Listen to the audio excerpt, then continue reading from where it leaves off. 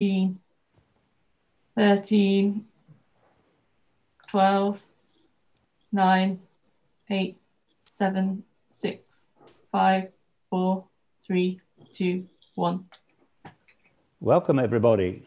Welcome to Geopoetry 2020. So, my name is Patrick Corbett, and I'm speaking to you from Edinburgh. And I have got a few introduction slides to give uh, before we get into the main program. First of all, I would like to acknowledge the various organizations that have helped bring this together. Uh, it's largely been run by the Geological Society, on whom's Zoom's platform we are operating. Thanks to sponsorship from the Scottish Energy Forum, everybody's allowed to join in.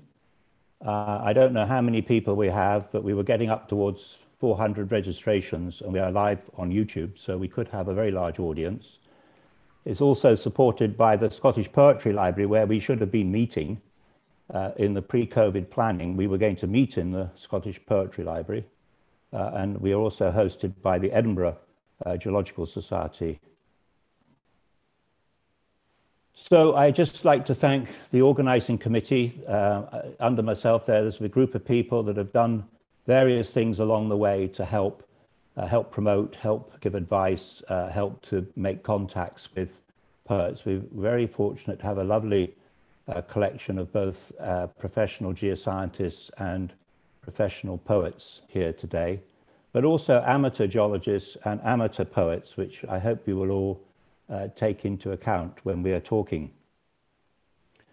Uh, we got a very busy program, you know, so after the, the introduction, uh, we go into the uh, first session. We're going to have a short break somewhere in the mid-morning.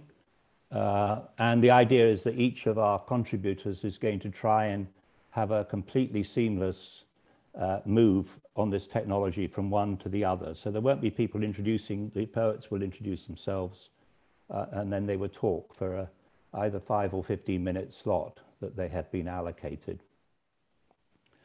Uh, and then in the afternoon, we have a few more breaks. And then this long day of poetry, some eight and a half hours, ends up at somewhere after six this evening. And uh, by that time, I think we'll have learnt a little bit more about both geopoetry and geopoetics. Uh, I do draw attention, you've all been sent, those that are registered have all been sent um, a document with all the poems in, all the biographies of the speakers and all their contributions uh, such as they have. And right on the last page of this document, John Hegley has given us a, a, sketch which he's asked us to think about and provide a caption. Uh, and this caption, uh, you can send your entry to me and I will collate all these by midnight on Sunday. So we're not going to give you a long time to think about this. So uh, the caption competition uh, for John Hegley's poem uh, is uh, in the back of your document. So as I say, the way we're going to work is to uh, have the poets, hopefully they keep microphones and videos off. Uh, if you want to make comments direct to the speakers, then you can put those in the chat, those that have access to the chat. Uh, and, and if there is a time, there may be possibility for the author, the poet to, to read those and to come back on something, but they can also review feedback after their slot. So it's not really a, a long period of discussion after each poem. We will be monitoring the time slots, and this is uh, live streamed. And uh, the recording of this uh, will be available afterwards on the GeolSocs webpage, uh, so you have this. So the background to this meeting, it really is a follow-up to one that was held by Professor Brian Lovell uh, in 2011 in the Geological Society, uh, where they had something like 100 people turn up and, and maybe 20 poems. And some people in the uh, session today were also at this first meeting. Unfortunately, Brian Lovell is not with us, as I understand. We wanted to do something in the Geological Society in Scotland and thought that poetry and geology comes together so nicely in, in Edinburgh that it's a great place to bring together those people in the geoscience community that work with poetry and also the wider poetry community through the Poetry Library. And I was interested to see what's out there, and we've brought together uh, quite a lot of material. We also provided inspiration. So some people have sat down and uh, both written some new stuff. Uh, and to a certain extent, I follow in the footsteps of Patrick Geddes. Um, he was a, he was uh, he first taught at Heriot Watt University, so there's a nice link there to to my institution. Uh, and he had these three birds: the sympathy, synergy, and synthesis. So I think we're looking at sympathy for the challenges that poets face, sympathy for the challenges that geologists face. We try to work together, and then we're hoping to produce a volume at the end of this. And you know, the, the whole thing here is to improve what we do and, and why we do at a time when we have a very great visibility of geoscience, great demand for energy and minerals.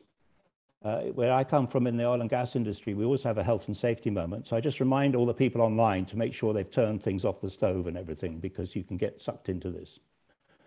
So Brian, uh, uh, Brian, uh, if I can get rid of the, maybe I can get rid of this here.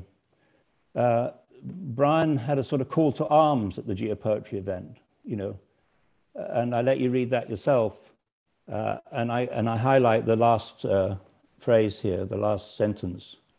Poets and geologists have a common cause, a search for words to help us understand what we do. So I think that's what we're doing here today. So um, you were lucky or not in Edinburgh because it's currently, well, it was raining. And so I would be very stressed out because the whole meeting was planned to go up onto Arthur's Seat on a nice sunny day, like in the picture, and have uh, Yvonne Reddick uh, read to us some poems and gather on the hill. Uh, so knowing that we were going to be online today, uh, we took this part of the event uh, and had a socially distanced walk a, a few weekends ago. Um, and I have recorded something which I am now playing for you. Uh, it starts silent, so don't worry. Starts with a, a, a sort of Arthur's Seat.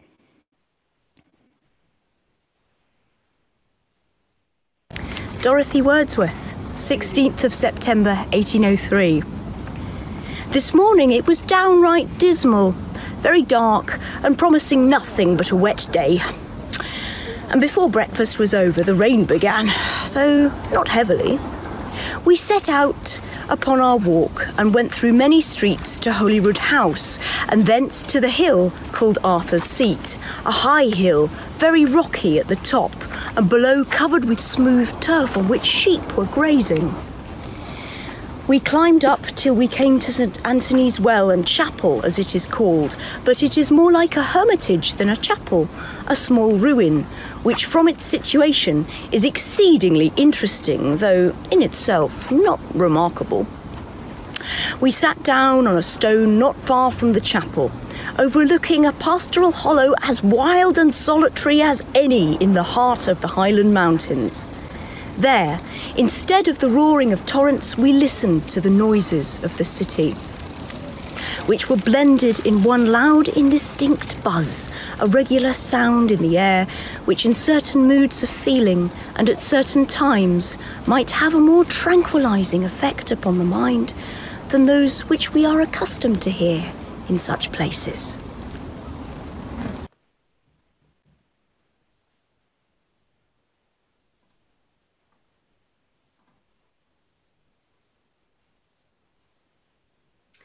Well, hand over to Yvonne. Sorry.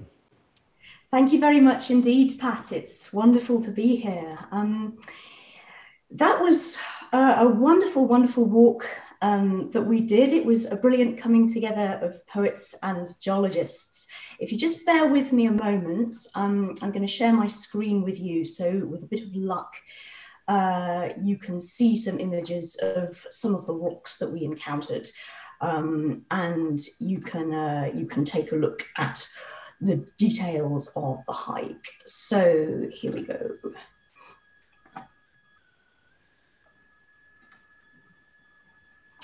I hope you can see that. Um,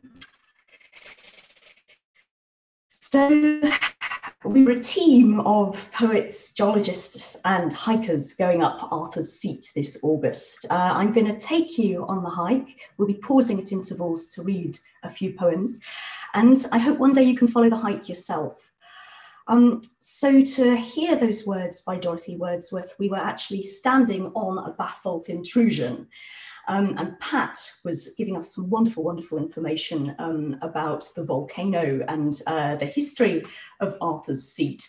Um, any misinterpretations or any inaccuracies in the geological information are all mine. I can take credit for them.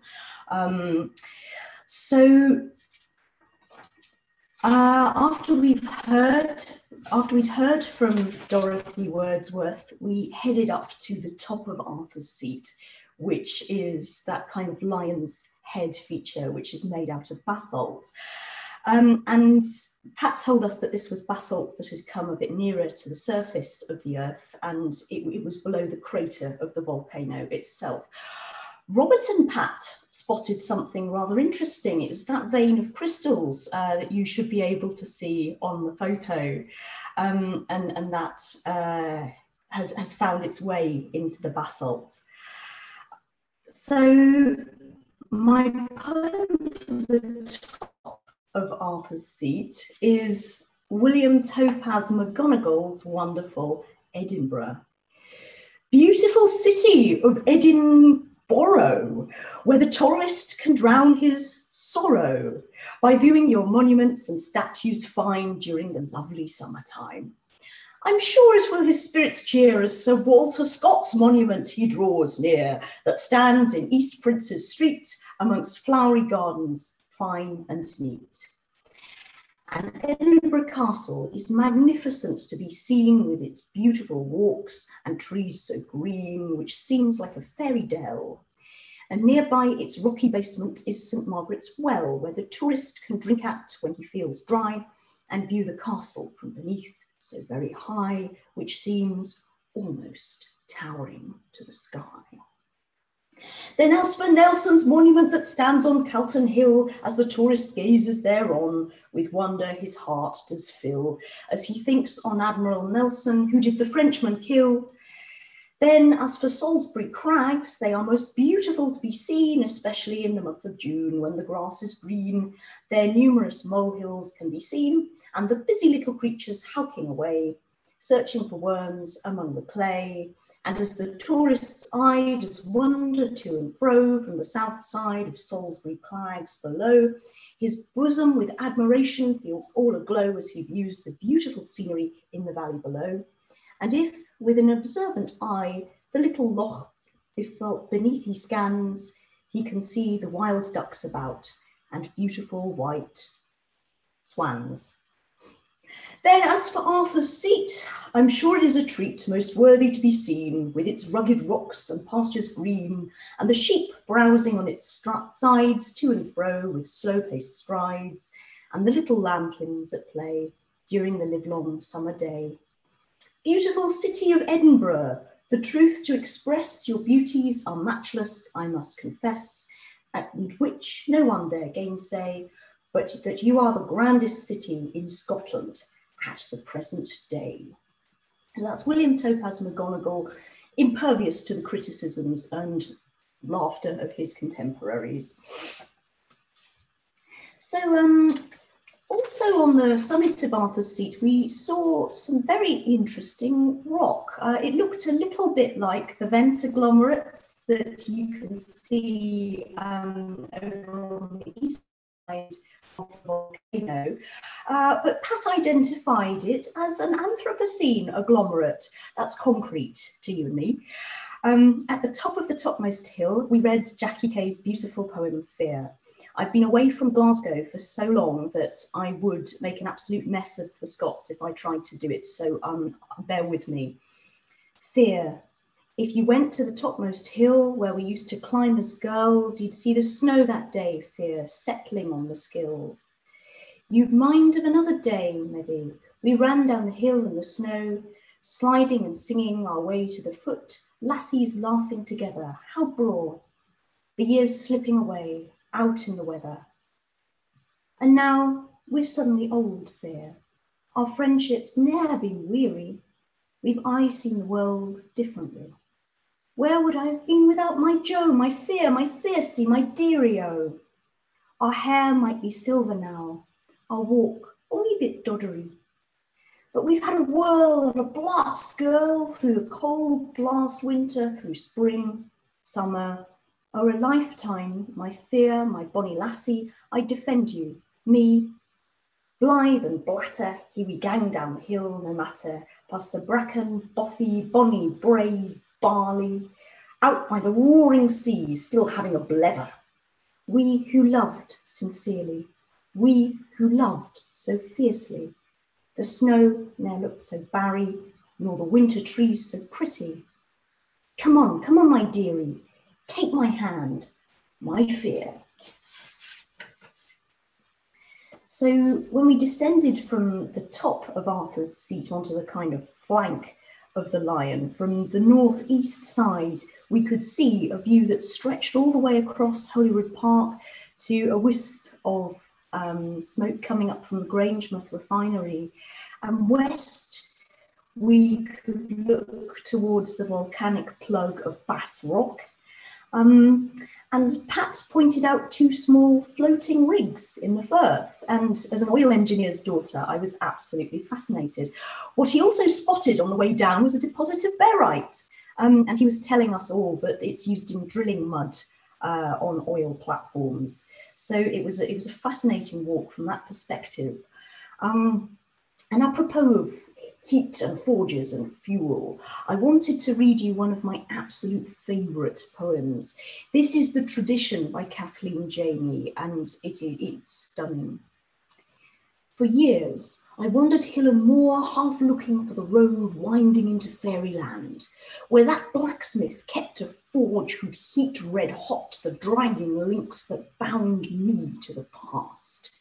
Then, with one almighty hammer blow, unfetter me at last.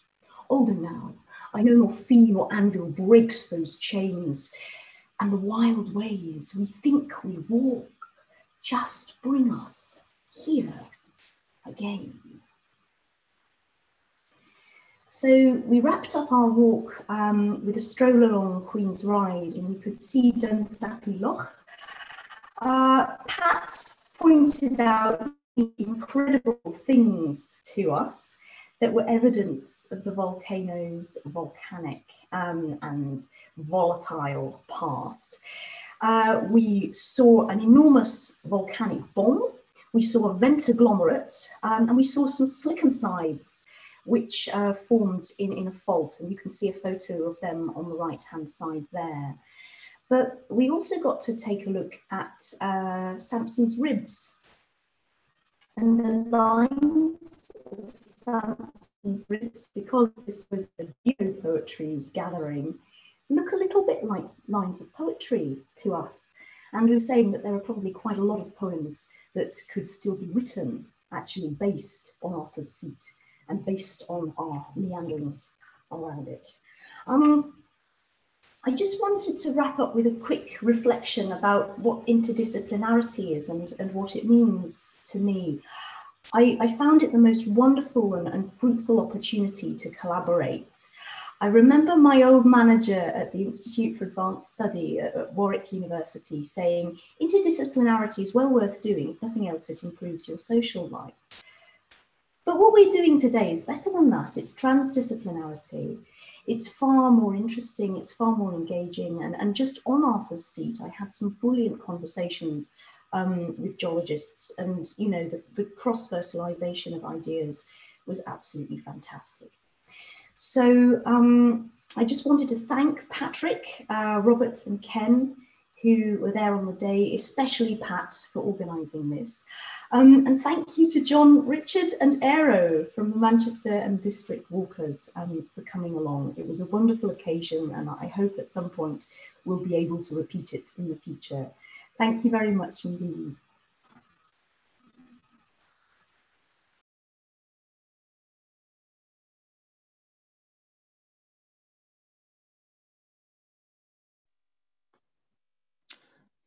Good morning, everyone. Uh, my name is Rob Francis, and uh, I am the one of the lecturers in uh, creative and professional writing at the University of Wolverhampton. and currently the poet in residence for the Black Country Geological Society. And I'm working on a, a project that I'm calling the Chain Coral Chorus. And that's what I want to talk briefly about with you today. So, as I said, I'm part of the Black Country, and that's where I'm uh, transmitting from today in the heart of Dudley. Um, and the Black Country is a, a, a small post-industrial place in the, the West Midlands. It's just kind of to the west and north of uh, Birmingham. Um, m- mainly known for its industrial past and the part it played in, in the Industrial Revolution through chain works and nail workers and glass works and such like. Um, but I kind of also think of it as a as a strange, marginal, liminal, and borderless place. It's kind of not quite north and not quite south. It's uh, a strange mix of rural and urban and green and grey space. Um, we've got our own set of dialects and uh, unique culture and community uh, and our own flag, but no one can really decide where it begins and ends. And the sort of joke in the Black Country uh, is if you want to start a fight round here, you just need to ask someone, where is the Black Country? Um, and I think what this sort of gives rise to is a, a sort of strange in betweenness or off kilterness and, and liminality because we've got this strange mix of green and grey space, of rural and urban, of ruined and renovated, because so much of our identity is kind of drawn from our industrial past but much, much of that has now kind of been uh, uh, ruined or, or, or, built over. So we're also this kind of weird mix of um, of uh, new and old as well, and in a kind of Freudian sense, sort of a, a weird mix of homely and unhomely, and and safe and unsafe. Um, one of the kind of uh, areas of thought that I use to to think think about this is uh, to think about it in terms of environmental psychology, and especially the work of uh, the the theorist Harold Proshansky, who uh, coined the term place identity. And this is what he said about place identity. He called it a substructure of self identity consisting of memories, ideas, feelings, attitudes, values, preferences, meanings, and conceptions of behavior and experience that occur in places and satisfy an individual's biological, psychological, social, and cultural needs. And the environmental psychologists argue that a, a place uh, meets a person's needs and they become dependent on it when they choose to stay there. The longer a person stays in a place, the greater the likelihood of the, that, that place being incorporated into their identity structure, especially if that place offers feelings of distinctiveness, of continuity, of self esteem, and self efficacy. So, place dependence refers to the kind of functional features of a place that then facilitate the activities uh, and emotional connections that the uh, psychologists call place attachment. So we could maybe see our kind of place identity as being a kind of biological organism that sort of moves through time space and develops uh, a, a sense of self within place through the accommodation and the assimilation and evaluation of the social world, but also of the physical world and the lay of the land and the makeup of the land, because that's what gives rise to the cultures and communities. And the other important aspect of environmental psychology is that they argue that a kind of uh, sense of continuity about our sense of self within locales uh, is as important to our identities as our class, genders, religions, ethnicities, and all the other things that we, we note as important markers of our identity.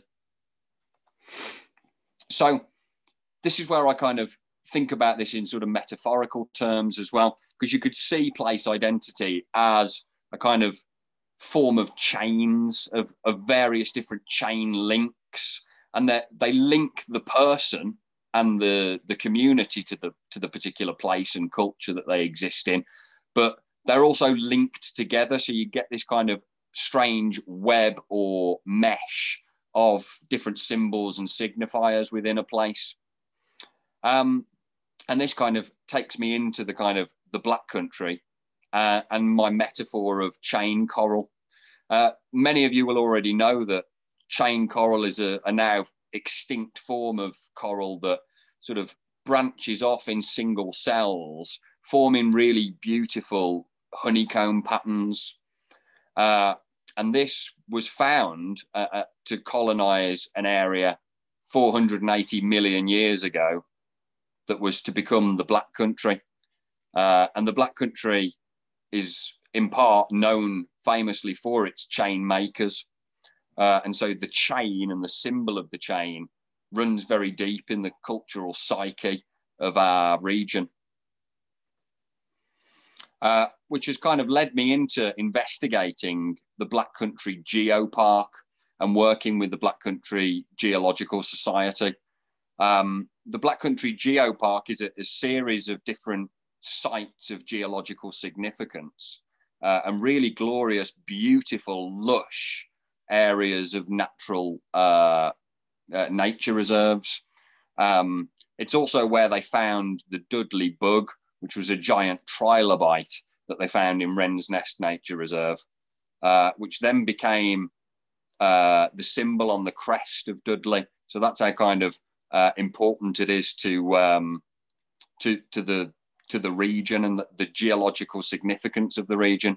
And obviously, uh, without the fossil rich grounds and the limestone rich grounds of the region, we wouldn't have had uh, our place in the industrial past and indeed the, the unique uh, chain linked honeycombed cultures and communities that drew out of that as well. So this is what I do. I'm, I'm going around and I'm investigating the 40 plus sites of the region, um, and and uh, taking a kind of geopoet's eye view of where the um, where the where the bedrock of place identity comes from. And that's sort of what I'm looking for, really. I'm, I'm trying to delve into the grounds to kind of bring about uh, the sort of foundation stones of where this um, where this this black country place identity lurks. And i think you know this is where it really connects for me with uh, the sort of foundation texts of geopoetics as well and in particular kenneth white's work. Because what i'm doing here really is a is a deep time observation of my immediate locale White was very, very keen on kind of refiguring our relationship with our immediate uh, everyday realms. So it's a, a, deep time observation. It's an understanding of the minutiae of the locale and also a calling for new ways of seeing and new ways of recording place through an embodied knowledge because I'm going out and getting my, my fingers dirty within a place that I know very well, but I'm now learning about on new terms. It becomes this embodied knowledge that White was so passionate about, is so passionate about. Uh, and what this brings about, I think, is again what White called the topological presence, or even a, a kind of topological reverie which I think I think of in, in, as akin to the kind of romantics like John Clare and William Blake, uh, or, or even Gothic writers when they think about the sublime and being awestruck by sort of humanity's insig- insignificance at the face of geology as well. Um, and I'd like to finish there. Uh, that's a kind of brief outline of the sort of poetics that I'm dealing with, really uh, and finish with a poem, uh, which was one of the first poems I wrote as part of this residency, uh, which is called Through Filth. And in this, I'm going to take you through the caves of Dudley, through the caverns that are underneath the town. back to the Silurian era, and into the industrial past as well. Through filth. Attend, descend with me mucker down below grounds of Pagnell's Priory, where hides the rhizome echo of Cluniac monks and their prayer, enkindled, inflamed, like our own smithy's scorched core to gem, sand to glass, dust to daggers, smelt by quicksilver fingers and nail mecking kins, full of ken for our caverns. These caverns, descend with me mucker, descend down below renner roots and lime, where the cut chain links Nidhogg, Yggdrasil to corner shop, call centre, from chain coral helixing revelations to brackets, a battle, ghost ship, colony, Empires are mithering and hovering here, sending out canting wisps of caddy, caggy-headed scrappies older than God time. Attend, moist ore moves in slow spit splitting femi, firm as fossil, cold as core. The Raya Svedberg scuttles in here, just patient sediments with the brood of halcite, silica shale, tracks of tabulite ordering routes for proto beings and proto action. Down here, win the stone and slick sand fertilizers for Steeler, Glassmecker, almost teen lad with Oma, with chisel, with lens to spy crinoid ruins, insect set in geo nest, attend.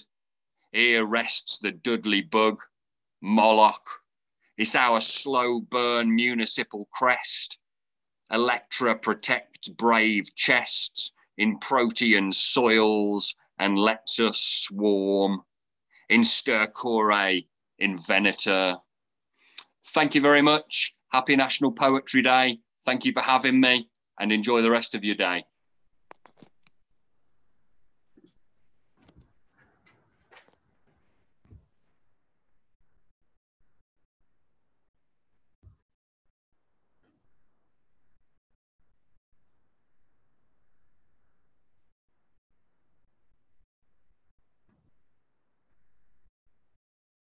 Cool.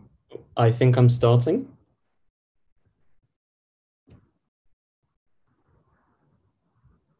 Cool. Hi, everyone. Sorry, awkward Zoom moment. Um, so I'm Jack Cooper.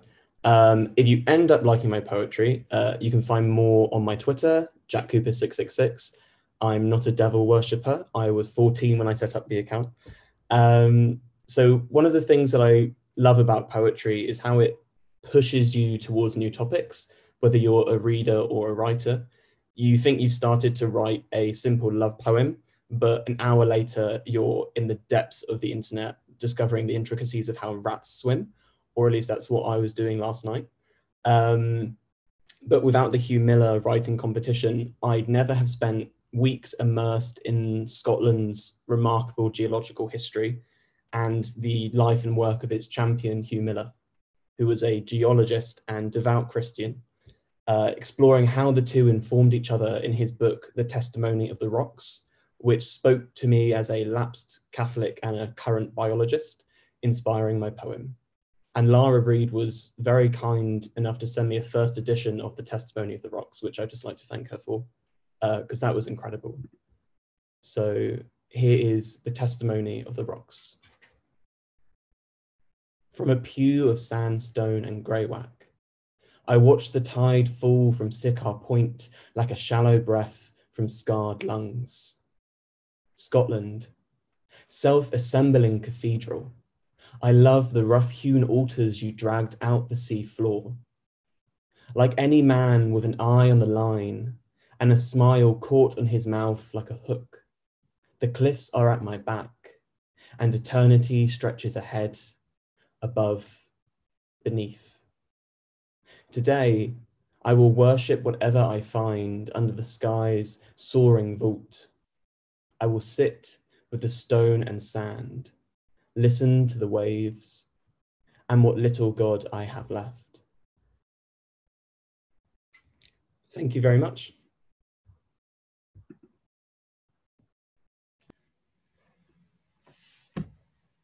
Brilliant, Jack. Thank you. Um, hello uh, my name's uh, Neil Hodgson. I, uh, surrounded by all of the uh, sort of geopoetry talent that we have on on the schedule today, I, I feel a bit like a, a, child that's wandered onto the, or slightly overdressed child, I should say, um, wandered onto the stage at Glastonbury and, and all of a sudden wondering quite quite why I'm, I'm here. But I've got a five minute slot and I'm going to just read one poem called Time Tide. Uh, with a bit of a preamble. So I'm going to share my screen right now. Um, so bear with me.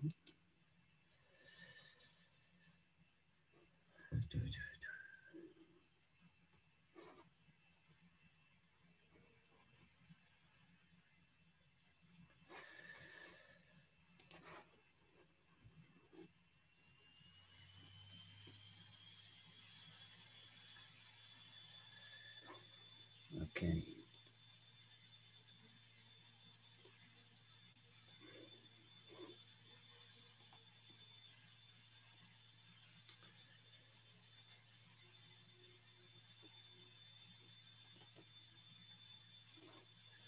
Right. Classically, I've cocked this up. I'm going to do that again. Bear with me. Sorry, sorry. Right.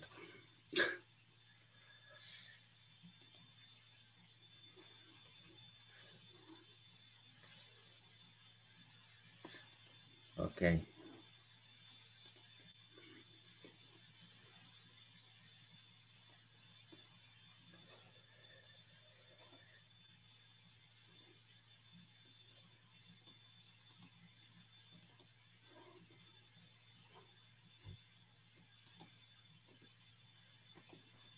That's fine, Neil. Right. Okay. I'm too sorry for that, for that pause. Um, so what I'm hoping, well, I, have really messed that up. Anyway, oh, let's go through this. Uh, much to everyone's surprise, I've been a geologist now for about uh, 40 years. Um, I've started my career running up um, ocean island volcanoes, looking for carbonatites, and then um, I joined the oil industry and I've been like a geo uh, journeyman for um, the rest of uh, for my career.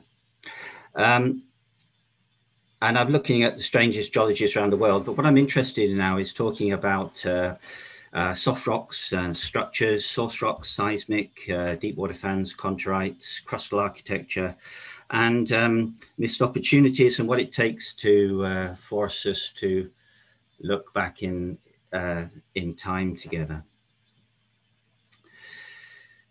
outcrops. Um, cliff seismic lines are fuller of missing time than they are of captured moments, especially the high energy rocks, uh, sands in deltas and carbonates. There's so much rewalking that at any one moment, almost nothing is being preserved, even in the quiet uh, deep water deposition orbital forcing changes sediment supply seasonally or over hundreds or thousands of years, um, leaving big gaps in time. And currents scour the basin floors, removing sediments or at least stopping deposition.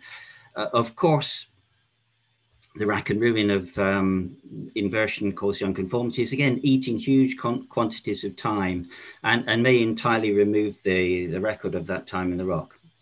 Uh, so the continuous rock record, uh, what, what does that even mean? Uh, if you have one piece of shale sat on top of another piece of shale, one clay flake, another clay flake, is that one per second? Is that one per hour, one per year? What does it mean continuous? What you've actually done is collected an awful lot of missing time with little tiny moments um, that that are recorded and, and they capture that moment in time.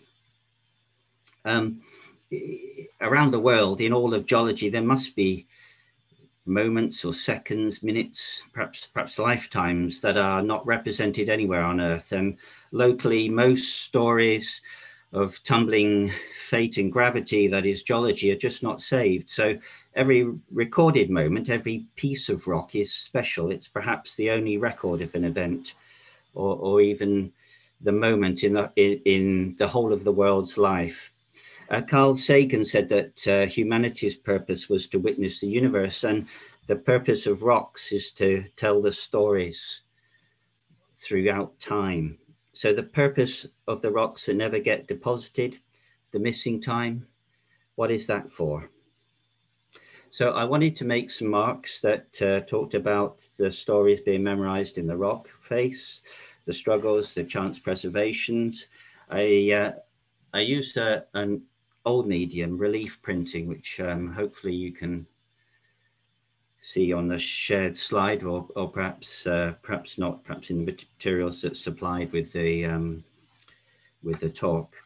Uh, so what, what I do is uh, I use um, lino printing to, to make an image of the rock face. So uh, let's look at the rock face at a single grain of sand. It's a, a, a, single grain of sand that's stirred up by the passing fin of a plesiosaur and it settles to the seabed and it's captured and it records that single random moment in time. It becomes tide in time. Time tide. Time tide in tangle and twiggery, bound to one story of a random moment frozen for empty eons to no witness. A deep memory in a silent library of strata until chance and torture reveals in mist-wrapped dawn on crashing coast or endless peak the drama of that captured scene. And it's gone, lost to time. Thank you very much.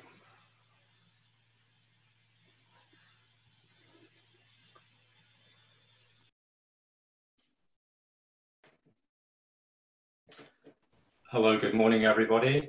Uh, my name is Eamon Dolan. I'm speaking from Glossop in the sunny Peak District. I hope you can all hear me clearly. So I'm going to read uh, a very short poem I wrote in uh, the Syrian desert back in 1992. So that was 28 years ago.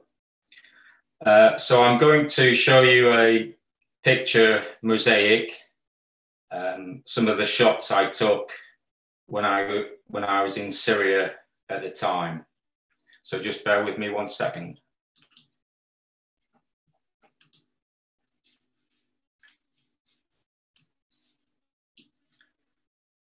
I hope you can all see that. So I was working as a well site geologist, and the poem is just a, a play on words with some references to the locality and people and essentially, it's about chasing oil, but always not always finding it. And it's called Lines Written in the Vain Prospect of Wealth. Land is land, and Mother Earth does not forget the time when all was still. Her riches laid some eons past could not escape the cast of eyes from Al Furat and crews who drift among the sands of Tayam, the sands that Mother Earth had said were mine. But time was running out for this particular spot, the one that Al Furat had got. And when tooth bit dust, for so it must, like tooth and nail in Holy Grail, the search was on, but not for long. The oil they'd come to find had another place in mind, and like a precious child who runs to mother with a cut, the Omar field was aptly put. And on returning to the fold, remember, all that glitters isn't gold. Thank you. Eamon, did you mean to share the pictures with us? Yes. Did you not do that, or are you trying to change your mind? Or no, I thought I was sharing it actually. Okay. Do you want to bring them up?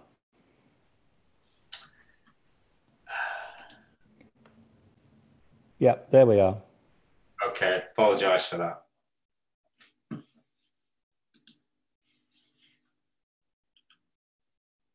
Okay, I'll stop the share now. Thank you.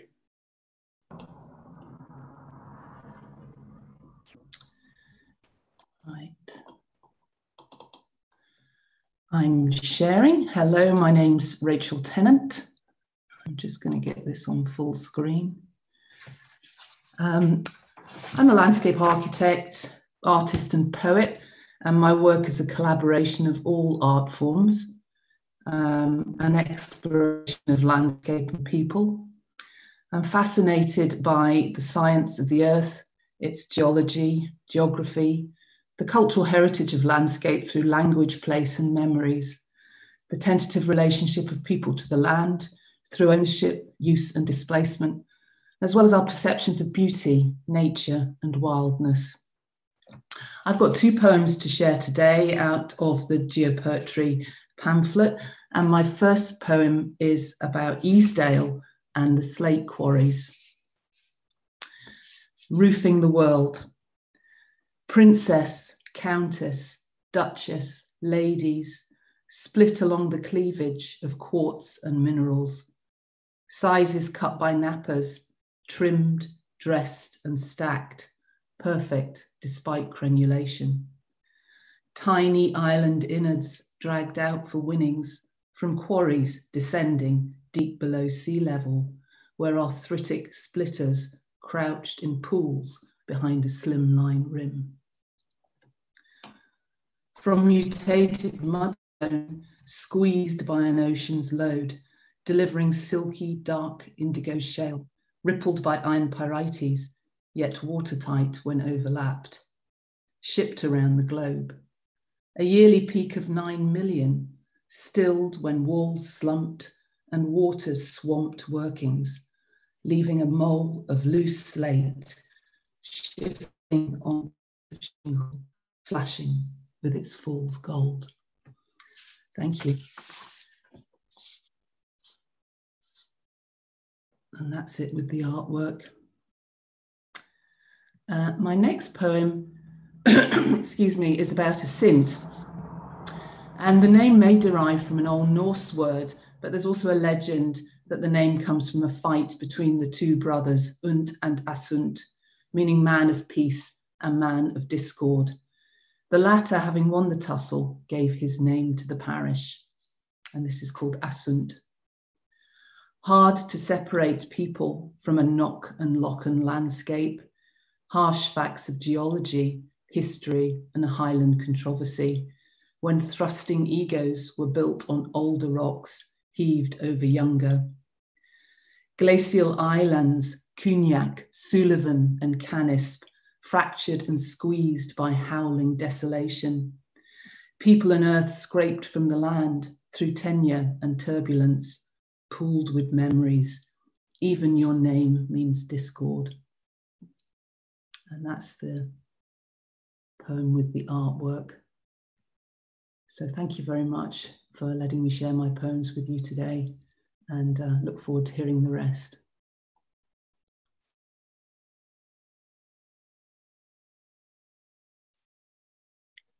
Hello, I'm, my name is Brian Rosen, and um, I come from a family which is not scientific, but is largely interested in languages, literature, and politics.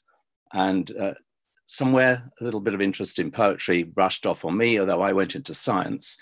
And I work still in retirement at the Natural History Museum as an associate when we're allowed in, of course, at the moment we're not.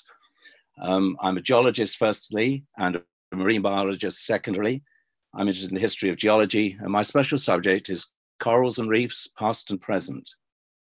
The two poems I'm going to read are both sort of autobiographical and indicate a part of me which is, as it were, left behind or influenced by quite a lot of time spent in Wales over my lifetime. So, for the first one is Here Be Dragons. Here be dragons, or so the old maps say, but Plutarch, respected, wise old ancient, just says bar. The only inhabitants there are poets and inventors of fables. My mother bought us the pebbles on the beach for a summer camp in Wales at perfect little Nolton Haven for Clarence Ellis, unknowingly to unlock fables of our own from strange stripes, twirls, and mottles, bands and speckles, white shelly bits imprisoned, jasper reds and serpent greens, smooth, wet, glinting gems, flickering preciously in the western sun as the falling tide receded.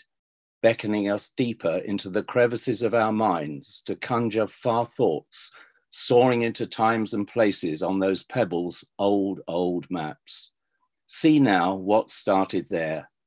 Without leaving Nolton's Horseshoe Cove, we crossed the seas to rivers, swamps, and lakes which left our own shores long ago, raging volcanoes choking distant lands from seething fiery cauldrons deep beneath, upheavals unimaginable, turning rocks to caramel and toffee, jam packing muddy oozes into brittle slate for shingled beaches and roofs for all of Wales and the world beyond.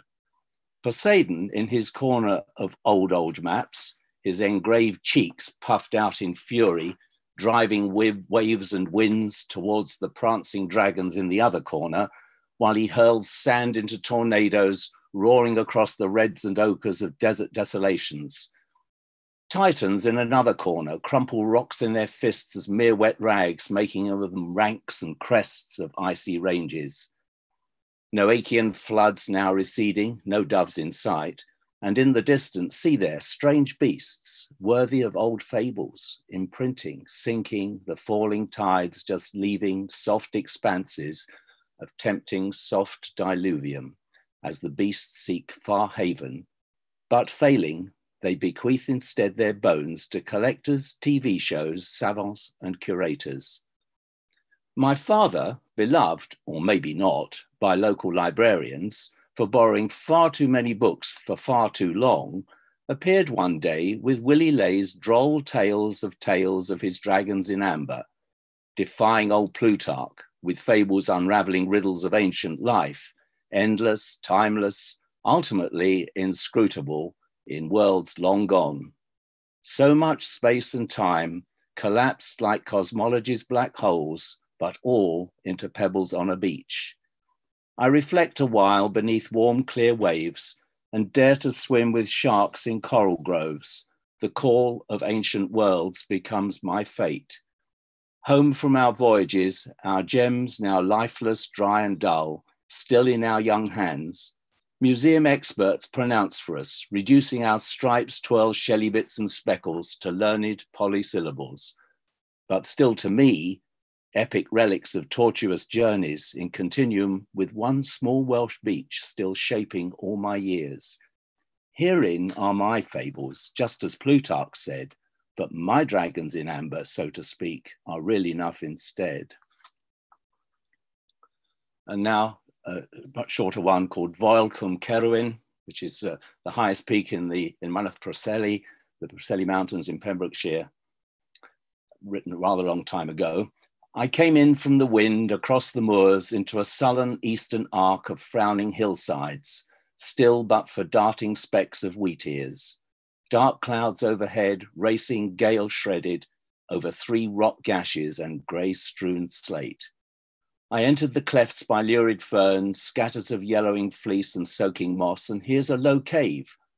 I crouch and look to hear inside the hill the distant ring of dripping in a lost tunnel, echoing beyond the breath of Arthur's sleeping nights, deserted Wayland Wolf's Glen smithy, forgotten Neolithic rites, to whispers of Welsh flannelled miners. I search for a hint of crystal, gangspar, blendor, mine glance, somethingite, or eldorini to find what drew them in. It seems it was so rich they took every grain away. Or was this rocky passage just speculative, disconsolative, accumulative, slaty waste now hewn into silence, other than the first hiss of determined all night rain as darkening mist descends and drops of water yield my only glint? I, I, just want to say that there's a slate theme I picked up without knowing it from Rachel's uh, poems just now. Um, anyway, I, am also supposed to announce that there's now a 10 minute break. Well, um, yes, Brian, we'll come in because we've got a bit longer. We start again at 10.50, so we've got ourselves ahead. So, you know, it may be that we, people want to have a little bit of discussion. The panelists could have a little bit of discussion or in the chat line. Um, and, and, you know, I'm, I'm absolutely moved by the, the connection between the, you know, the, the place attachment that started with uh, Rob's talk, you know, this thing about place identity, and then, you know, to, to have you end up saying, you know, the Welsh beach shapes all the years, you know, so this place identity for you is obviously so strong. It is enormous. It's absolutely, I, I just love place. And I would say that I, one of the games I play to the amusement of most of my family is trying to identify places in pictures where there's no caption, you know, in advertisements and things like that. It's a sort of hobby thing to say, oh, that's obviously such and such a mountain in Wales or such and such a beach in wherever, you know. So it's something I enjoy doing. Yes, place, place, place, very much. Location, location, location, in fact. Lovely. And we put a, in, in the chat, we put the reference to this Clarence Ellis book on pebbles. So for, for people that go to the coast and love beaches, it's a great place to start understanding what, where all the pebbles come from. Well, it's been re, I think it's been reissued. And um, I also think um, Willy, but Willy Ley's book is much less well known and is well worth digging out for those people particularly interested in the history of paleontology. That's well, you could put that in the um, in the chat. So I don't know if anybody on the chat uh, wants to ask Brian something or any of the speakers from this morning. Uh, we enjoyed the images that Rachel and, and Neil showed us. Very much. Um, yes. It's very nice. Images and place go together so nicely. Mm. So uh, if that's not, then we'll, we'll, we'll close this opening session. Thank you for that, Brian. We'll close this opening session and we'll start again at uh, 10 to 11. I think that's the right time. So we've got time to go and get another coffee. Uh, and uh, thanks very much, everybody, this morning.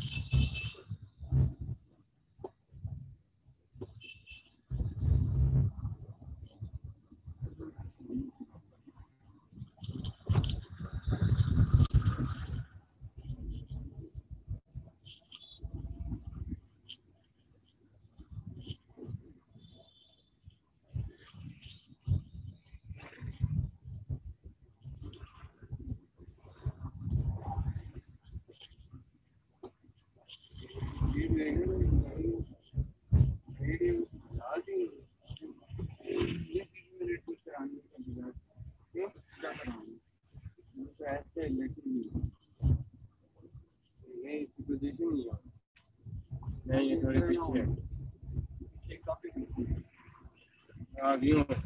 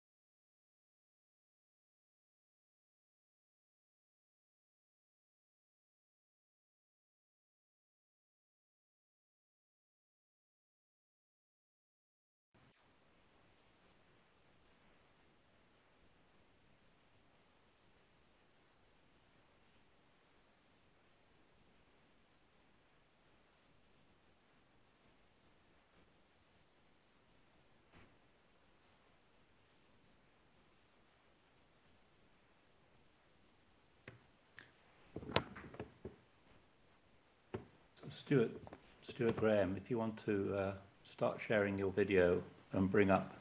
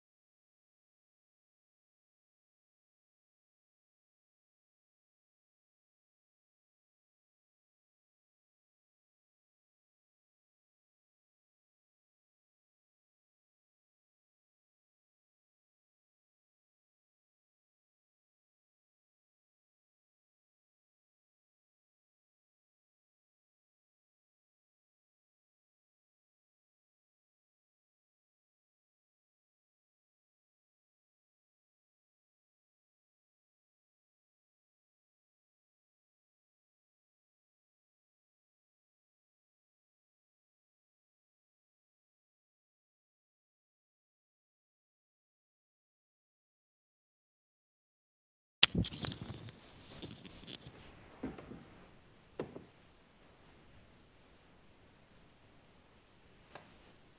we, we're about ready to kick off again um, with Stuart Graham. Stuart, are you there?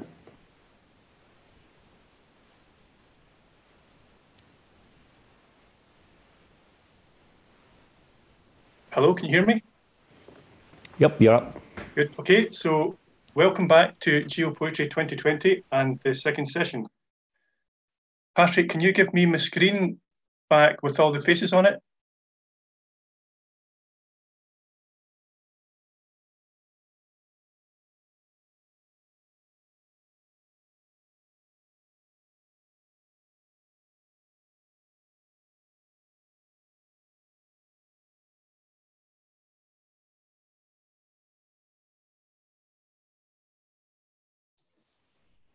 We can see Stuart. Um, at, at the minute, okay, well, no, that's fine, as long as you can see me. Okay, so thank you very much. Scotland's geology poems, Lewisian, Moine, and Permian. Hello, I'm Stuart Graham, and I have evolved from a geologist to become an environmentalist and a recreational poet. I work for the government's environmental agency, NatureScot, previously known as Scottish Natural Heritage until just a few weeks ago. And I have helped deliver the conservation of nature and landscapes, including geology.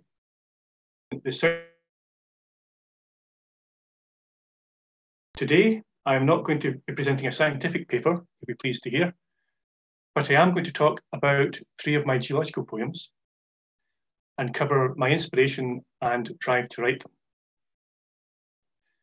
The writing of poetry and artistic language is not the norm for a civil servant like myself. Indeed, the use of complex geological words or phrases in poetry is not something that many readers of poetry are going to be familiar with either. What drives me to write geological poetry quite apart from the fact that I enjoy doing so, is that I want the wider public to understand and value our geology.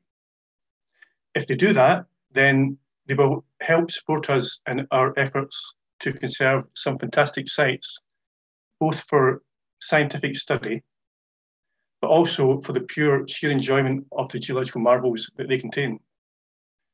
And this is something that all of us here today can play our part in through our geological poetry.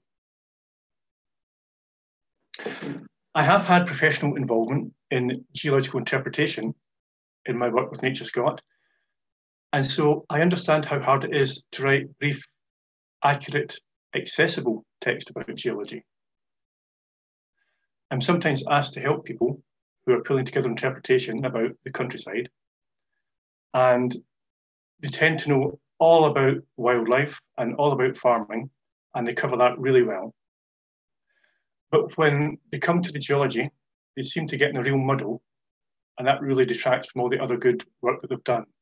So part of my role is to help them rewrite and reinterpret the geology sections and get them accurate. In the end of the day, it's hard to get that right. And you need to know your audience and the level of geological knowledge that they might have. If we water down a message too much, it can become meaningless. The public attention span is limited, so they won't read a lot of text, and nor do they like a lot of unfamiliar terminology. Yes, diagrams and pictures will help a lot, but it's going to be hard to get the text right and still capture the attention. However, we're very fortunate in that the ideas that we're trying to get across are almost magical in the variety, whether it's massive timescales involved, continental drift, dinosaurs, glaciation. And the modern day relevance of that is easy to see with global warming, extinctions, and volcanoes all regularly making the news. So I'm getting interested now in how poetry can help solve this interpretation conundrum. Poetry allows that artistic element to be introduced, which permits more reflection and lateral thinking. This can help capture the imagination and help get potentially complex messages across in a more easily digestible form. It can also allow the introduction of humour. The three short pieces that I've picked for today were written initially for my own interest rather than for use in interpretation. So they certainly work best when presented to a geological, geologically knowledgeable audience, which of course we have today, thankfully. The first two describe the field area for my PhD research, and the final one reflects the geology where I currently live and work in the south of Scotland. Indeed, to my, my research field area after a 25 year absence that inspired me to start writing about geology in verse rather than scientifically. And I suspect a copy of Norman MacCaig's Poems on Assynt, which I happened to have with me at the time, also had an influence in me. Personally, I think my poetry is more accessible than scientific text I've written about geology, but I'll let you be the judge of that. The first poem is Old Boy Old Boy is a name that the Geological Survey geologists of the 19th century used to refer to the Lewisian gneiss. The reason for that was that the Lewisian gneiss are the oldest rocks in Scotland, and indeed amongst the oldest rocks in Europe. They have a very complicated history. Three of the geologists who helped unravel the mysteries of this Lewisian gneiss and the wider Northwest Highlands in general are Ben Peach, John Horne, and Charles Clough. And this short poem is in part my tribute to them.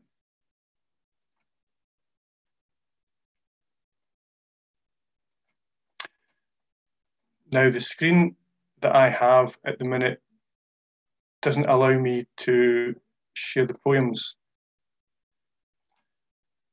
so what it should do, do if, you, if you go to the bottom, it should do. You should be able to bring up the scroll bar if you go to the bottom of your screen, don't you? It's been there all the way through until the break, and it's vanished now. Hmm, the mysteries of.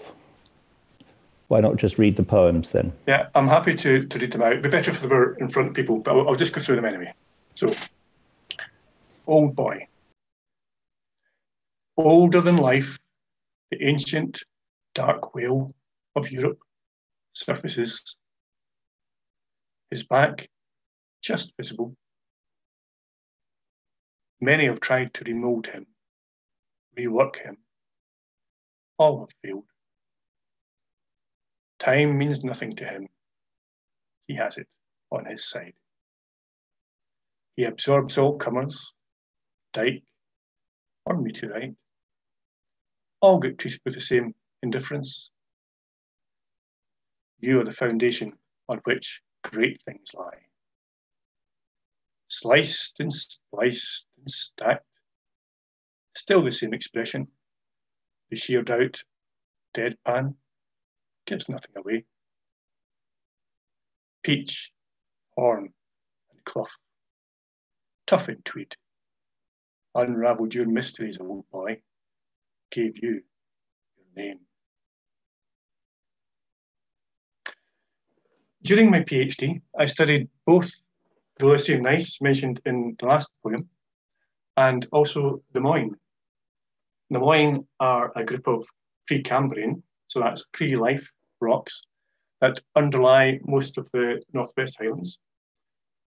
There are rather repetitive sedimentary sequence of sands and muds.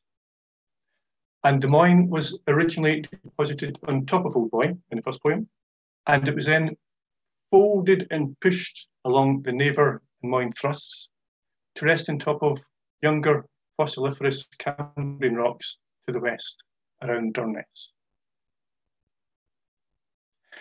The Moine take their name from a, a rather featureless bog, the A' Mhoine Bog, which can be found on the north coast of Scotland between John O'Groats and Cape Wrath. And ironically, there's no rocks in the Moine Bog, and its only notable feature I could observe was a ruined house called Moine House, and it's perched at the highest point in the road where the road crosses the bog. This is the second poem. Moine. Like the Moine House with his empty windows that gaze emotionless through time's oblivion across a no man's land that slopes precariously down to Europe's torn edge. The featureless moor of his name defines isolated abandonment. Not always so for our host, the Moine. Proudly centre stage for the Balticolour in Shabonding, his half grabbing, welcoming all comers, salt or fresh, in thickening sequences lifeless monotony. Intoxicated, you sang your increasingly contorted tune to the squeeze box of Knoydartian extension and Caledonian compression before you were punched with plutons and slid out of control along Naver and Moine to nap and cool off, then gaze uncomprehendingly towards America and erupting life.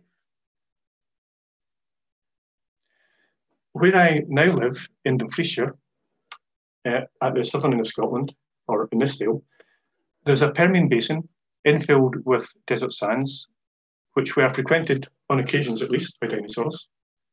And this basin was infilled from the surrounding older rocks, which were in their day the muds that were deposited in the Iapetus suture or ocean that lay between Scotland and England, and also the granites that had been injected into them. So this final poem interprets my local geology. The sands of time still running. Mountains race to fill the void of Nithsdale's yawning chasm. The hourglass of eternity empties its belly of sand, Criffel granite, and ocean mud. Ancient fire and water, fragmented hostages of an Iapetus suture, lie wrapped in the blanket of dry sand for a long sleep. Roll and slide, the cranes ride, the conveyor belt of dunes to Permian horizons they never reach. A drifting monotony and heat, relieved by lamenting thunderstorms, still too early for desert blooms. A rose diagram in stone, relict of uncertain winds, unleashed to bury retreating dinosaur footprints in semi-permanent oblivion. Until now, as pre-exposed, they're forced to gaze back at a world no longer in the tropics and feel the weight of frosty reception from the recently retreated ice cap. I'm afraid that my sands of time have now run out. Thank you for listening.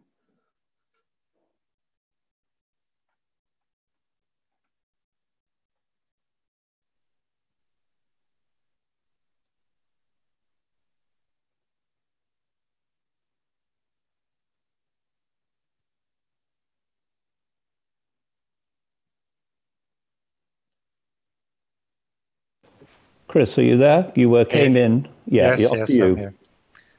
Um, so I can't seem to turn my video on. Um,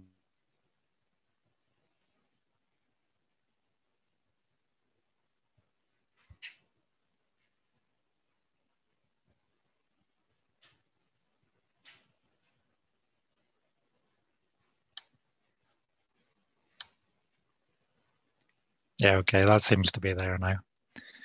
So, hi, I'm Chris Jack. I'm an engineering geologist. I work for a Danish engineering consultancy called COWI. So, I'm often traveling around um, looking at tunneling projects and various other engineering projects on the surface. Um, one such project a few years ago was on Ardverikie Estate, which some people might be familiar with from Monarch of the Glen and the estate was looking at uh, putting in a small hydroelectric scheme, which has now been constructed. And as part of that, I mapped a small glacial gorge in Dalradian rocks over a period of a couple of days. But unfortunately, I forgot my Midgey net, and this was in August. And so I spent a couple of days in a very beautiful setting, uh, being consumed um, by midges and it was quite a traumatic experience and it's, it's it was almost transcendental in some ways. I kind of felt like i was going to have some sort of out of body experience at one point. And i think that i don't know if that was just because of the midges or because of some side effect of the midgie spray but ever since then i've had some sort of version of this poem floating around my head, and I, I, took the opportunity to write it up when I saw this event coming up. So the poem's called Aeon of Ardverikie, and it goes, Standing in the river gouged gorge, observing, mapping, eaten by midges, amongst time-smashed ocean, psammites and schists, I am suddenly transported to the inky depths of the Iapetus. Einstein said time is an illusion. Am I there and here, so close, tangible, that I could swim? Then an evil midgie bite, and I am back by the river.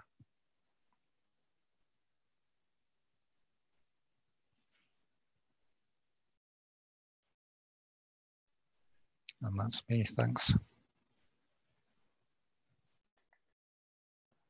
Okay, so over to Andrew. Hello. Um, firstly, thanks to everyone for reading their poems so far. It's been very good. Um, I'm Andrew Millam, 20 years old, um, going into my final year of an environmental science degree, but chiefly a geologist. I love geology since A level. And my poem today is about Arran, the Isle of Arran in Scotland. Um, as most of you know, it's often called Scotland in miniature because of the mixture of lowland and highland areas and the range of geology. It's like a microcosm of Scotland. Um, so I had to write it down when I saw this event coming up. Um, and here it is. Here's the first one. It's called The Soil Meets the Substrate. So the soil meets the substrate, where the tertiary dikes once swarmed, and when Arran's heated igneous past created an uneven and deformed rocky surface. Heat once ruled this Scottish isle with Devonian desert fury. Fanglomerates lie imbricated and stained, a hematitic mark in the geological story that continues. Old red sandstone is weathered now in honeycomb patterns with salt from the Clyde, from windy days when the air is strong enough to carry it. The granitic heights of Goatfell are less affected by the time, erosion, transportation, the peaks in energy and declines. On Brodick shore, look up and see the lilac watercoloured sky. Look down, tip your hat to the banded gneiss beneath this geologist's paradise. Um, that's the first poem. Um, and I went to Arran first when I was very young and obviously couldn't read the geology at all. Um, but then when I went back there for A level geology fieldwork, I could start to read the geology and had a completely different take on the landscape. And the knowledge of geology added a complete another level to Arran for me. And I think once you've got that geological knowledge, you can look at the world completely differently. Um, yeah, and I just love it. I, I was lucky enough to get, because uh, I write nature articles for various magazines, and I got uh, an article about the Isle of Arran's geology in Scotland magazine in the uh, July August issue. Um, yeah, the, my final poem's uh, a more general one about geology in general. So here goes. It's called The Geologist. It was deep winter when I left. Now the early strains of sun warm new and confused buds in this late February glade, displaying new colours, colours forgotten and kept safe in nature's attic for months, now brimming the horizon like a beacon. Colours calling back to red Devonian, green and jet black coal carboniferous, ice white quaternary to now, tying us into an ongoing story of seasons, colour, and change. Thank you very much. That's all from me. Thank you.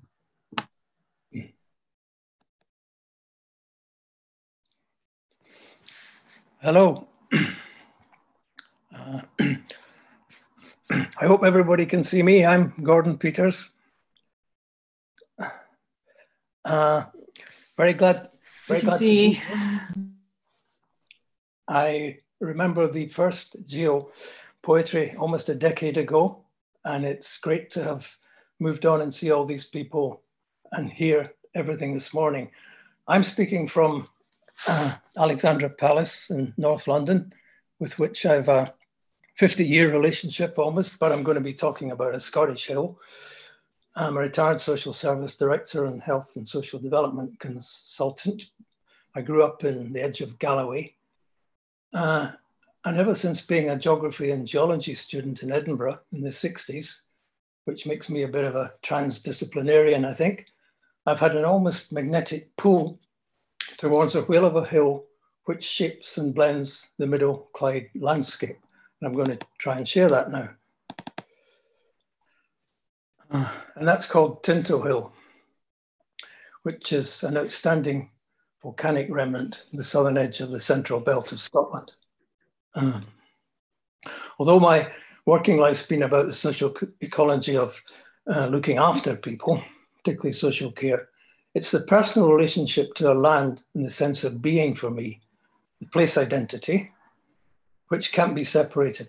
And that's the nub of this eulogy, a bit in the manner of Norman MacCaig, a great favourite of mine, but about a much softer landscape. In conversation with Tinto Hill, well misted for now, you don't just catch the eye from all around. Your feldspar slopes give the Clyde its elbow, you cause the very weather to spiral round. For years, these roads I drove were made of your pink stone and grit. Or a nearby sister, was it? Volcanic, volcanic outreach now supporting lambs and a quiet river heading for a fall. Our time upsets the way of looking, But what's a few million between friends? And your dark patches so meld that tinted glow. You seem to be having a whale of a time, old Tinto, though I'm the one who's spouting.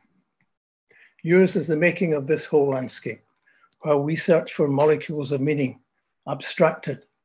I shall go for atoms of delight, sensing your neutrinos of granitic nourishment. A Clydesider returning to dust while still alive. That's the point, you might say. Light and dark matter enfolds us. I am the one who's speaking. You are the one unfolding, helping me to unlearn. For civilizations don't climb hills. Although drovers were known to go over your top, and cairns suggest you were a vantage.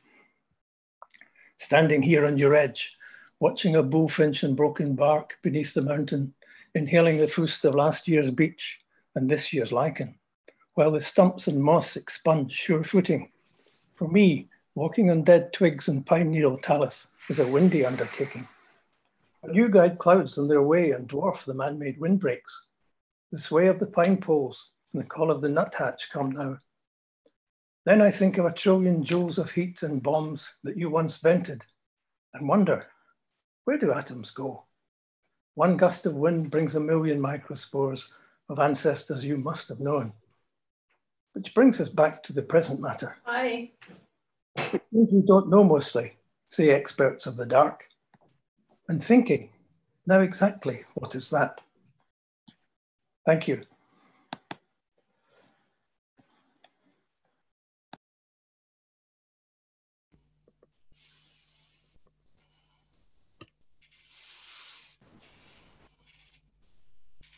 Off you go, John. You're on. Hi, everyone. Um, my name is John Boland. Um, these days, I'm a writer and artist based, um, well, I'm speaking to you from Forgue in Aberdeenshire, but it's been lovely to hear evocations of places like Arran and Assynt over the, over the course of this morning. Um, I have connection with a lot of place, I think. Thanks very much to the organisers for this opportunity to share some of my work. This presentation, um, in fact, blends elements of two ongoing projects, Pibroch and a collection of couplets uh, with a working title, Blood Times. Hmm? Pibroch arose out of an interest in how we effectively engage individuals, especially former rural workers like myself, with climate activism and action. Uh, the works evolved from a textual analysis of climate-related texts such as IPCC IPCC reports, scientific papers, and um, testimonials, testimony, formal and less formal, from the Piper Alpha disaster inquiry. Um, and you'll see an example of one of those analyses in the course of the presentation. It became clear to me working through those texts, however, that you know everything, in a sense, is a geological process. You know, the idea of the Anthropocene has finally dismantled the human nature dichotomy that I feel we've all grown up with. And I was also very struck as I was doing that work on how time is handled in the various uh, documents and discourses and their impacts on conversations about climate emergency. Um, deep time tends to encourage a fatalistic optimism. You know, at the end of the day, we're all just a thin black line in the cliff, which kind of echoes, I think, some of the things Neil Hodgson was saying earlier. Whereas political time encourages despair. We're either too late too early or it'll take too long. But time's not absolute. You know, at, at the level of quantum gravity, it is not a fundamental absolute variable. It only has significance with respect to the second law of thermodynamics. So this tension inspired, if you like, the second strand, strand blood times. Um, so there is a set of inter, intermingled couplets, which I won't, which won't be read, and then a set of, of the poem pieces from from Pibroch. Performance takes about 13 minutes, so I'll shut up now and hope uh, the work itself provokes your interest and reflection. Uh, Becky, could you run for us, please?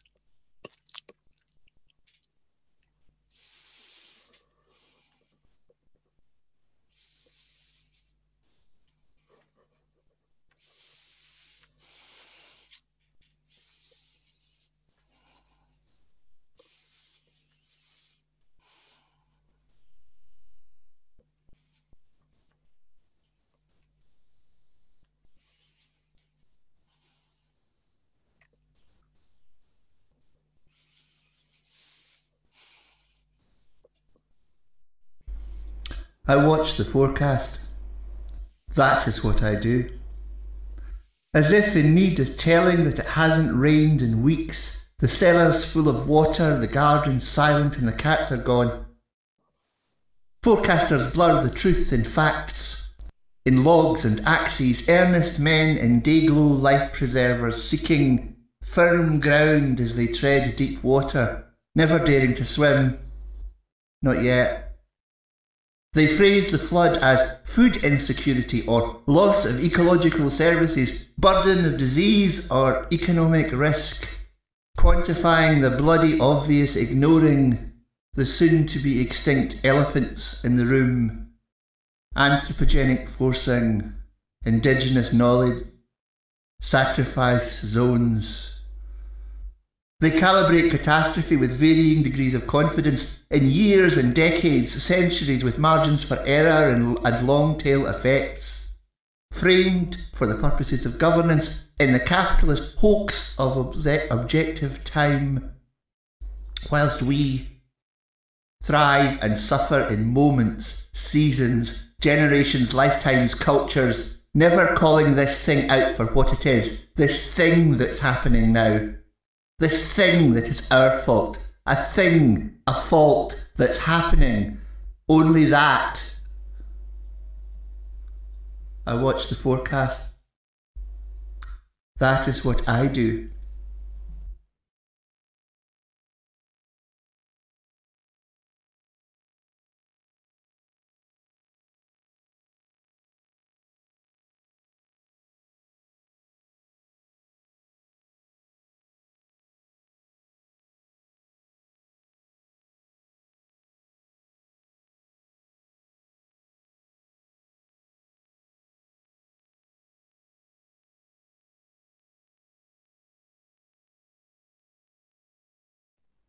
They said they smelled the smoke while coming up the. And then we saw the flames. It was dark by then. The tenement stood right up on the ridge, great views from their top floor flat, enviable, all that light, and air when the neighbours only got the windies opposite. Safe as houses, that's still what they say. And the eldest was in with them, he was nine. And they said the lights were off, and the three of them were sleeping when they left, and this new natural gas is safer than the gas they had before. And they said it was only for the one. And the other thing, the Conroys turning up, was unforeseen. And they said, You don't know how steep that brae is until you have to run. And they said the fire engines didn't come till later. And of course, they hoped it was the close next door. And they said the eldest boy could reach the snack if he stood up on a chair. And she should have turned the gas off, and he should have called it a night. And you'd think someone would notice and do something, raise the alarm. And I know I could have been different, and you know you shouldn't have done it, and we know we should have, could have, should. That's what it'll be like.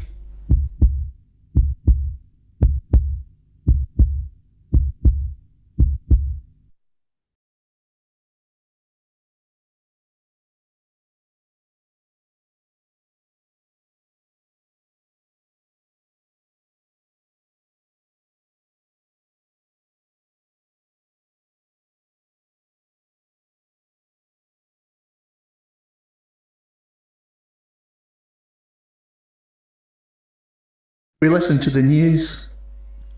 It's what we do. This chunked up sense embedded in white noise, crash bang clatter of catastrophe, bottles thrown off the stairhead in a Wally close. In an average year, infernos erupt as havoc's wreaked, violence rips through crises of biblical proportions riven by the force of more and more and always more, chasing the dragon of the worst, the biggest ever, record breaking, costliest, unprecedented in an average year. Destructive power as blinding cast tragic shadow as if a bomb went off in a children's ward and new targets are set. for laser guided ordnance whilst looting begins amid scenes of devastation and human tragedy.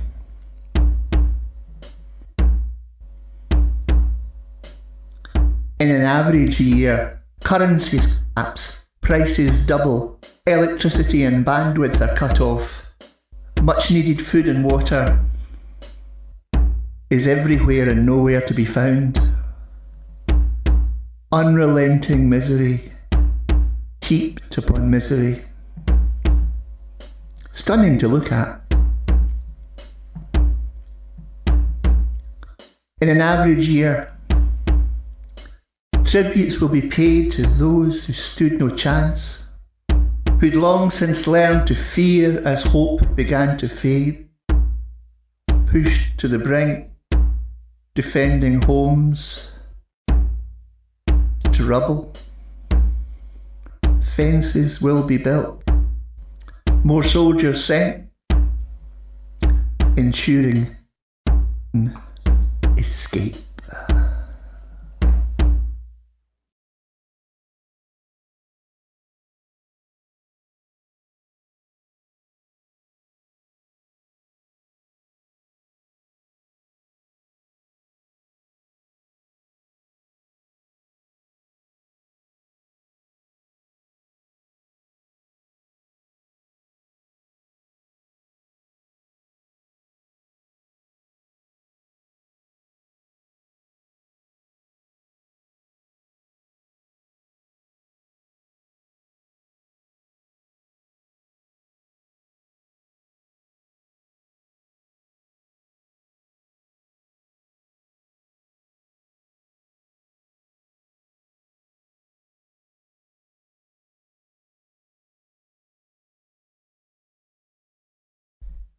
Dad is wearing a survival suit.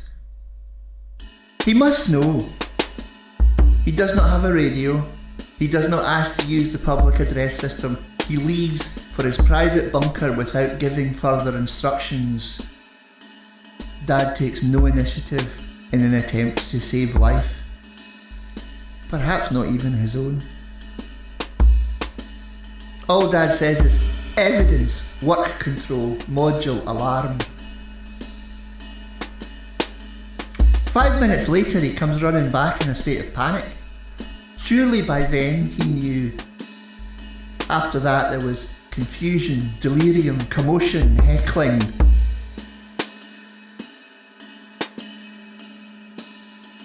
Dad slumps down, trying to everyone, saying, The whole world knows we're having problems.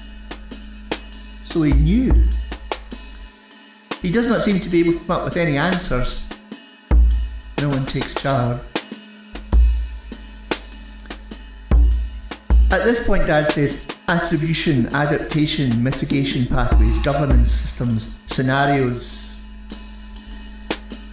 The personnel, the boys and girls, the women and men, the mothers, fathers, brothers, sisters, sons, and daughters wait in the mess. Some of them will decide they have to find a way out. Some will wait in hope of rescue.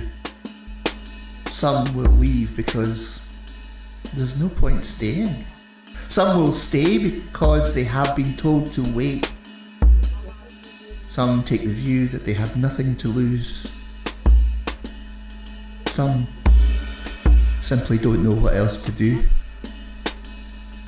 But all Dad says is private finance, sustainable option, industrial sequestration, future equilibrium, ecosystem services, weather security, human investment, indicator, billions, the fuck, the fuck, the fuck!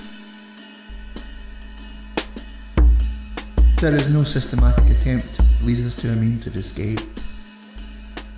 A large number make no attempt to leave. The risk of death is considerable. Those who remain in expectation or obedience will succumb to the effects of smoke and gas. That's what happened last time. Dad will never mention Funerals, melting, engulfing guilt, drowning nightmares, loss, compulsion, mates, distress, grief, starving, mum, shouting rape, addiction, exile, prison, rescue, youngest, grandchild, remorse, loneliness, denial, incarceration, pain.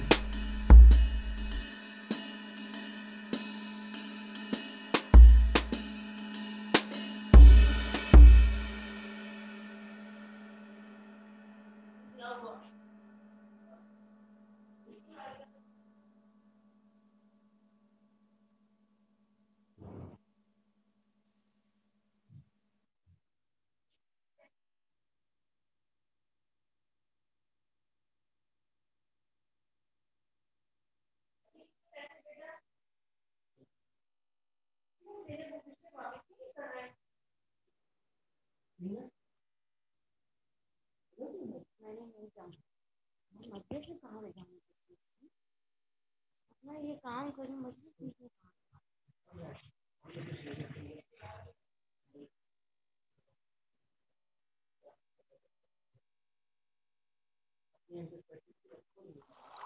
Anyway, in the worst case scenario, the brief but brilliant atmospheric transit of the asteroid will not be seen. Nothing will hurt or disappoint. The shock wave when the magma chamber bursts will not be felt. Nothing will be funny and nothing will be sad. The rumble of the tsunami will not be heard. Nothing will be loved or laughed about. The ash and sulphur in the air will not be tasted. Nothing will be nothing will be true. The stench of corruption will not be Nothing will be mysterious or awesome. Nothing will be known till it is again.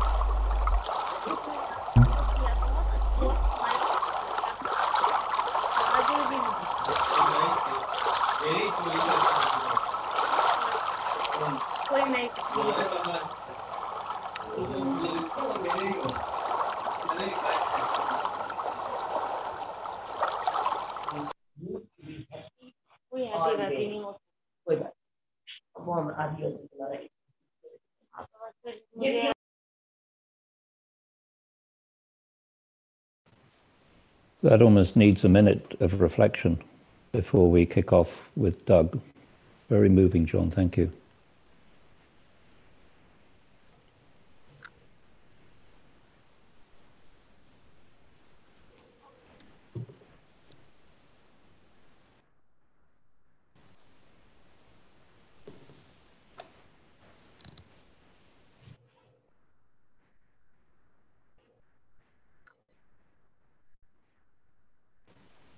Off you go then.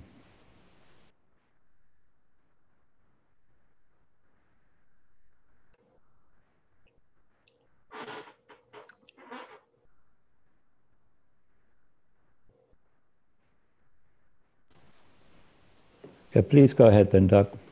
Yeah, I'm ready to go. You're on your, off you go then. Thank you, John. Uh, that's a hard act to follow. Good morning, everyone. I'm Doug Macdougall. I'm a geochemist based in Edinburgh and a writer. Um, I'm going to read a poem in a moment, moment, but before I start, I'd like to give you a little bit of background because I think the genesis of this poem is perhaps a little unusual. The poem is called Mountains in Portobello. Portobello, as many of you know, the Portobello in the title at least, is a small seaside community in the north of Edinburgh. It has a very nice beach, very popular beach, but it doesn't have any mountains. Um, I've called the poem Mountains in Portobello. So why did I do that? Well, a little over a year ago, in June of 2019, a group of people gathered on Portobello Beach and made their own mountains small mountains made of sand. And I'm just going to share the screen now to show you some images of that day.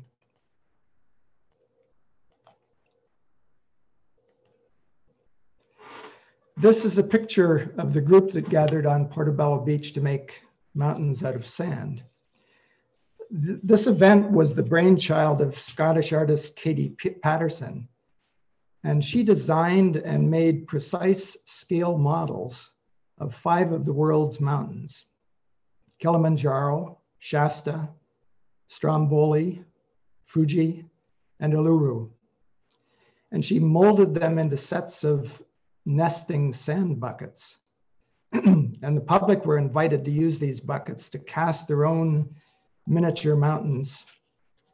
Uh, and this actually happened not only at Portobello, but actually at 25 different locations around the coast of the UK during the span of British summertime in 2019. So that was roughly between the end of March and the beginning of November. Every weekend or two, people were making sand mountains like these on a beach. Each of these events was coordinated through a local art gallery. The one at Portobello was in partnership with Edinburgh's Fruitmarket Gallery. And Katie timed these events so that towards the end of each one, the tide would come in and wash the sand mountains away. Uh, so this experience was meant to encourage people to think about time, about mountains, about sand, about the transitory nature of landscape, and much more. And of course, also to have some fun at the beach. Katie called her project First There Is a Mountain. And she asked writers and scientists to prepare short texts to be read out at each one of these events as a kind of reflection on the project, on the location, uh, uh, and on the, on, on the day itself. She asked if I could do that at Portobello, and she gave us no real constraints. Uh, she didn't tell us whether to, we should write prose or poetry. And although I don't really consider myself to be a poet, my immediate thought was that really the appropriate thing for this, uh, as a response to this project, would be a poem.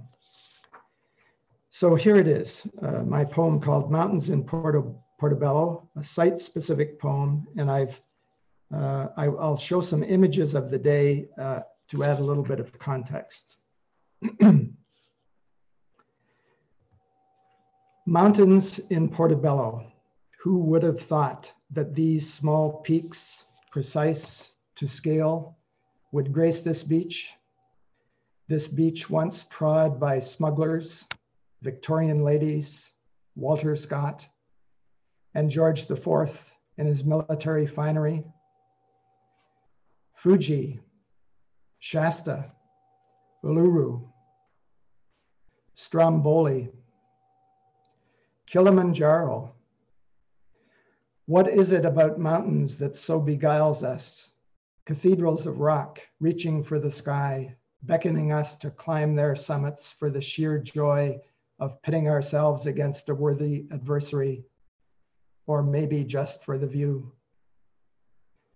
Fuji, a postcard perfect cone, a holy mountain, part of the volcanic ring of fire that rims the great Pacific, where ocean crust dives deep below the surface until the planet's heat turns it to magma.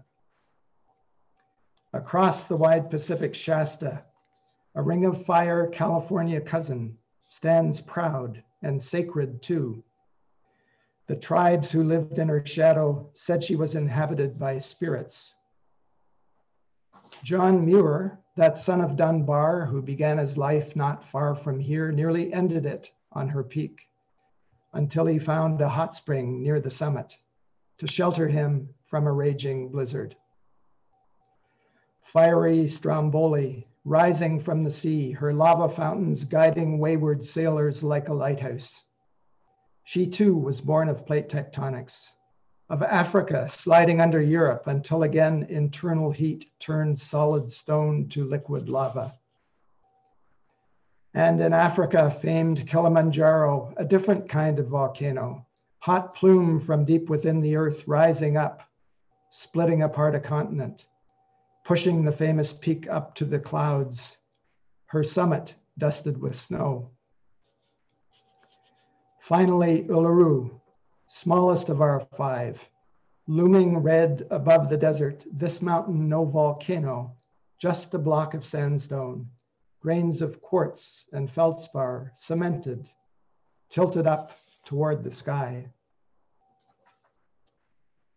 And here in Portobello, our tiny seaside mountains shaped by human hands, no plate tectonics required, are also made of sand. Sand from other mountains, distant in time, in space, mountains forged in fire, raised high, they had their fleeting moments in the sun before they too were worn away until no trace remained except this sand. Quartz, feldspar, mica, zircon, minute grains winnowed by tropical rivers, scooped up by roving glaciers, piled here by North Sea waves, piled up again by us.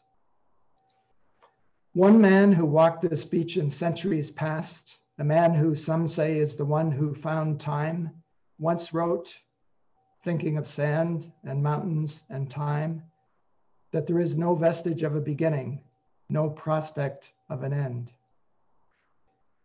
I think about his insight as we gather here to watch our mountains rise and fall, leaving nothing behind. A speeded up geological cycle that Mr. Hutton would appreciate. Time stretched, time shortened. Four billion years and more have shaped this earth so far. More billions still to come. What will they bring? More mountains, to be sure. More grains of sand cracked from their rocky peaks and carried to some future sea.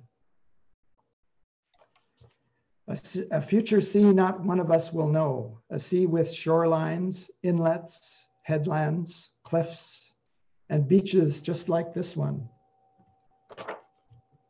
But so far away in time that our imaginations fail. We cannot even comprehend their presence. What feet will walk those beaches? What creatures dig their sand? What tides will wash them? What storms will roil their quiet shores? We cannot know, but here on this beach, we need no future guessing.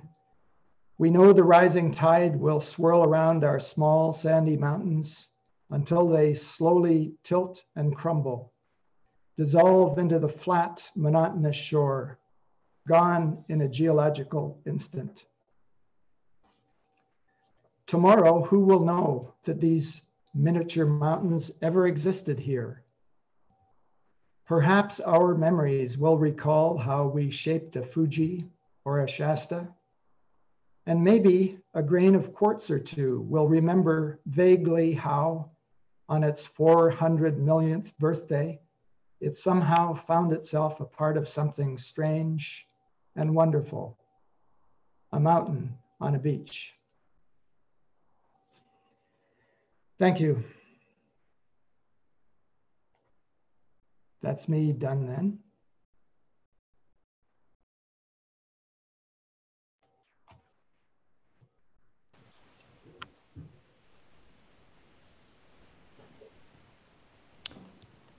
Thanks. We're just waiting for Phil Ringrose to come in, I believe.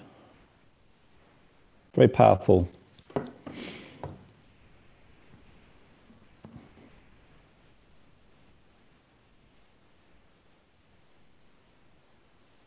Phil, if you're out there, it's over to you. Um, you were on the chat earlier on, so.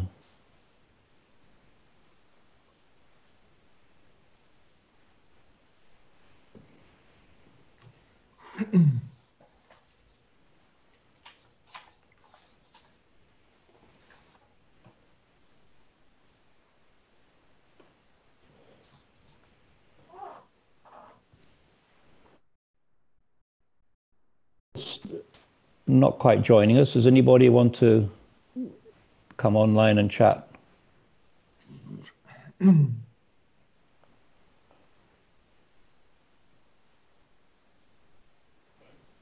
So, uh, Doug, uh, are these writings all available, uh, inspired by this?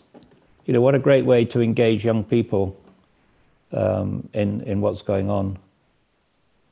And well, it's uh, Katie Paterson, uh, the artist who devised that project, uh, has a website about the project, and all the writings, all 25 of them from various people around the UK are on that website, along with uh, images from the different uh, days that she uh, that she carried out that project.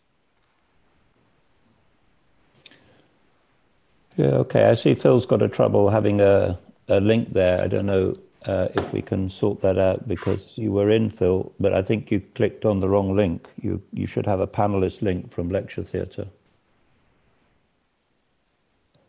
So uh, I think um, uh, Phil's PowerPoint is going to be put up by Becky, I suspect. Uh, Phil, are you able to talk?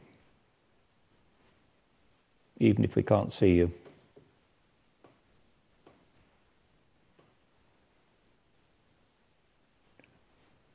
So Phil, your, your PowerPoint is coming up.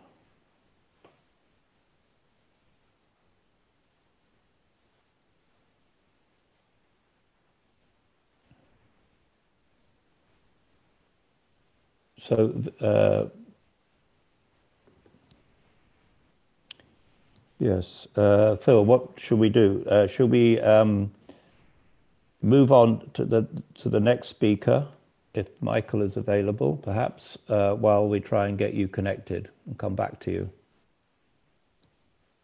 Thanks for the link for the previous work coming through on the chat line.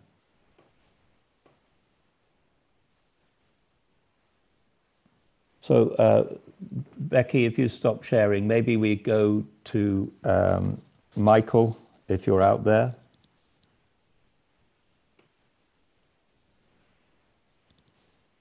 Michael Davenport. Or Gareth.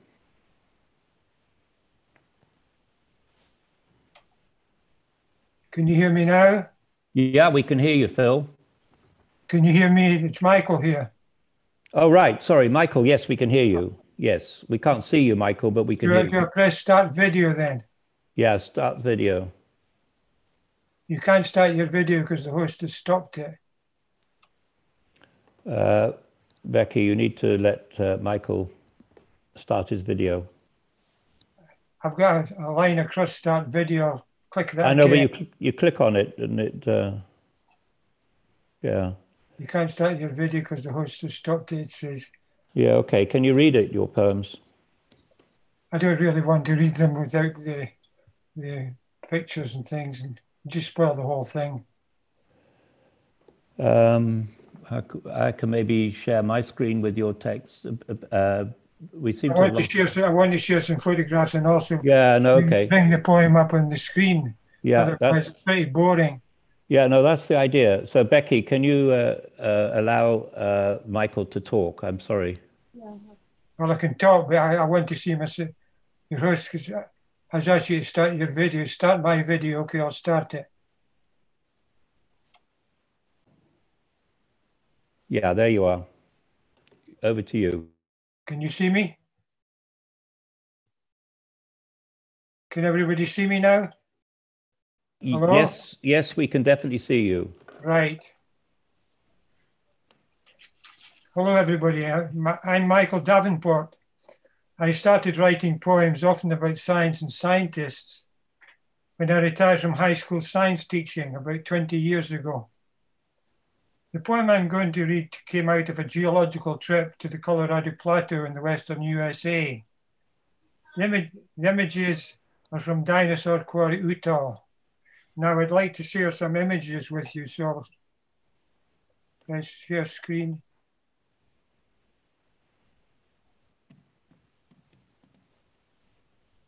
And I'll try and bring up the try and bring up the images.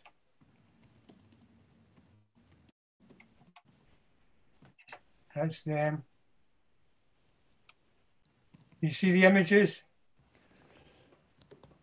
Uh, yes, uh, uh, they, I can't see them quite yet. So have you clicked on the share screen and the share image? There's two bits you have to click on. I'll type share. Yes, that's working now, Michael. That's right. So you've got yours.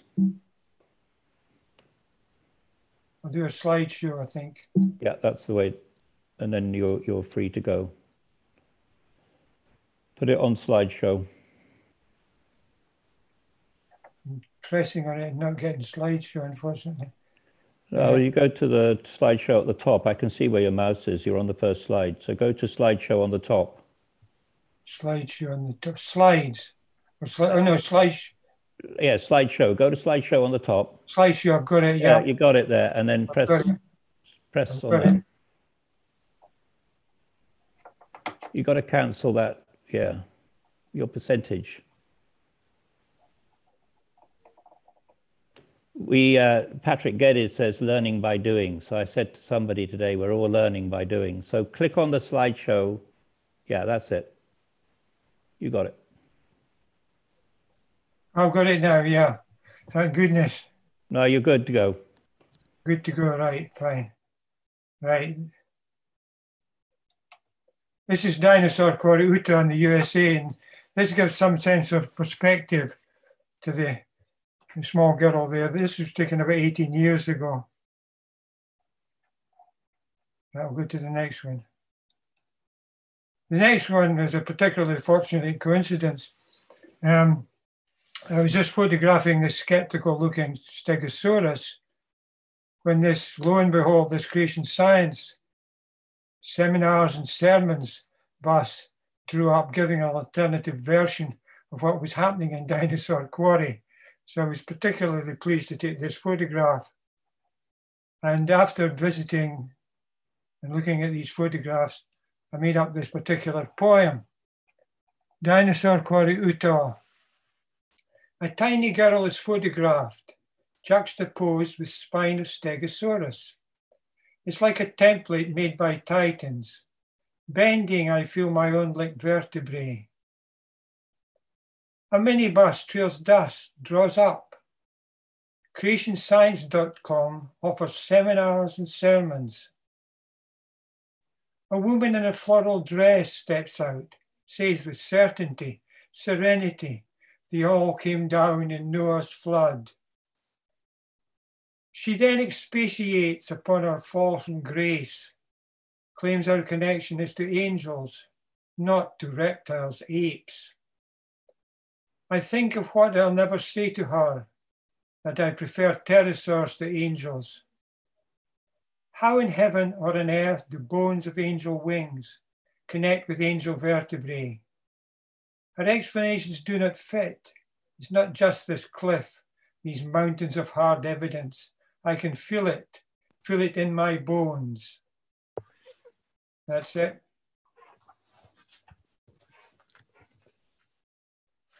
Very nice picture of the dinosaur bone. So I think everybody I'll, feels, I'll press stop share. yeah, stop share, press stop share at the top. Yeah, thanks very That's much. Michael. That's it now, yeah. Is that okay? Absolutely. So over to you, Phil, because I think you're ready to join us now. Yeah, do you hear me now? Perfectly. Ah, I, I had a technical mistake there. I had signed on as an attendee rather than as a panelist. So apologies for that.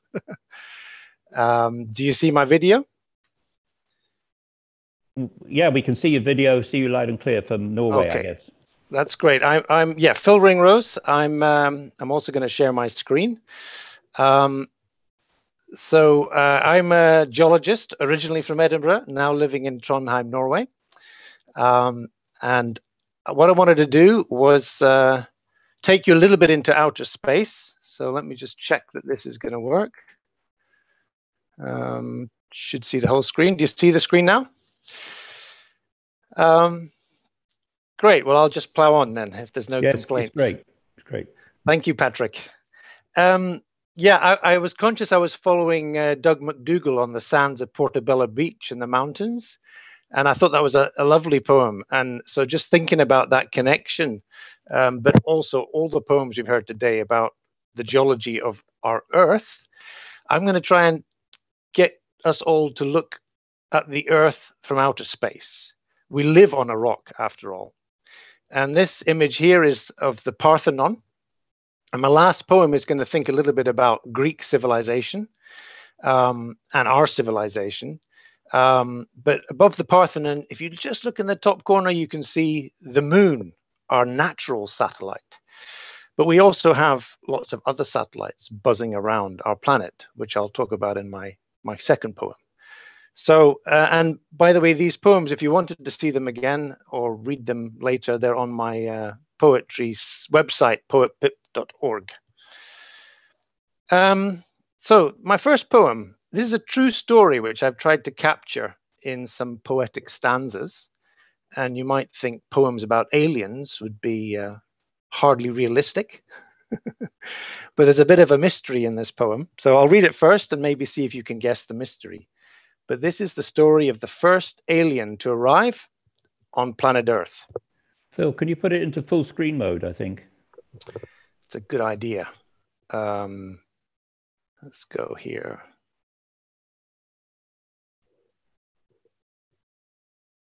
Uh-huh.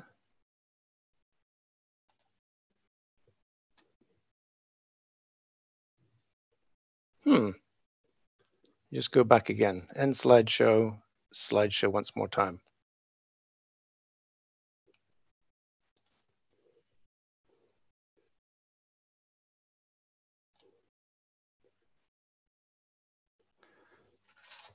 No better?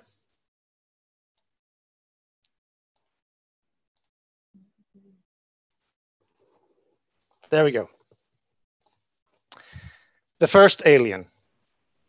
In preparing for arrival on planet Earth, the first alien skimmed the top of the atmosphere at an altitude of 170 kilometers and prepared for rotation and entry. The autopilot aligned the spacecraft for retroburn, but unfortunately, this support module failed to separate from the main craft, a spherical capsule about two meters wide. After a series of rapid gyrations, the two modules eventually separated over North Africa, and a correct Earth entry alignment was achieved.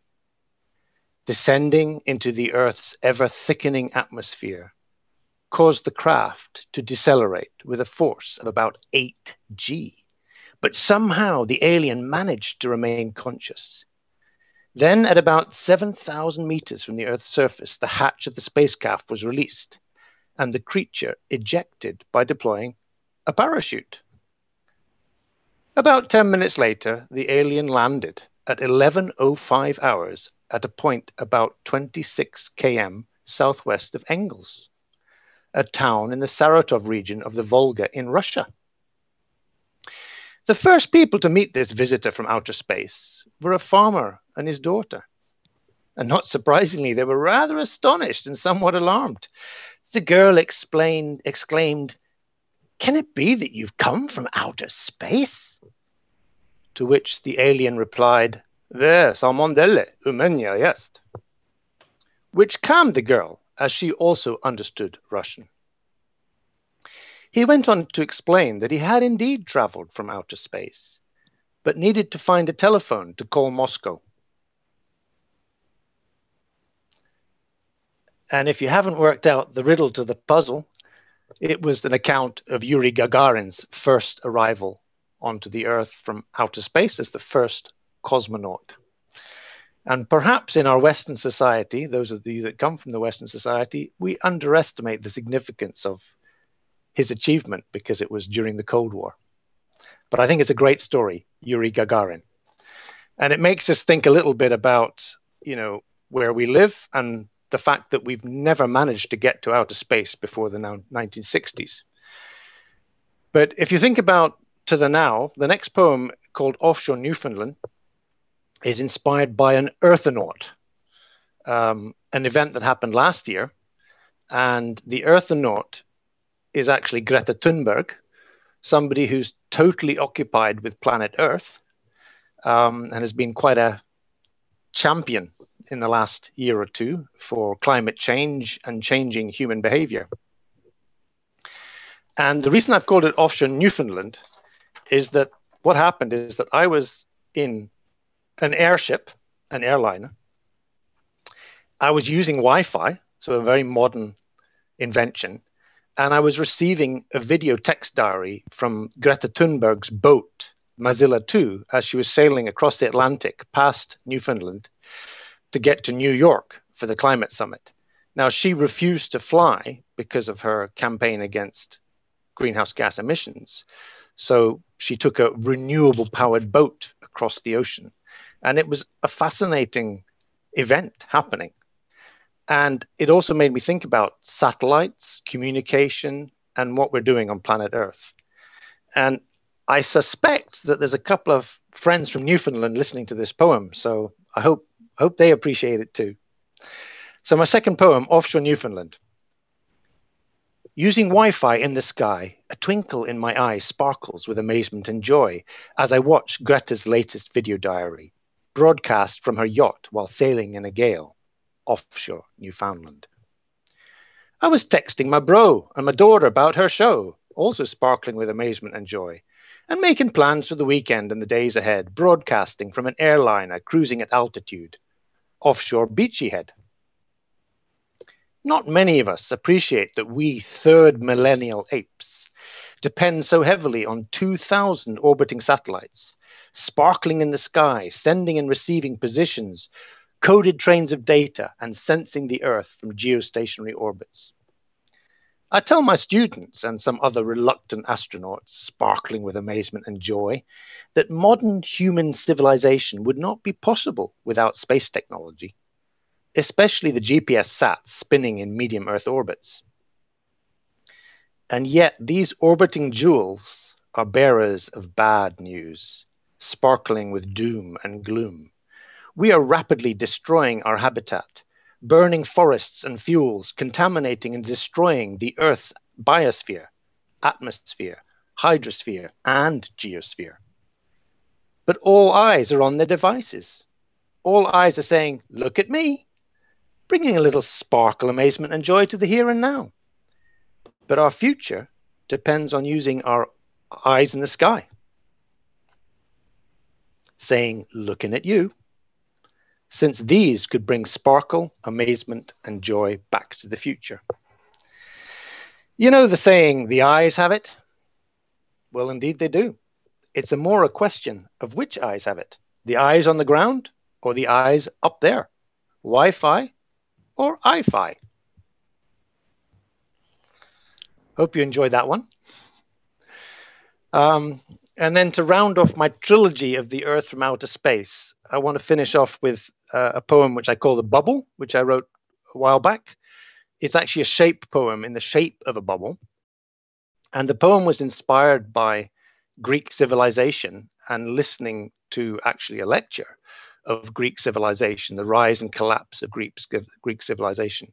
And a while ago, I had the chance to visit the Parthenon, which is a beautiful structure constructed of Pentelic marble, um, a sort of bioclastic limestone packed full of bivalves, crinoids, ooids, and breccia.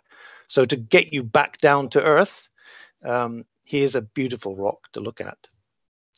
Um, and recently, actually, archaeologists have managed to match the Parthenon stone to the quarry where it came from using uh, advanced isotope analysis, in case you're interested. Um, but let me finish off with my poem, The Bubble, inspired by Greek civilization. Civilization is a thin, fragile membrane, one molecule thick spreading infinitely, yet contained like a bubble, with multiple curves and topological twists, refracting the light into myriads of colors, a birefringent prismatic shimmer, watchable forever. The flaws, knots, and twists are healed by chemical spreading, remarkably in spite of and because of the tension.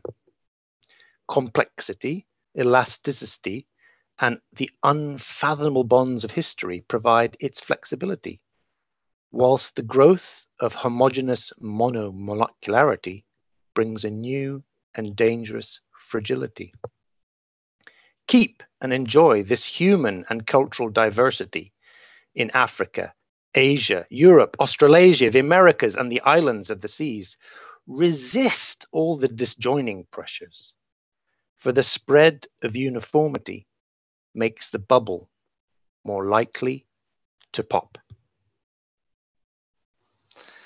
Hope you enjoyed my trilogy of the Earth from outer space, and I'm more than happy if the next poet brings us back down to Earth. So very much enjoyed it. Thanks, Philip. Um, that's nice, three nice poems there. And I recognize the um, influence of uh, fluids in rocks as well. So um, the next one up is Gareth. So Michael's been on. So Gareth, uh, if you could pick up uh, the next spot. And Phil, you need to stop sharing your screen. Yeah. I can't start my video. Because Phil's still got it. I think you can now. I think I think I've stopped. Yeah. Yep, on. Great. Testing, testing. Hello, Yeah, I'm Gareth Evans. You're right. I wanted to be a geologist, but it didn't happen. Somehow I wound up as a building surveyor, but you can't keep the rocks out of me somehow. And anyway, as the last speaker said, down to earth it definitely is. First poem is called Saxon Sandal. The hippopotami are now long gone, but still the muddy rivers flow to sea. The mist it hangs above the flowing tide as filled of sail the long ship glides to shore. The men it carries step into the mud, then hauling all together beach the craft.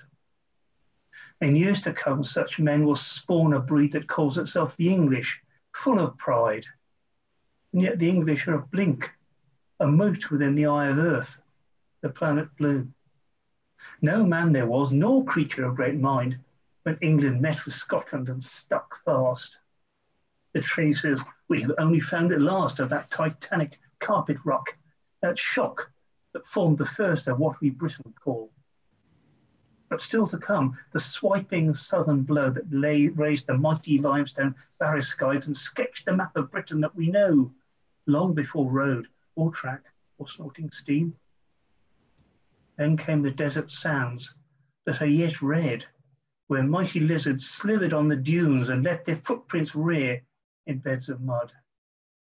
And after lizards, as the deserts waned, and what is England drifted to the north, the tropic seas with coloured shells acoil and fish-like things that bore their young alive. Ashore, the lizards, lured to warm their blood, grew huge or very small, the feathered trim that vexes those who would not have it so.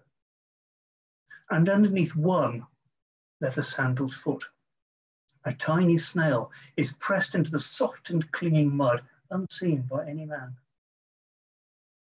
The muddy tide flows in and then retreats. A film of fresher mud entombs the beast as North Sea lurches imperceptibly onto the land as it did times before. And nothing is there left, but all is change. The next poem is called Avon Gorge, the Lower Carboniferous. Excitement is not unknown here. Brunel's iron ship came home at last on a barge, and one thinks maybe his heart would have been glad.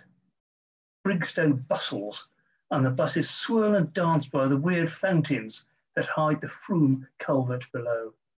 But that is now. It is a peaceful occupation to climb above the noisy portway, count the crinoids, set not in rock, but very rock themselves. When once they waved their feathery fronds to catch the current and the tiny swimming things.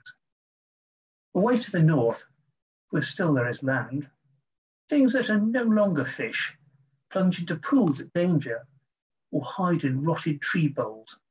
Look out with eyes that dimly know. Here, though, the lime mud gently settles, and only the earthquakes tell, there is none to learn, what is going to happen. And the third poem is called Cuckfield, the Lower Cretaceous. On the sand flat of the lazy, mighty river, the great corpse lies stranded. The flood that bore the weakened beast away is long subsided, and the skittering hypsilophodonts, they'll try anything. Pick already at the enormous offering. The once noble head lies shorn of dignity in a mud flaser. The last meal of cycad leaves will never now be digested, but nor will the little beasts feed for long. For in the mountains to the west, where the floods pick up the chert pebbles, war storms are brewing, and the great creature will have a decent burial. In the quarry, the workmen look at the strange spike which their fellow has found. They wait for Dr. Mantell. Thank you, and happy National Poetry Day. Thank you, Gareth. Um, so next one up is Alina. Alina uh, from Pakistan, are you uh, able to come in at this point? I can share your poem if you can talk.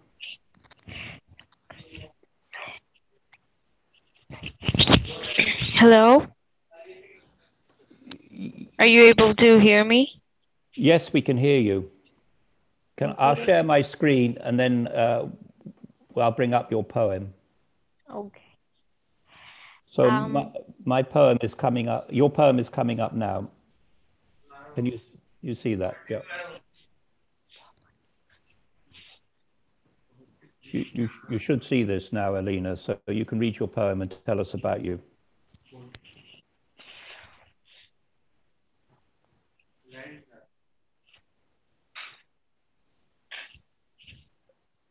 Alina, can you? Uh, Um, yes. uh, Alina, are, you- are you there? Hello. Uh, Yeah. yeah. yeah, I'm there. Okay, so you read your poem and tell us about yourself. Yes. Uh, well, I want to um, say um, I'm really honored to be a part of this.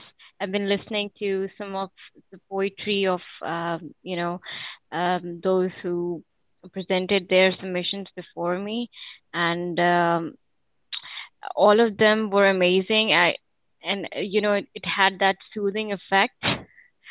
Um, well, I'm from Pakistan. For those who are not familiar with this, and I am uh, a geologist. Um, I've uh, done my MS in um, in geophysics. I'm actually pursuing it. I didn't got the degree yet, and uh, I also work. I work in concession management. This is like an upstream regulatory body of Pakistan where I work. Uh, and uh, I'm no poet, not even close. Uh, this is something I wrote um, during my office hours. Um, uh, and I wrote because you know sometimes I I, I never knew I, I you know it could um, be something like that because I never tried writing anything. So this this is my first poetry. Um, at that moment, I just didn't have a very great time in my office, and something happened. I was really overwhelmed.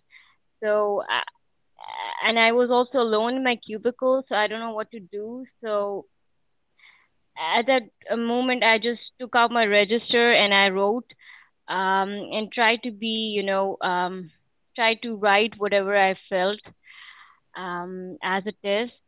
Uh, but sometimes i believe when you're writing something especially when you are sharing your emotions you don't want to be very explicit about it.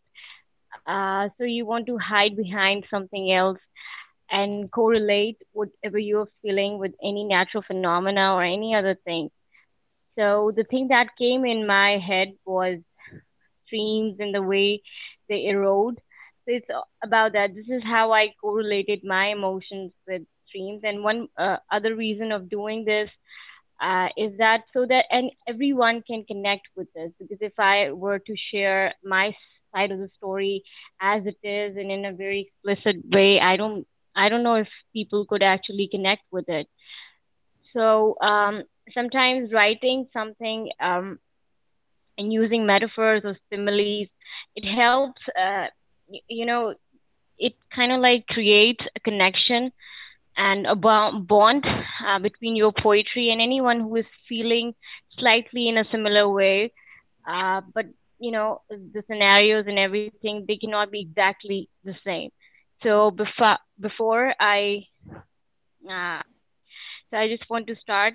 I hope you like it, um, and I uh, hope uh, you could connect with it. Uh, and I believe uh, one thing more uh, that poetry or any other thing, like painting or anything, is more of a catharsis. Um, you know, it. Uh, these sometimes we get depressed, and sometimes we don't have anybody to share our emotions with. So I believe when you write anything on a piece of paper or when you draw something, it's kind of like you let that feeling out so you feel a little relieved. Um, I'll start. Streams with the dry land, wipe away the gra- sand grains, then consign them to the ocean bed. There they lay all forgotten, piled up in murky water. A day soon will come if they don't get dispersed. A day of cementation, a day of consolidation, a day when they'll turn into solid rock. A rock, a rock then might emerge, might emerge from the depth, all ready to be exposed. All exposed in the air, the cycle then will continue.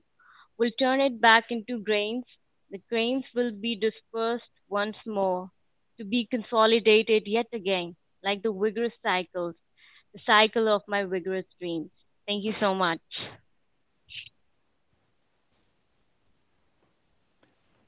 Thank you, Alina. That was very nice and very moving story to go with it. So you, you read your first poem there to 125 people, I think, at the moment. That's impressive. So following on from that, um, just checking, we have uh, Elizabeth. Thank you very much, Alina. So Elizabeth, over to you. Hi, I'm Liz Wong. Um, let me start my presentation. Um, let me do that. And um, so I'll give a little background on my project, um, what I'm currently doing right now, um, explaining the geology and science, and I'll wrap up by reading two poems that I've written uh, today. So a little bit about myself. Um, I I grew up in Malaysia. I went to the US for my undergraduate, um, and then I came to the UK. I did a master's in London, uh, was up in Aberdeen for a bit, and now I'm back in London. Um, and my professional career so far has been working as a petroleum geologist um, in mostly oil and gas companies um, and now banking. Um, and I'm really just starting a writing career right now, um, getting started uh, to develop a body of work. Uh, my debut novel is out next year.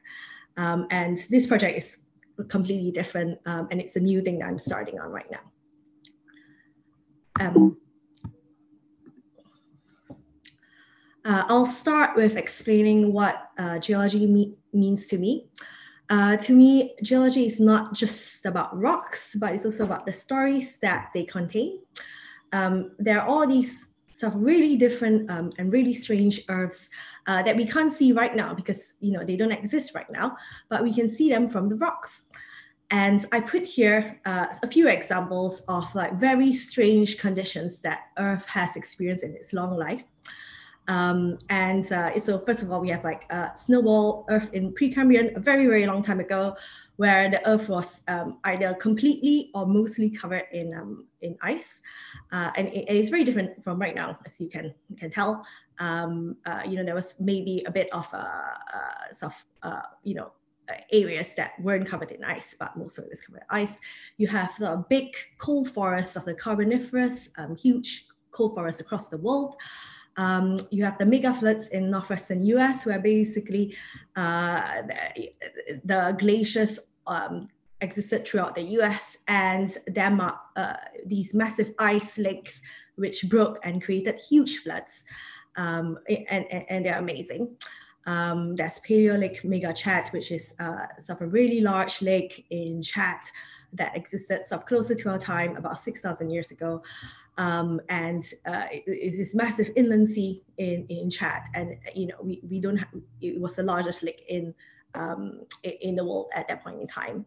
So I, you know, in literary fiction and poetry, um, it tends to focus on the now, this, this sort of brief snapshot of this earth.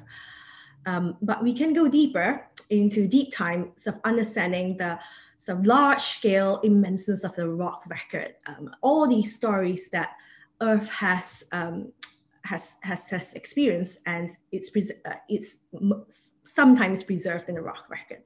Um, there's so much rich material in there to mine from, uh, excuse the pun, uh, from understanding geology. And we can sort of imagine some of these strange stories um, into our current world. Uh, so I have two quotes up there on the screen. Uh, the first one is, uh, the past is a foreign country, they do things differently over there. Uh, and that sort of explains itself. And the second one um, is actually about diversity of uh, people, but actually you can think a bit about diversity of um, stories we tell. So it's um, that when we reject the single story, we when we realize that there is never a single story about any place, we regain a kind of paradise. Um, and you know, right now, you know, we write stories about this current Earth, but there are a lot more stories out there, and they some deserve to be shared. Um, and so that brings me to my project. Uh, so I I am been thinking and writing material about the Messinian salinity crisis and how it would look like if it happened today. Um, and to start with that, I'm going to do a really quick geological introduction because some of you may not know uh, or may not be familiar with uh, Messinian salinity crisis because it happened a very long time ago, uh, you know, actually six million years ago. And this is my chance to show some maps because I also like maps. Okay. Uh, so the, the Mediterranean Sea, I'm sure you're all familiar with it. It's a very large body of water. It's um, 2.5 million kilometers squared. Um, it's very deep. Okay, or, or it, it, is deep. So it's um, you know at least um, 1,500 meters deep, um, and the deepest points go you know over 5,000 meters deep. It's not just a shallow sea. So it's much deeper than the North Sea, which I think is sort of 90 meters average depth. Um, and part of the reason is because the Mediterranean Sea has oceanic crust in it. So, you know, it, it's a lot deeper. So it's very deep, very big.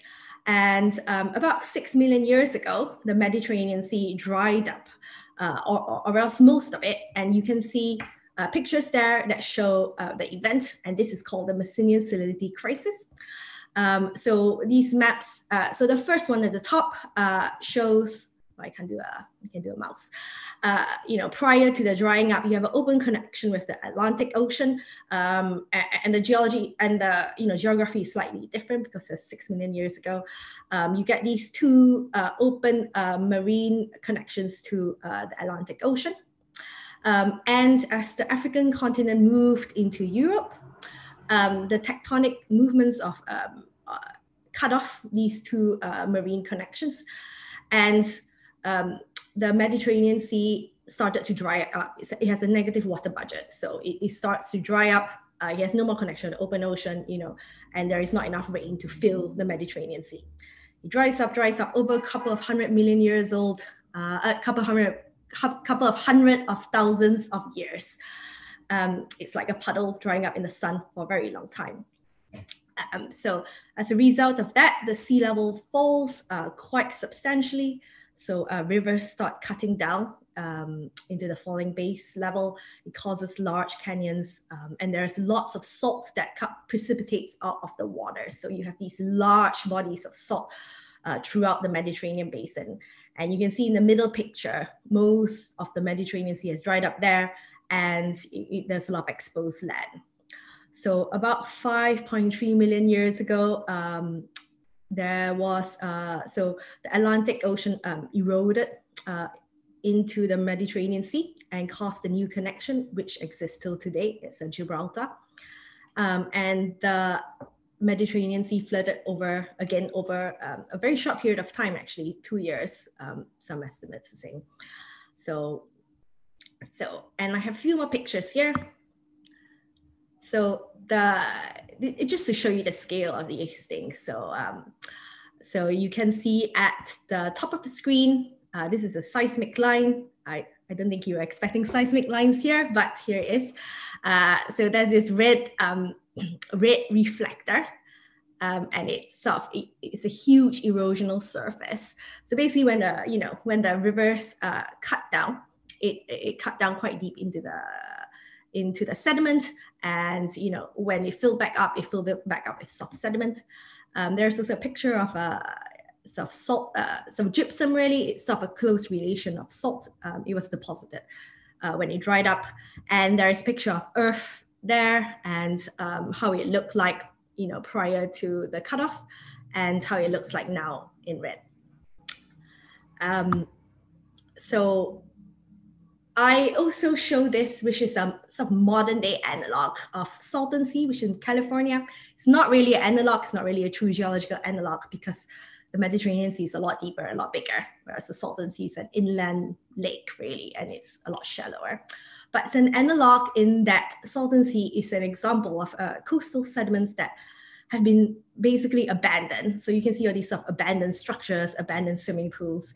Used to be a resort town, a fishing destination, like how towns along the Mediterranean Sea uh, are like now. Um, but the lake dried up, where these beach villas are abandoned, shops, boats, docks, swimming pools, all abandoned. And as we can imagine, like you can, if you imagine the Mediterranean Sea drying up now, uh, what, what would it look like? Something sort of similar to these sort of images of um, abandonment, human objects left in this sort of growing desert. Um, and so this one is uh, XKCD. These are comics from XKCD, which is a wonderful web comic about science.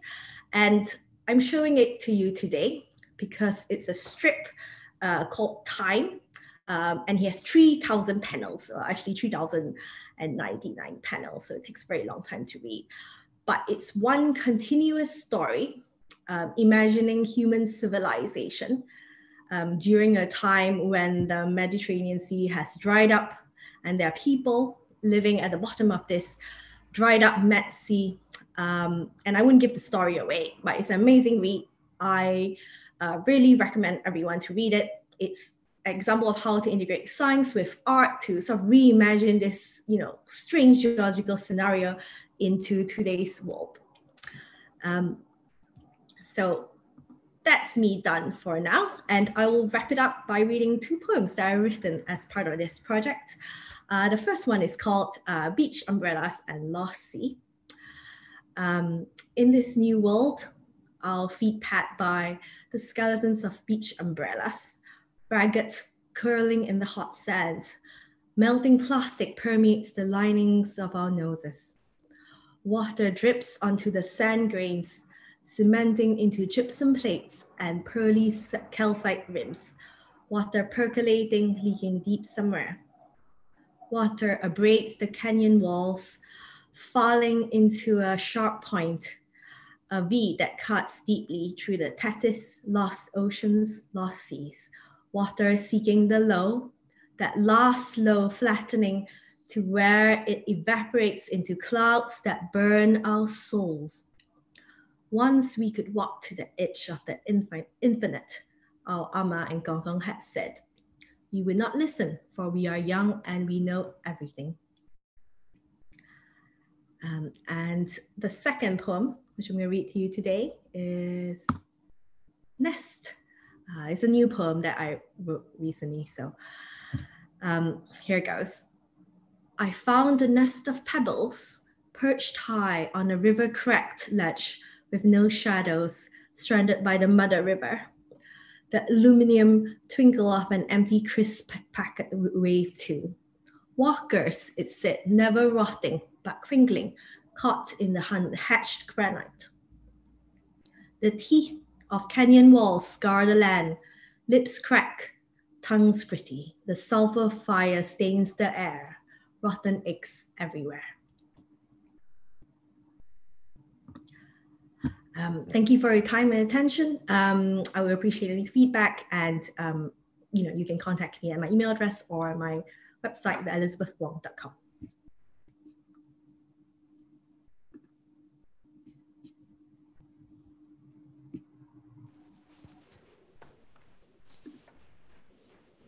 Thanks, Elizabeth. So uh, next up is Robert. Yeah, off you go, Rob. Yes, hello everyone. Uh, my name is Robert Seidel. I'm a uh, PhD student of geology at the Open University in what is right now in almost sunny Milton Keynes. And I'm going to turn things around a little bit and tell what my poem is about after I read it, because uh, guessing or realizing what it is about as I go along is part of what the poem is about. So here goes. Helen. A hundred years she'd been asleep, as if in a fairy tale, and she woke up from a kiss delivered to her bottom. Hot and fiery was that kiss she got from Hephaestus, Upward soon its warmth suffused all across her body. The youthful maid began to glow, though she was well experienced, barely adult, yet by now a veritable femme fatale. Sparkling, joyfully alive, with her cheeks on fire, in renewed bloom she stood, and her fame spread far and wide. When they learned of that fair maid, now fully roused from sleep, Near and far adventurers had a mind to see her. All who came to yes. woo her were of honest interest possessed. Respectfully, they asked to look into her core being. Let us talk about the future. Tell me, what is it you plan next? What you want is dear to me. Speak to me. I'm listening. And the handsomest of all, young and dashing, smart and daring, cheerful and for action poised was David Johnston. Many did she lend an ear. No one was as bold and breezy as David Johnston. No one came as close to her. Much did David Johnston dare, and everything she granted him. All he did, she seemed to smile. Not one favor was denied. But even David Johnston underestimated Helen, how much the fair one glowed for him, he learned one day in spring. Without a word, she came to him when she could wait no longer, came with all consuming passion, came burning up in heat. Now, David Johnston thought that theirs had been a platonic affair, the love of such a goddess no mortal can endure. On that early morning, though, a storm of passion swept David Johnston off his feet, and he sank in her embrace. The burning heat of Helen changed what David Johnston once had been, suffocated, overpowered, no more recognizable. David Johnston, David Johnston, tell us, do you rule your love? Did you wish when all was over you'd never caught the sight of her? Or would you, on the contrary, do as you did the second time. Or just perhaps, with hindsight blessed, keep your distance somewhat more? No, I don't believe that you would stay away from Helen Fair. You longed to meet that lovely one, knowing well it was a risk. David Johnston, David Johnston, in your ashes rest in peace. May all who bravely dare to love your fine example emulate. Where your love did strike you down, David Johnston, rest in peace. Where Helen took you in her arms, there rest, immortal in our thoughts. And now the poem is about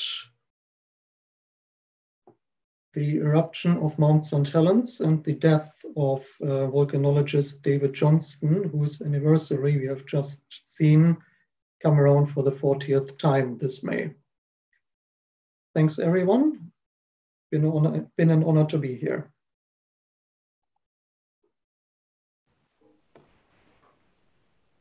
Thanks, David, and uh, nice to honor the memory of David Johnston. So, uh, Dick, it's over to you to wrap up before lunch.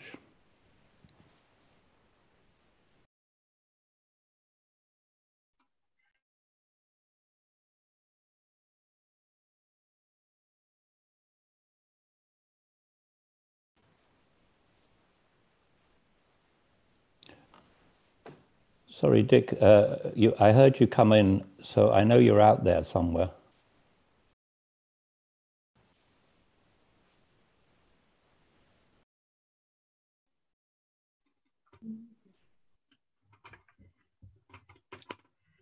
Hello. Yes, hello, Dick. You are online. Okay, am I visible yet? Yes, you are. Okay, I can't see myself, but so long as you can see me, that's the main thing.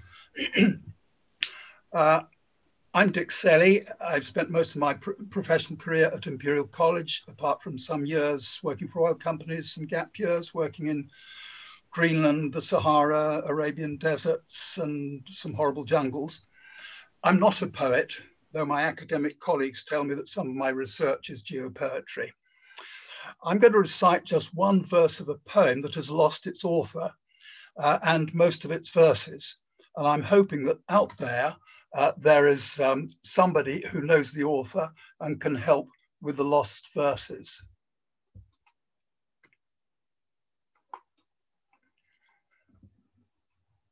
I'm going to try and share my screen.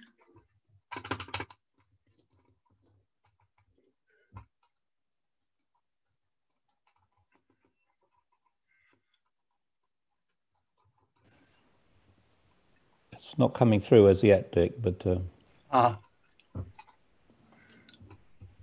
now I think we are coming through. Yes, it's here.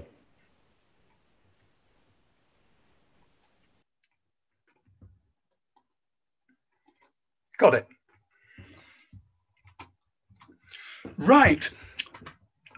Raasay is one of the islands of the Inner Hebrides, and it lies between the Isle of Skye and the mainland region of Applecross. It measures about 20 kilometers by four, and it rises to a height of nearly 450 meters on the summit of the mountain Dun Caan. Duncan is an outlier of basalt lava from the Skye Tertiary Volcanic Center and on its slope crops out some Cretaceous greensand. Beneath this near complete section of Jurassic strata from Cornbrash down to Lias, small patch of new red sandstone at the south end of the island, and northern Raasay is composed of Torridonian sandstone with underlying Lewisian gneiss beyond and on the Isle of Rona. So no wonder Raasay has attracted many geologists. It's been a favorite field mapping area for undergraduates. I spent parts of several summers between 1959 to the mid 1960s doing undergraduate mapping and later hammering a PhD off the Torridonian of Raasay and the adjacent islands. Now, every year there were several undergrads mapping parts of Raasay, camping in tents, squatting in abandoned crofts, or if they were lucky, living the hay barn of the Mingis who farmed a farm at the south end of the island. On Saturday evenings, there were often informal mini geo-ceilidhs uh, in the Mingis hayloft, refreshed by cans of beer and whiskey. Someone always had a guitar, and we sang what we might perhaps call geo-bothy ballads, including the Ballad of the Raasay Field Geologist. This had many verses sung to a depressing tune, something like Abide with Me. Successive verses describe the rain, the mist, the cold, the midges, the sheep, the peat bogs, the rain, the mist, the cold, the midges, etc., etc. Uh, very much in the style of William McGonagall, I'm afraid. Now, that song was sung over a number of years, and I don't know, cannot remember the name of the author, and I can only recall the first verse. And I wonder if there's anybody out there who can help me. I will recite the first verse, the Ballad of the Raasay Field Geologist. Who would be a field geologist and on Dun Caan alone, sit cold and wet and hungry too, and hammer lumps of stone. I can also offer this to you in Gaelic.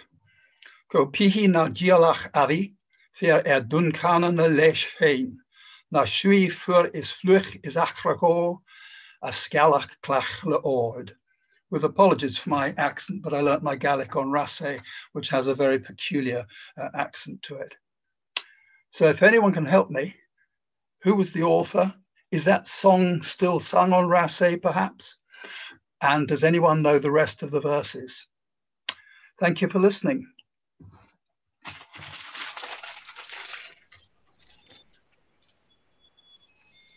Thanks, Dick. If you turn off your screen share, that takes us up to our lunch break. Uh, so we will be starting back on time uh, at uh, the time that you have in front of you, which I have somewhere here, uh, for this afternoon session. We'll be starting with, uh, I think it's with uh, Sarah Acton at quarter past one. So that's been a really fascinating session as always, and we'll see you back here at quarter past one. Thank you very much, Dick, for that. I hope you find your missing verses and your uh, the author of that poem. Thank you.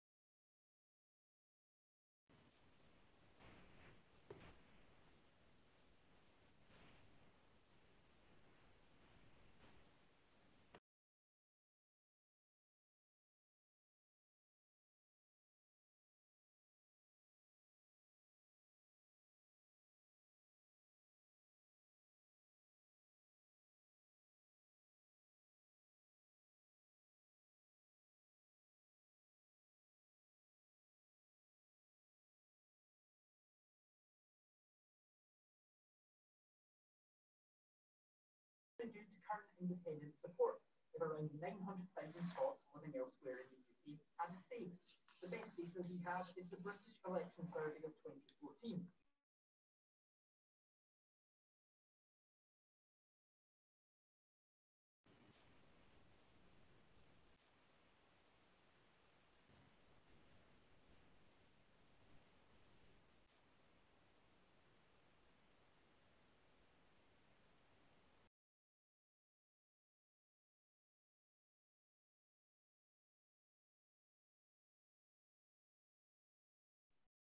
Or are we all back?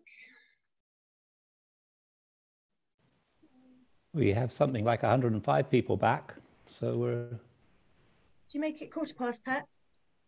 I make it, I make it quarter past, so you can start slowly. You've got your 20 minutes, so. Lovely.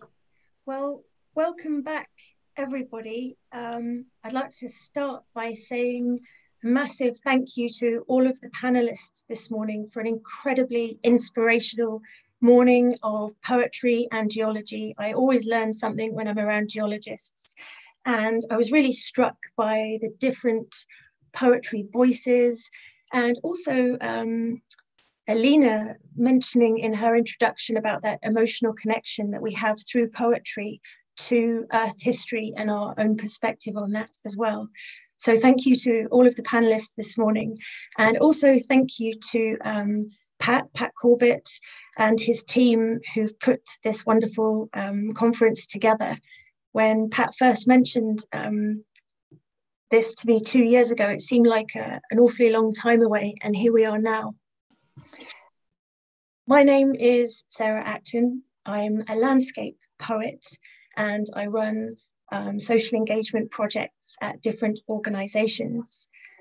I'm also the Jurassic Coast World Heritage Site Poet in Residence, um, and I've been working alongside the Jurassic Coast Trust for the last three years. So thank you to them also for um, this lovely long-term opportunity to partner together um, and to work into different projects together. And it really came into its own last year when I was able to do a residency um, at Portland Museum through the Jurassic Coast Trust volunteering network. Um, I spent three months there collecting audio clips and talking to different quarrymen. And that project is going to be moving forwards in a completely different phase next year with some ACE funding to write a community play. So exciting times ahead with that collaboration and partnership uh, also. I was struck this morning by the different ways that we were all, all the panelists were talking about this concept of deep time. It's a phrase that we often hear when we're talking about Earth history. And I'm struck by this linear time that we as humans um, impose in order to rationalize our own life, lifespan and that of the earth. And I was picking up on all the different phrases we had this morning. We had missing time, time tide, um, the man who found time, and several um, occurrences of the word, word deep time. So the poems that I'm going to present that I've written especially for today um, do take that theme as always um, as its core theme, but also mix up the present, the future, um, and the past. Um, I've written a poetry cycle. I've called them sonnets, but uh, the poets among you will recognize that they're not quite sonnets. And um, I'm afraid the geologists in uh, here will recognize that a lot of the geology isn't quite uh, accurate geology either. I've tried to allow myself um, a creative spirit of play um, in order to be curious and explore the themes that I'm looking at. So the sequence is called Earth Shapers. I'm going to attempt to share my screen and provide a bit of a soundtrack for this. Um, I did go and record all of these in the places that they're talking about, the different cliffs. And then I tried to make a soundtrack of really, really slowed down um, versions of the poems. But it, the slower they became, they became very dark, actually. Um, and whilst I would love to share those with you, and I might put a few of them up on my SoundCloud, I thought that 10 minutes of, of listening to those with me talking on top of it might be a little bit too intense. So I'm going to try and share my screen.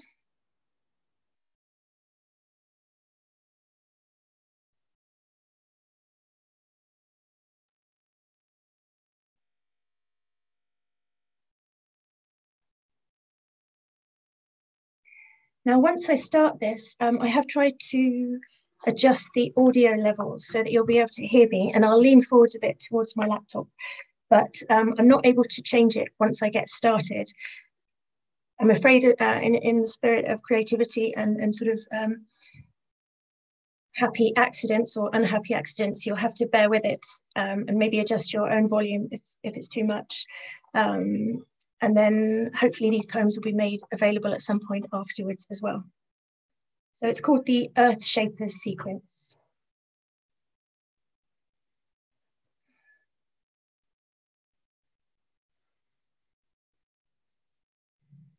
Earth Shapers, one, Red Rock. There was a time when there was a time when they say, because voice was here before you came, say towards or from the first darkness, when voice in sudden thought, with the form of say, bee, otter, raven, dog,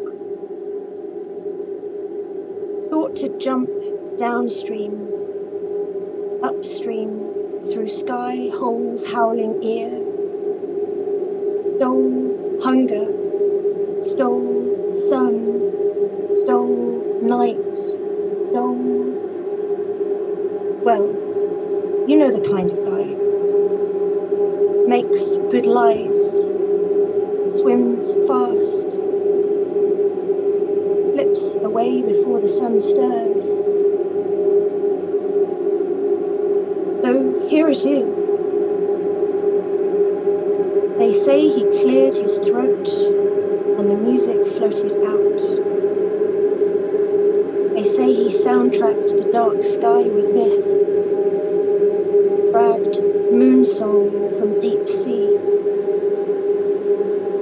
Nothing speaks to such music as that he released. Sounds like wind and tree begging for fruit,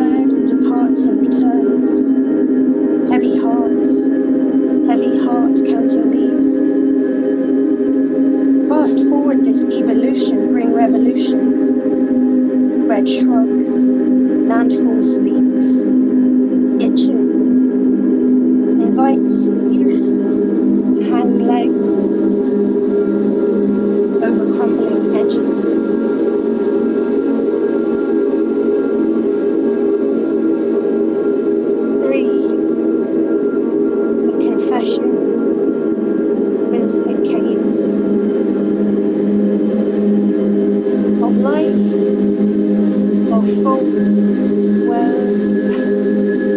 we all have those. What I'm about to tell you is so secret.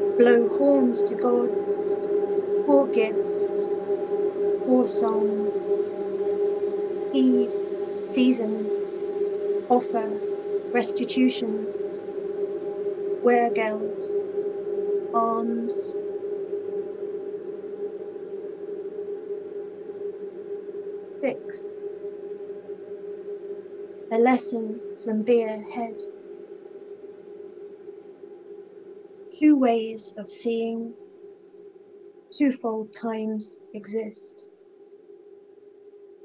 If you tune ears to polyphonic ground, mind clears to sense the deeper shifts and groans, where thought meets thought, head to head. Hello, I'm Sarah Acton, and this is the Wild Writing. Electric pulses dictate texts, spells, tell in pictures this story. So let's see. That mast beams, crane, glitter metal, flings thousand skyhooks, nets. Being alone at the foot of the cliff, vision to pilgrims. The warrior springs a trap, and all the people climbed in. Screams, there were many, represented over here in a zigzag of sound carried by gulls far, far offshore. As such frequencies disturbed nests of adders in sleep, though bears hibernating heard none of this behind their cave doors.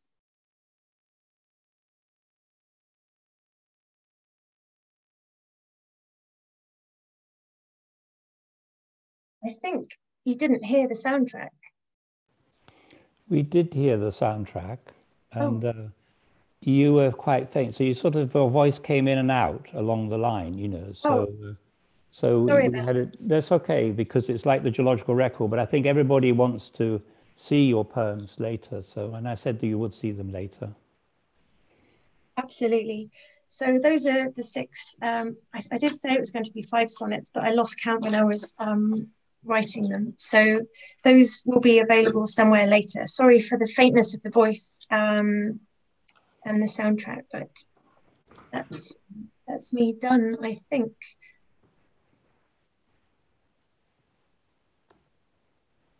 Okay, so I think it's it's uh, me next. So I'm going to um, share the, my screen um, and bring up my poem.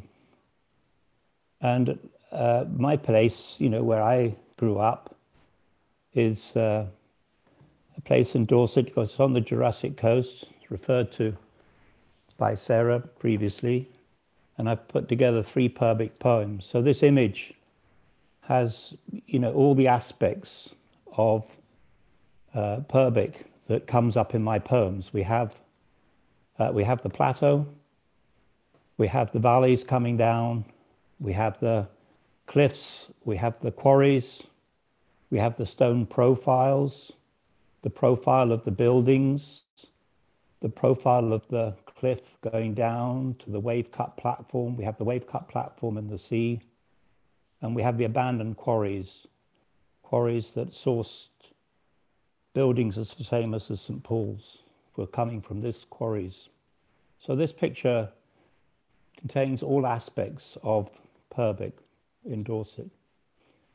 And I'm going to read one poem and then I'm going to let you see two concrete poems and they're in the paperwork that comes with the meeting. So this uh, poem is called Bare Bones. Bare bones standing proud on the plateau over piles of strewn quarried rock when the wind blows and rain patters, this feels like the most windswept of moors.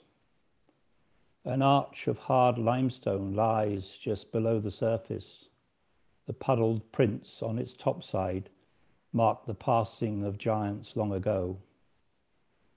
After rain, the air is fresh and the ground clog hudding.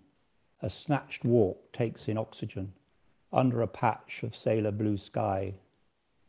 The welcome latch sounds on entry, releasing warm odors and trapped conversations of ghosts standing in the corridor. Quarrymen, farmers, actors. The walls, warm nicotine shades enveloping a womb like special place where anything said stays inside, becoming fossilized. From here, deep gullies cut down and seaward into the soft underbelly, where primroses and rooks rule banks or treetop roosts. All day long, the wind blows, the sea spits and spumes, and all nature bends to the force of the great sculptor from the west.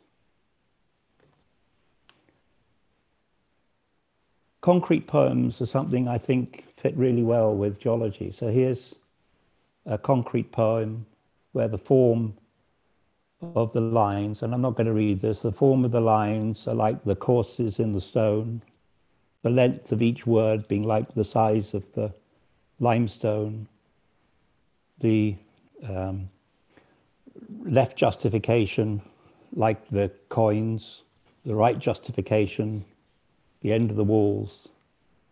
And the second verse there, you'll see that this is built like the geology from the bottom up, the way that the, the quarrymen build their walls from the bottom up.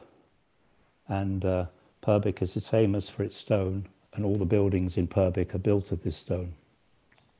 So that celebrates the quarrymen, so much of Purbeck's history. And here is another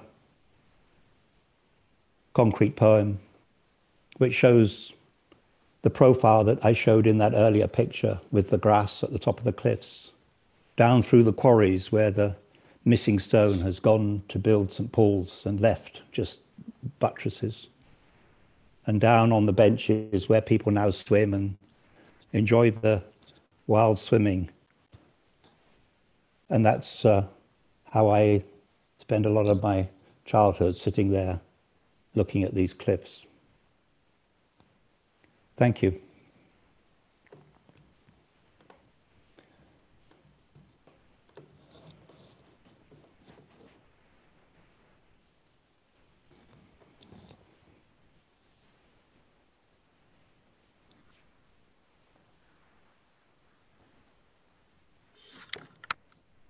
Thank you, Patrick.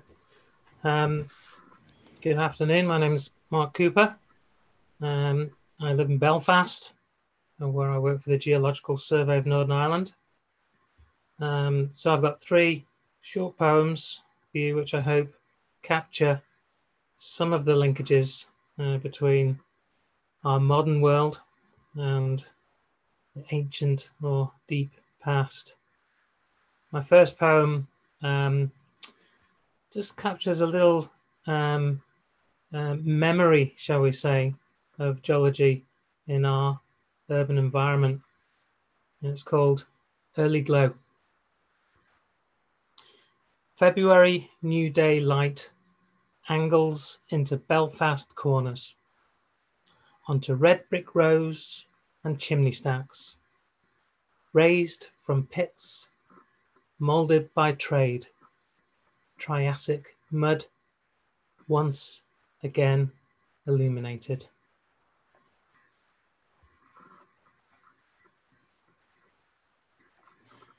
My second poem um, is about a wonderful place that I try to visit often. Um, if you're ever over here in Northern Ireland, go and visit Killard Point in County Down. Okay, so Killard Point. Before Vikings, St. Patrick and the early settlers at Killard Point, an ice age founded on a coast once again revealed, its flesh stripped, ribs striated. a landscape scoured by forces hard to fathom. Some speak of kilometers, others miles of ice that passed over these rock surfaces with cargo of boulders, cobbles, and pebbles, swept from Scotland and the Ailsa Craig, erratics that rest where farmers steer the plough, where whooper swans and brent geese graze, stranded on storm beaches where painted ladies bask in warm autumnal sun. My final poem, another short one. I think I read this um, 10 years, maybe 11 years ago down in Burlington House, but I still like it. Tweaked it a wee bit. Um, and it's about that moment when you, you know, anybody pick something up and discover something, something amazing, something, you know, that can blow your mind. Uh, this is called Ammonite. Split the rock, right of line, owl eyes draw into mine, sight that has not seen since serpents swam in oceans green and terrible lizards walked the rain drenched forests.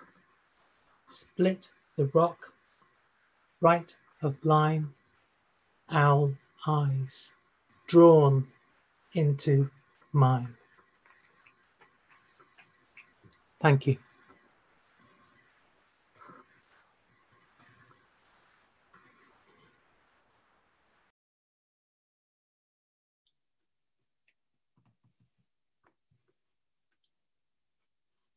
You see me? Can you hear me? We can indeed, Lynn. You're online. Okay. Hi, my name's Lynn Goldsmith. I'm from uh, the United States on the West Coast. And what you see behind me is a photograph I took from a walk, a hike. Um, this is some of my favorite country. I feel really lucky to be here. And um, I think part of why I wrote this, not I think, I know, um, it's to think about the my our relationship to the earth and to appreciate it. Um, it's also a place that gives me a lot of comfort. so I'm just gonna read. I'm not a good reader, sorry. Scree. From cliff face, rock falls to an angle of repose, pursuing itself. Rubble waits for more of shaking up, ice within mountain slopes, water freezing to make new cracks, maybe even to break rocks. Either way, however it happens, cliff degrades through stressors, biotic, chemical, thermal, topographic, glacier to be covered, scree to layer, slope to become mantled. Burying occurs at all levels. So I was gonna say more, but I think I'm gonna stop. So thank you. I want to thank all the other voices and contributors here. This is an amazing thing to have. So I think it'll keep going on for a long time. Thank you. If you want to say another poem, Lynn, you can, because uh, you've got a slot there. Um, I could, um, I should have said a couple things before that poem. Um, angle of repose. It's a geological term um, referring to like the steepest angle at which rocks can be piled at rest without slumping on the slope. And then scree, in case someone doesn't know, it's like that uh, loose rock debris covering a slope. Um, you might like what you'd see at the base of a cliff, for example. And the other thing that I thought of too was a quote, something to the effect of the earth has music for those who listen.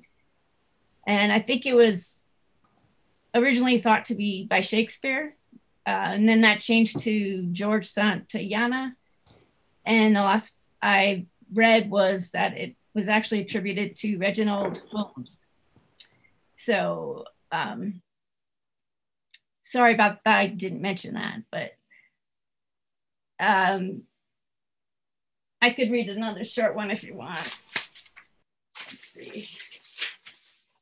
This is called, um, oh, should I stop?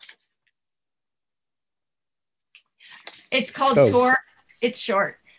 And Tor is like a, um, a rock pinnacle, like a freestanding rock outcrop you'd see rising up. It's called Tor. You are what's left behind, pillows of rock worn, joints defined, topsoil gone. After pressure release, freeze thaw, chemical weathering has taken your sides. Their joints close enough to fall away into scree.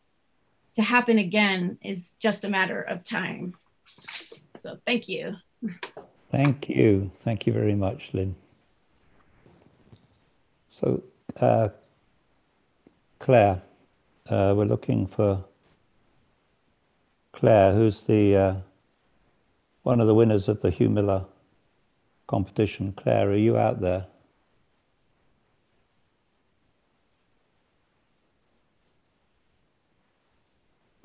If you're not there, Claire, we might go uh, straight to Cynthia Gallagher, who I can see is there. So Cynthia, would you like to take this slot?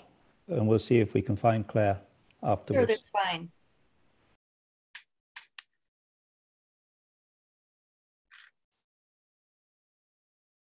So, Patrick, yeah, I did unmute. Yeah, you're and unmuted, but you uh, want to share your screen or share your video? I do, yes. Oh, okay, I'll start that. It says unable to start it because the host has stopped it.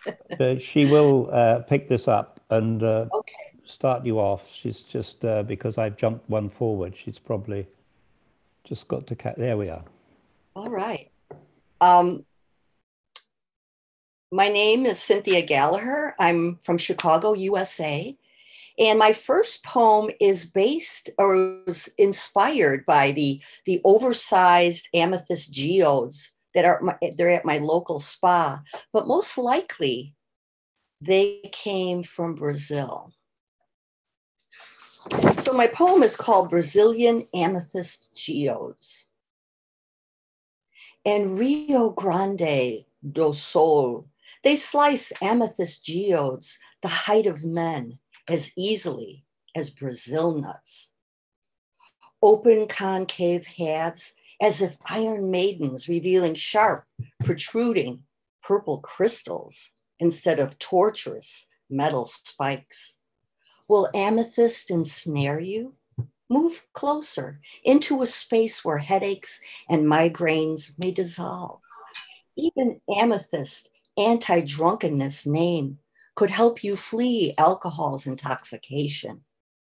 Amethyst full bodied prisms and pyramids dedicate themselves to your crown chakra. Place one piece under your pillow like a wine stained tooth. And the amethyst fairy godmother of the lilac, mauve, and thistle night may grant you a serene night's sleep. My second poem is about glass. And according to scientists, glass is both a liquid and a solid. And it's a natural product, uh, it's a natural rock that we just imitate in our production. And this poem is called Glass, the Liquid Solid. Ever since lightning first hit sand and beachcombers picked up shards of this petrified light, Humanity strove to imitate nature, the up close and the far away, as we always do, ever wanting to fly like birds, to camouflage ourselves, to swim like fish, to see into stars. When sand, lime, and soda mixed with furnace fire, there arose a globule of glass as viscous as white hot honey blooming into a bright, wobbly orange, rolling like taffy at the end of a blowpipe, the doubled lung giving it long air, exhale after creative exhale into a liquid transparent bubble. From hot crucible and glory hole, the vase and goblet, art glass and light bulb, the windows of the world, microscope and telescope, are observant, mimicking eyes peering inward and upward from this bubble of earth. And my last poem is about jade, and it's dedicated to my sister Darcy, who passed away, but her favorite gem was jade.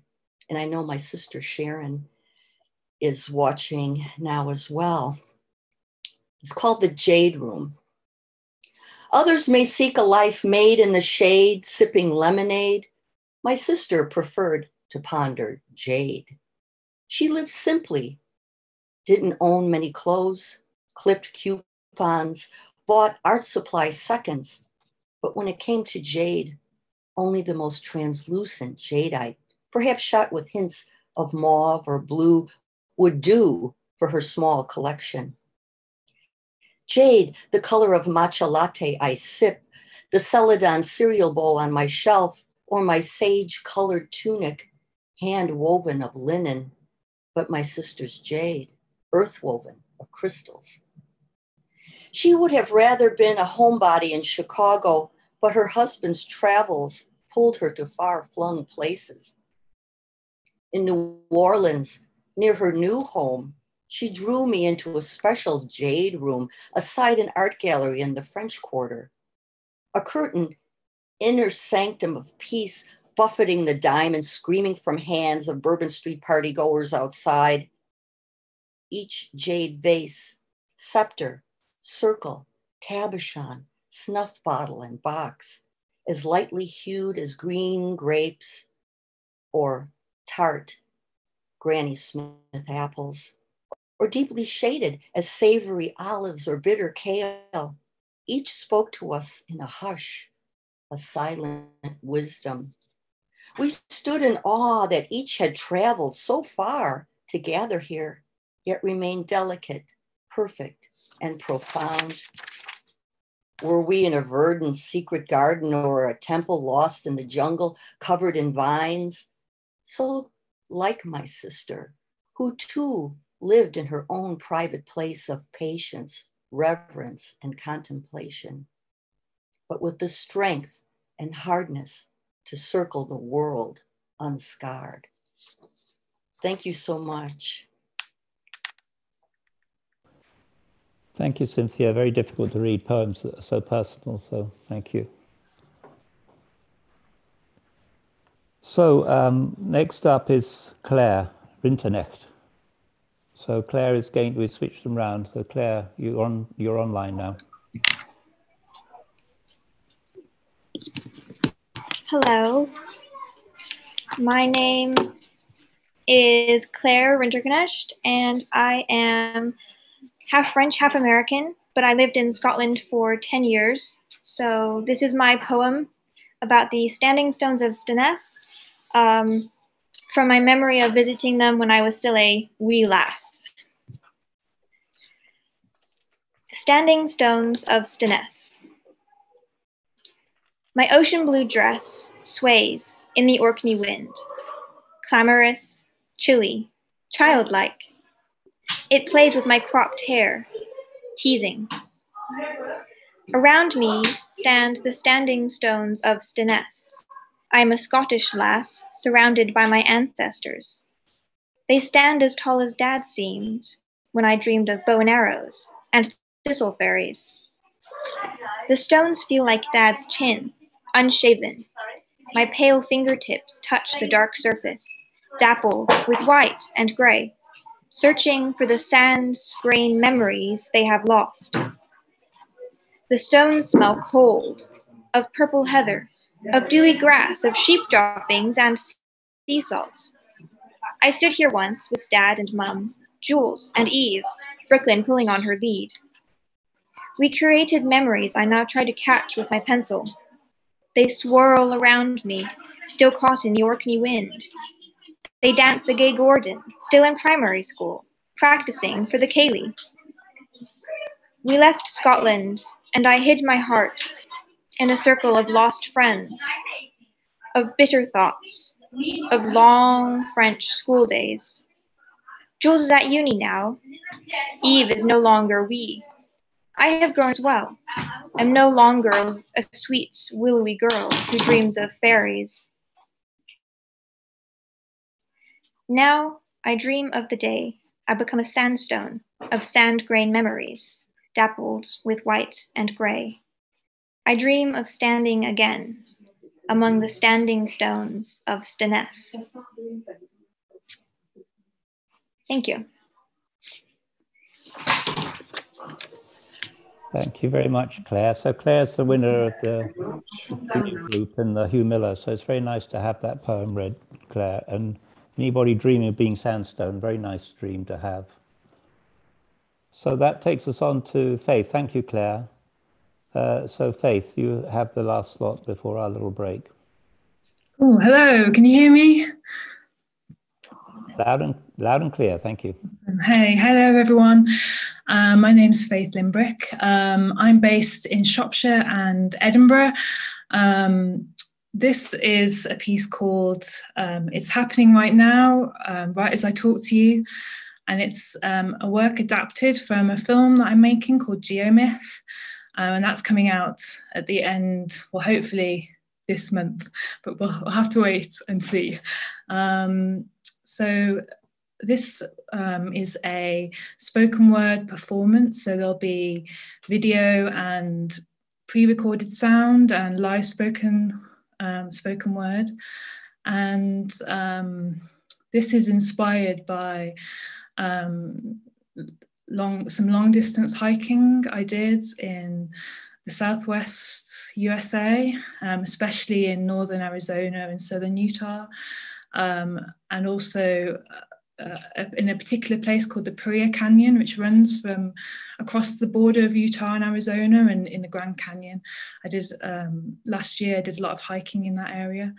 Um, I, am an artist. Um, I don't have a background in geology um, or geomorphology, but I'm very interested in geomorphology in particular. Um, and the work, the film and this work are a sort of way of uh, a way in which I could deal with um, seeing all these formations and um, amazing landscapes and um, how to um, trying to understand them without that sort of scientific background knowledge and um, and how and how one might be in that in those landscapes and think about them. So that's sort of where it comes from. Um, so yes, I'm going to share a video and then just bear with me and I'll get it all started. And um, yes, oh, and actually, because I didn't, I forgot to put credits on. Um, there's a few, I, I, thought I should say, um, speak some credits very quickly before I begin. So um, I just want to say thank you to um, my guitar player, John Ipe, the piano player, David Garfinkel, Clar um, Esmond Sage on clarinet, and um, myself on the bassoon. Um, the imagery that I'm using is mostly my own imagery, but it's also um, from soil samples from um, Nicholas Karumpis that I um, took at ASCUS Lab, which is an open public lab in Edinburgh. and I think that's, yes, that's everything. So I'll begin.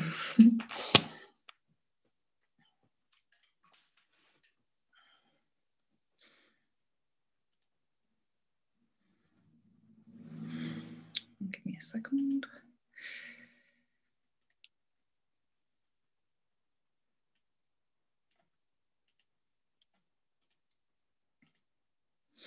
So this is, um, it will be a black screen for a little while um, when I hit play and then imagery will come. So it is working even though it is black. okay. So this is, um, it's happening right now, right as I talk to you.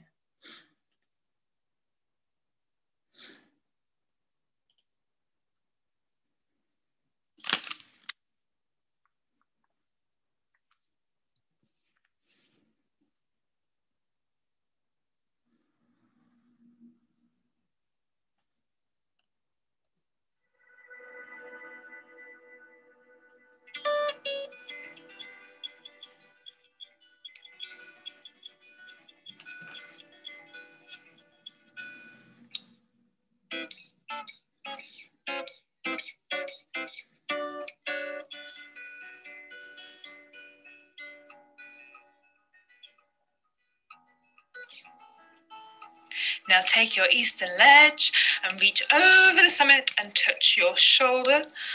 Hold it. Now I want you to feel that coming right up through the central saddle, lower through the middle to your play. Inhale to lift the shoulder and melt down. Spur stays long, ridge aligned. Exhale, hold it down. Narrowing on the way up like a diamond and broadening on the way down.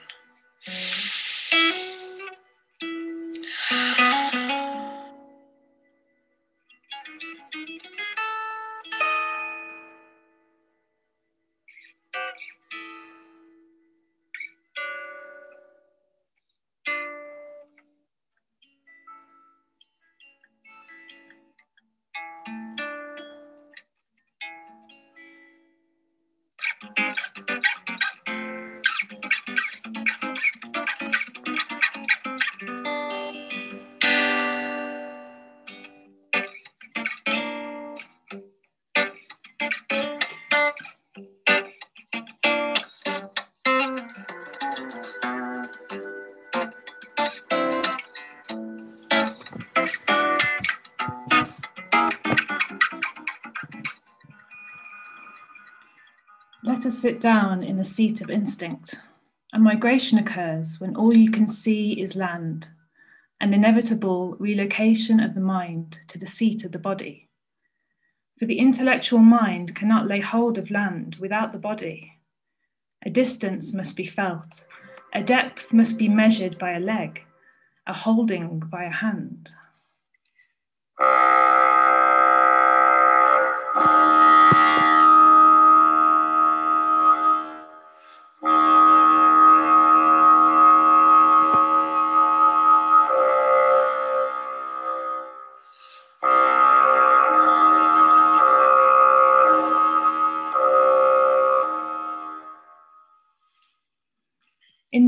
Eyes develop, growing two extra eyes on the top of the eyes you already have. They do not bore a nerve into the brain. In, the, in their wisdom, they bypass. They strike a direct deal with the gut. A mysterious electro-pulsing communication rises up. It reaches out from the middle and pulls forward. There is no language with land. There is just a wordless sense. There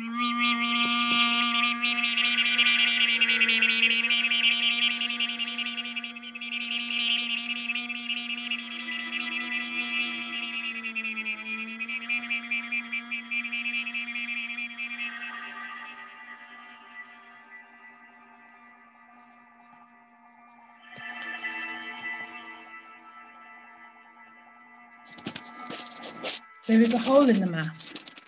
Light shines forth. From the black that obscures the world, there is a hole in the obscuring map, revealing that which shines forth.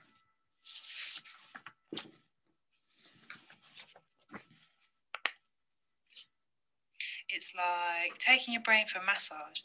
It's like how you feel when you sunk deeply into a bucket of goop and you just keep sinking. It's like when the sun shines on your face in the summer and you have your eyes closed and you're laying on the ground in some grass or something.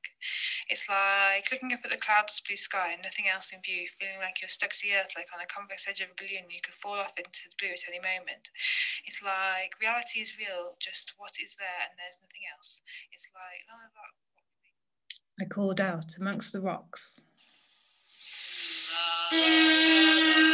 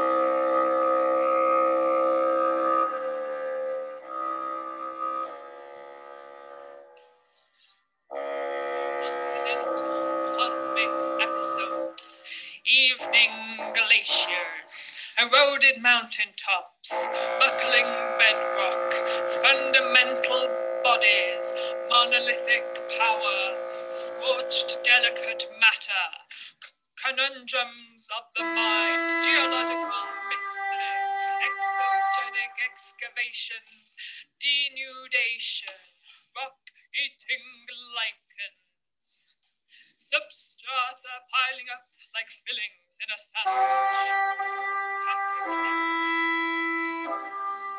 A marked and pronounced discontinuity has puzzled the people who take care to take note for much time.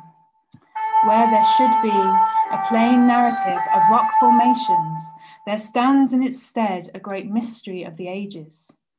Now, as we pass through the, through the Moenave Formation and into the Chinle, we begin to traverse the domain of the dinosaurs. Weirdly shaped valleys, which looked as though they must have been carved by unfeasibly large rivers. Erratic boulders teetering for centuries, great monoliths slumped against the canyon walls, tired of their own bodies. Denudation and stone eating lichens, subtle traces of atmospheres, vestiges of peoples and animals, dinosaur footprints in concrete mud. Ghosts appeared as the dust of ancient rocks.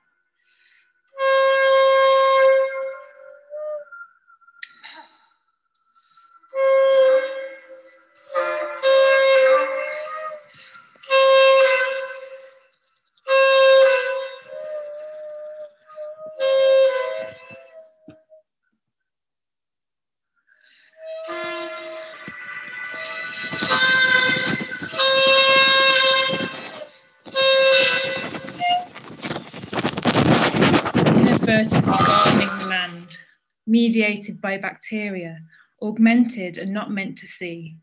The tools offered us a way of experiencing a different kind of knowledge. Align the hour hand with the sun. South lies halfway between the hour hand and 12 o'clock.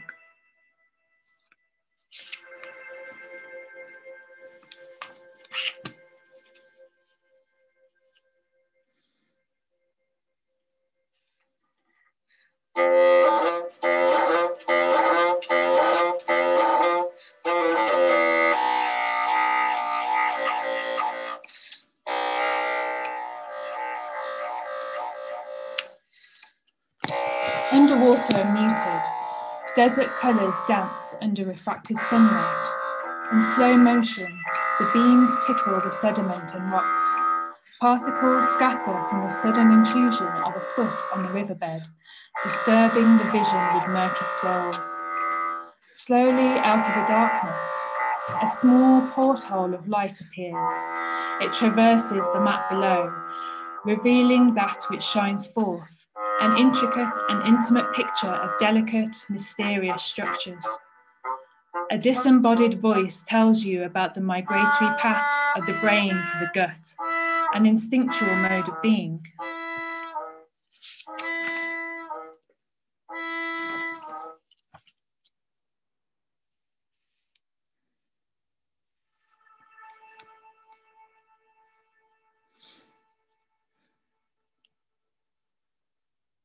More than 500 mineral species and fossils of wildly diverse life forms, including worms, trilobites, shellfish, corals, dinosaur footprints and bones and plants and animal remains, including ice age mammoths, fossilized jellyfish, uprising schist, the upper part of the upper Triassic Chinle Formation, snail shells, burned charcoal remains, bat guano, fool's gold, javelina fighting tusks, forgotten tent stakes, and that granola bar packet that accidentally got away in the wind.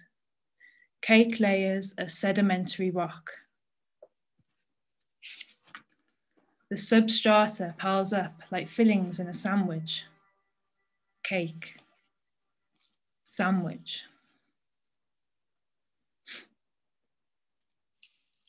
And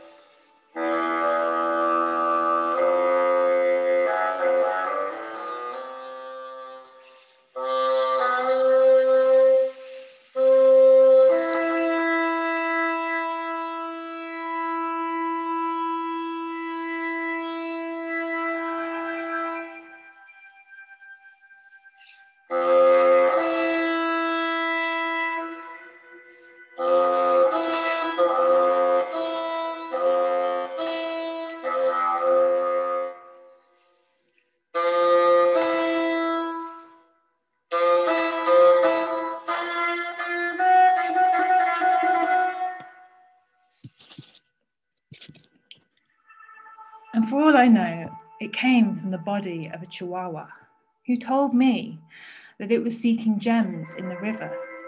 And I mean that chihuahua had a crazy addiction to the crystal's radiant, shiny sheen. I mean, I could see it in its little bulging eyes. That's all I'm saying. And to be honest with you, the chihuahua wasn't even the main problem here. Whatever that chihuahua coughed up, I mean, it was like an egg. It was sort of hard and round and dusty pink.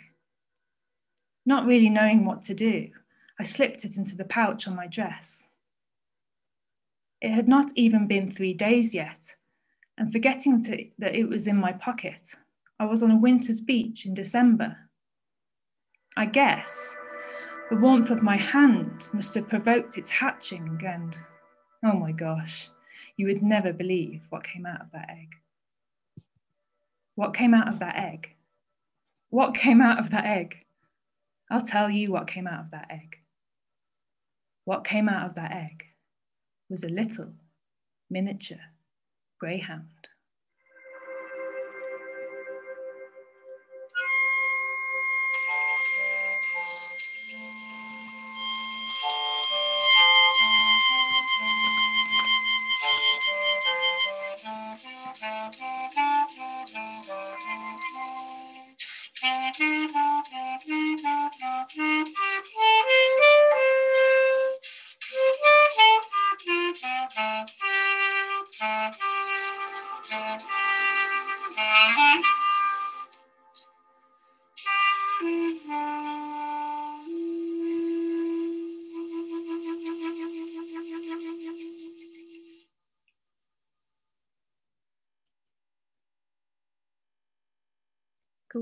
Very much.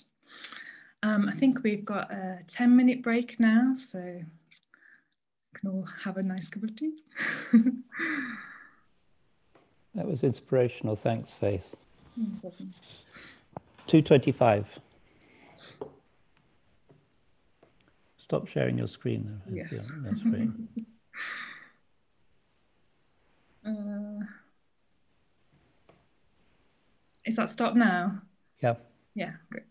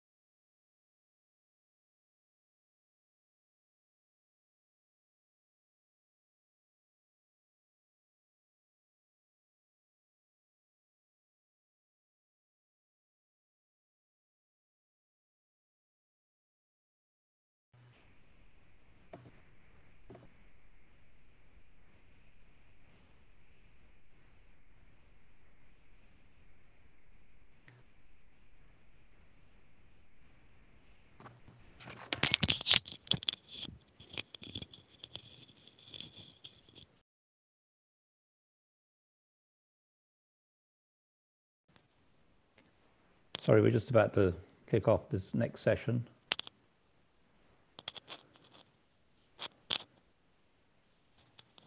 With Norman when he's ready.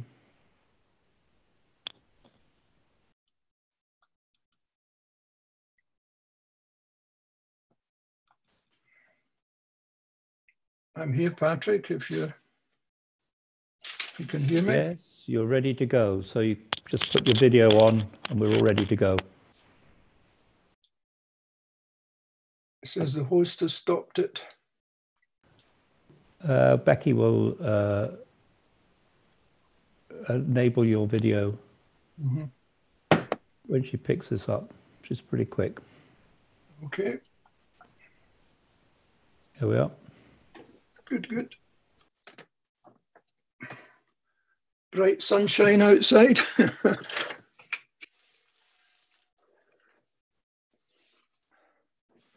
that better? That's great. You're on your broadcasting, so ready to go. Well, welcome back, everyone. Um, it's been a marvelous day so far. And uh, my name is Norman Bissell and I'm coming to you from the Isle of Luing on the west coast of Scotland.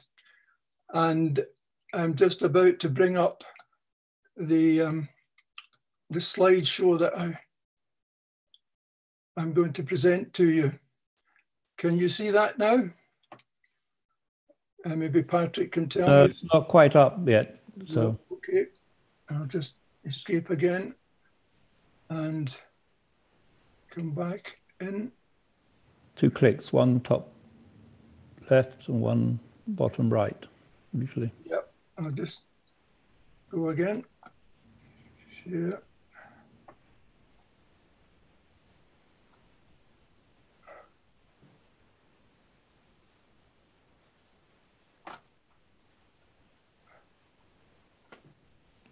Yeah, you're sharing now. Okay.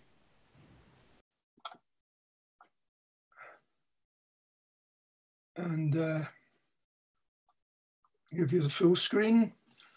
Okay, I'm going to give you a short talk about geopoetry and geopoetics. Uh, I'm the director of the Scottish Centre for Geopoetics, which has been going for 25 years now. And um, I want to take you through some aspects of mainly of geopoetics. I think this morning and this afternoon we've had some wonderful examples of geopoetry, and some of them I would suggest are also examples of geopoetics. Uh, so I'm not going to say that much about geopoetry, but I'm going to say quite a lot about geopoetics. And I hope that um, when you, if there is time at the end, that you might put some, eh, if you have any questions or comments about what I'm saying, please put them in the chat. And I'll, if we've got time at the end, I'll try to uh, I'll, I'll, try to answer some of them and come back to some discussion. Here's a poem I, I wrote a few years ago, um, and it's about a geopoetic approach to the world when you go out.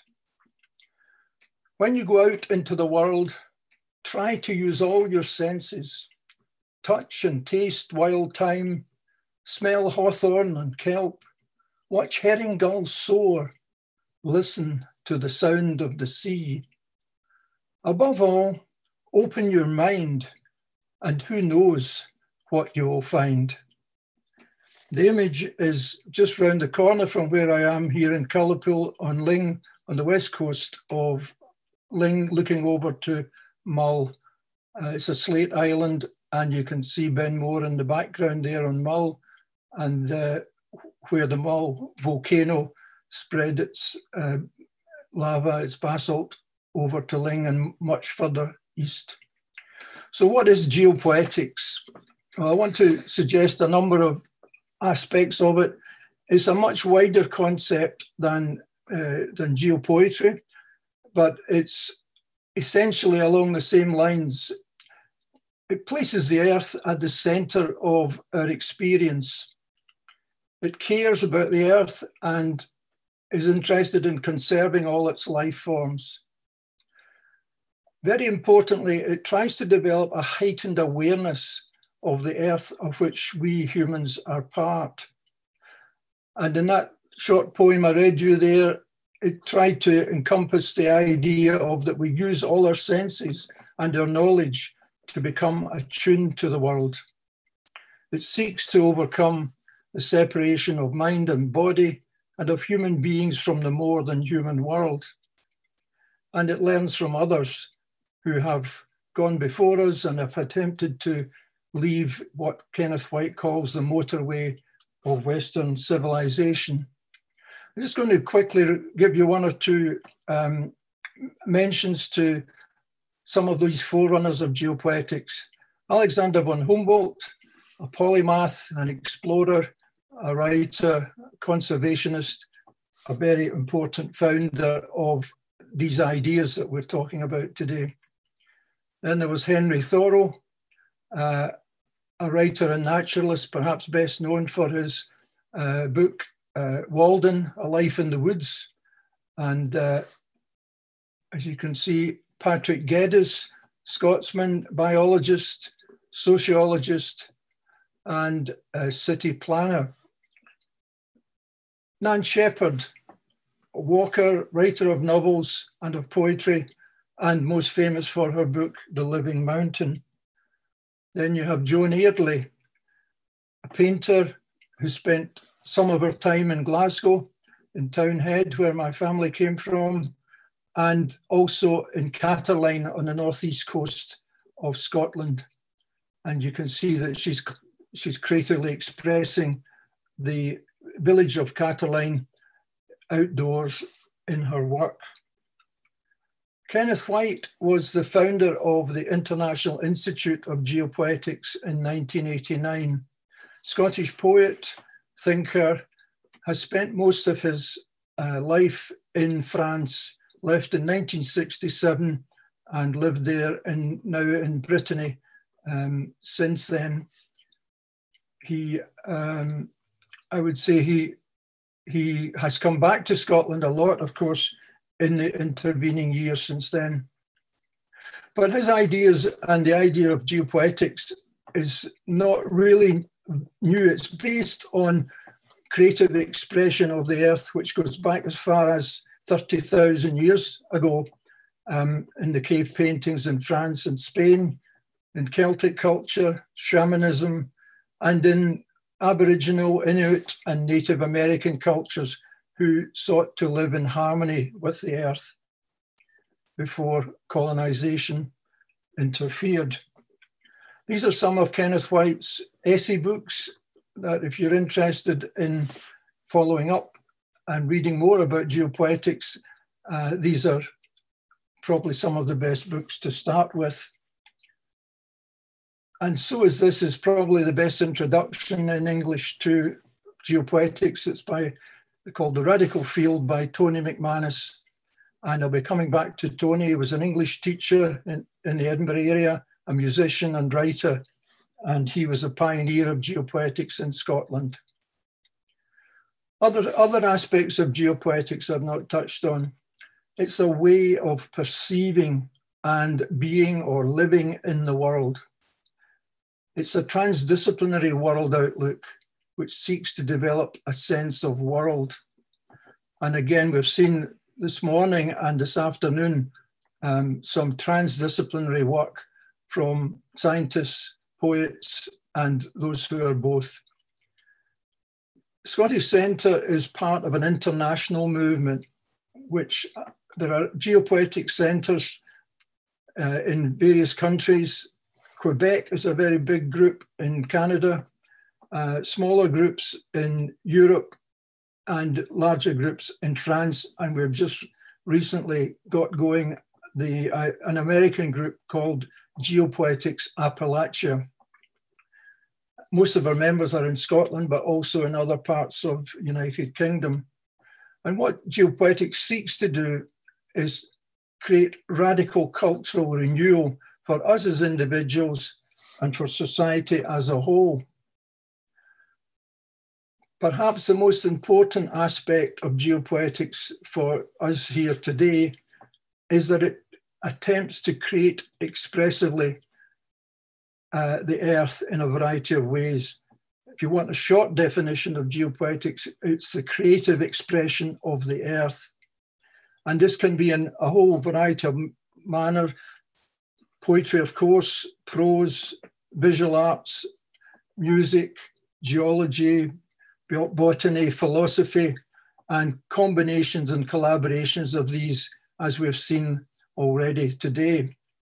This short poem is the title poem from my uh, poetry collection called Slate, Sea and Sky. An island on the rim of the world, in that space between slate, sea and sky, where air and ocean currents are plays of wild energy, and the light changes everything. And that little poem has gone a long way. It's been included in a couple of uh, anthologies, and it's also um, inspired a composer, uh, Liz Lane, to write a, a, piece for solo cornet and brass band, which has been recorded by um, some of the best brass bands in the world. Tony McManus, he founded the Scottish Centre on Burns Night, appropriately, 1995. We now have over 80 members in these different countries and as well as throughout Scotland. We, um, we have day events and two day, three day conferences which combine talks and discussion with guided walks and creative workshops. This is our annual journal. We, have produced eight issues of Stravaig, which contains poems, essays, artwork, and you can read most of them online at our website Stravaig, um, that was the theme of issue six a couple of years ago, uh, Living on the Edge. And we welcome uh, submissions, uh, which will go to our editorial group of about six uh, members. And we the submissions have to be in by the end of January each year, and the, the journal comes out in the summer. So any of you today would be most welcome to submit work. We haven't quite decided on the theme for next year, but um, as I say, we're we'll be publicising that in the, in November. This was one of the conferences that we held. Um, I think that photograph was taken by Helen no, I took the photograph and it was of Helen Bowden, who's one of the contributors today and one of the workshops that she was leading, um, looking over to Isle of Luing in the background from uh, Ellenabeich on the Isle of Seil. And you can see uh, further down there on the left-hand side, uh, a creative ethnology group, which was having a discussion and other groups in the main hall there in 2017. So what about the future? Well, the Scottish Centre works with individuals, with other centres and university departments to attempt to develop geopoetics further. We feel, we feel that further theoretical work is needed. Um, we've had some articles in the past in Stravaig about um, geology and geopoetics, uh, John Gordon, who many of you will know, uh, he contributed, I think, at least two essays on that subject, but more are most welcome. Everyone is welcome to join the Scottish Centre for Geopoetics and take part in our events and activities. It's not an exclusive club. Uh, it, it, um, it's a membership organisation, a voluntary organisation and the membership costs £10 per year and £5 if you're unwaged. And the bonus is that you get a free copy of Grounding a World, Essays on the Work of Kenneth White, which I will post out to you if you, um, if and when you join the Scottish Centre. The next event we have is a Geopoetics Day on Saturday, the 7th of November. It will be an online event like this one. It had been planned to be a, a, an actual event, but it will be uh, virtual now. and it will include the Tony McManus Geopoetics lecture by Professor Richard Roberts. And we believe there is radical hope for the future in the theory practice of geopoetics. If you want to know more, um, you can have a look at our website, uh, which is on the screen there, and also um, you can write to me at my email address there. I'm happy to send you more information and answer any questions. You can see there Tinto Hill again, which Gordon Peters uh, and Pat was there uh, last June. And uh, we had a very good few days there talking and practicing geopoetics. So that's, I think, all I want to say. But I look forward to hearing some questions and discussion if we can, if I can get back to the main screen. Uh, yeah. So it's across to you now, Sarah. Thanks, Nori.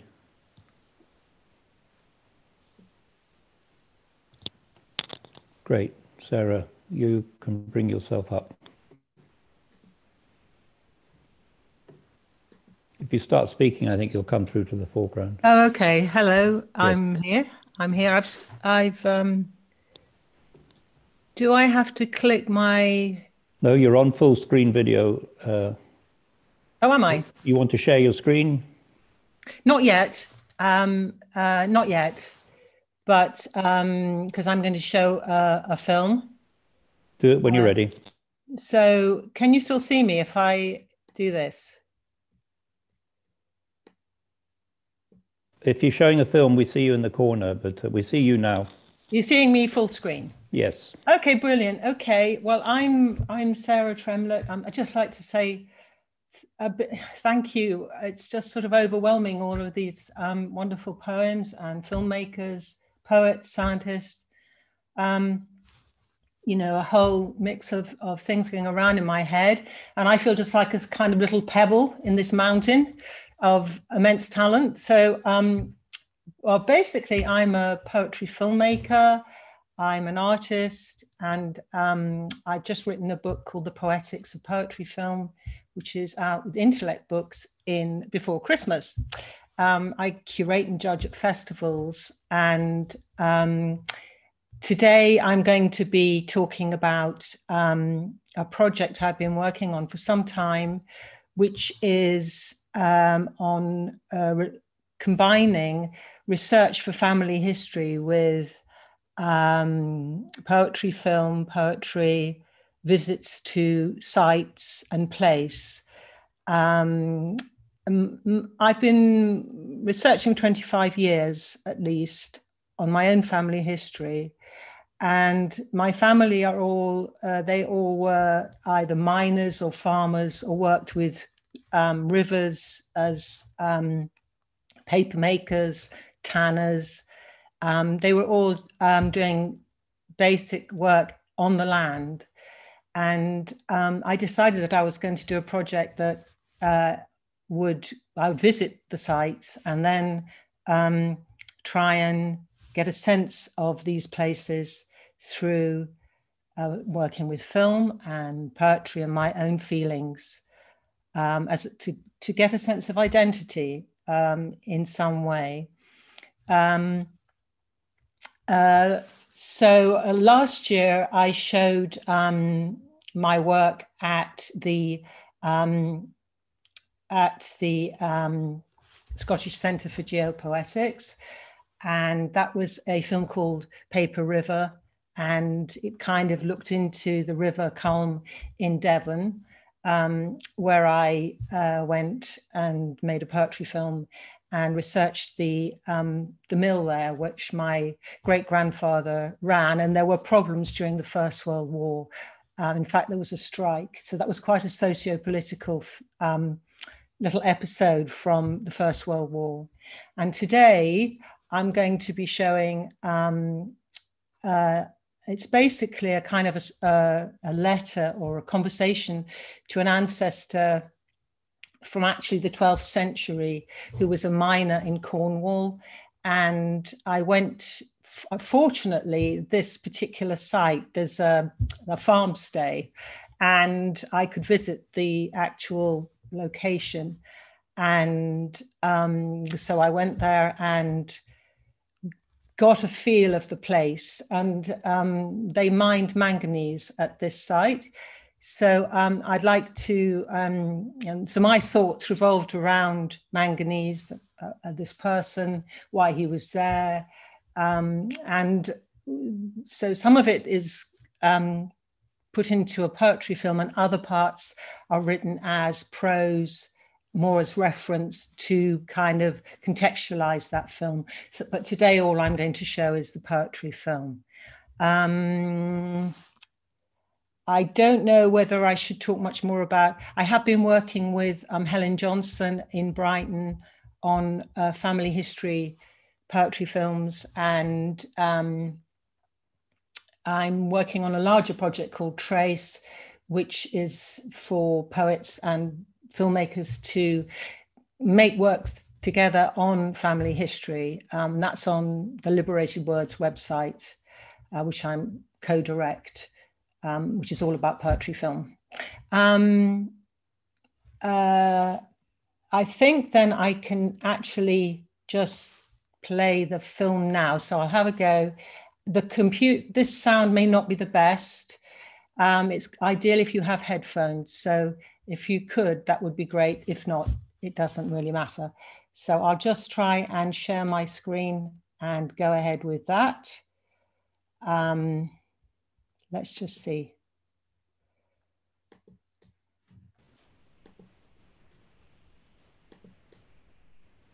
And share sound as well. Your So- screen is sharing, yes. Good. And I'll start playing now, and hopefully you'll.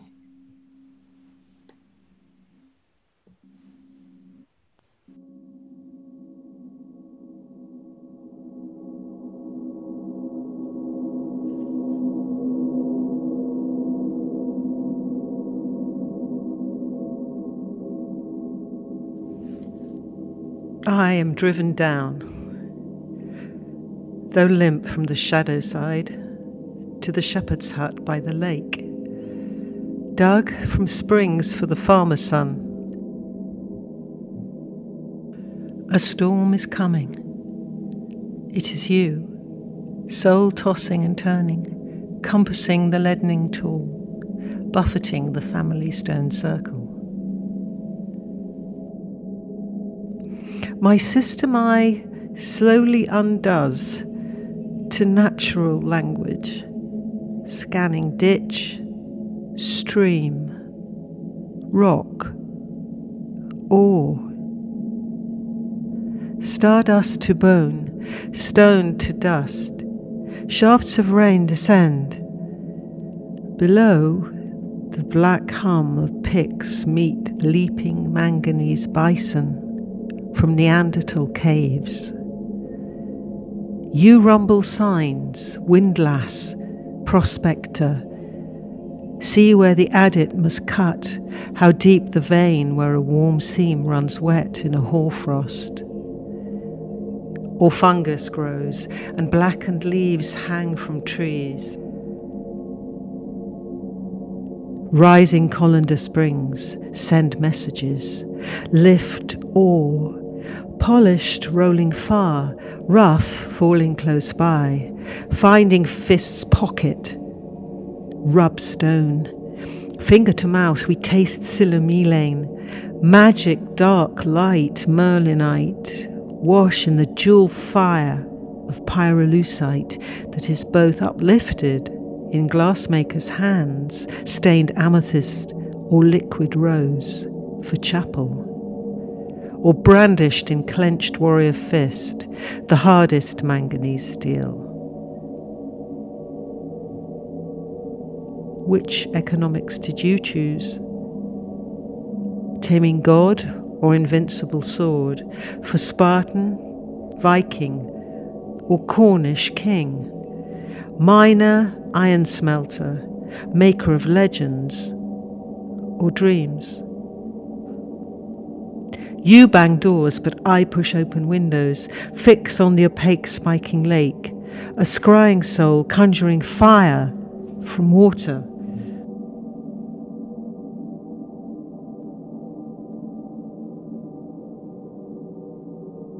All my stones safe under the bed, like a healing madman tethered by the mystic veil.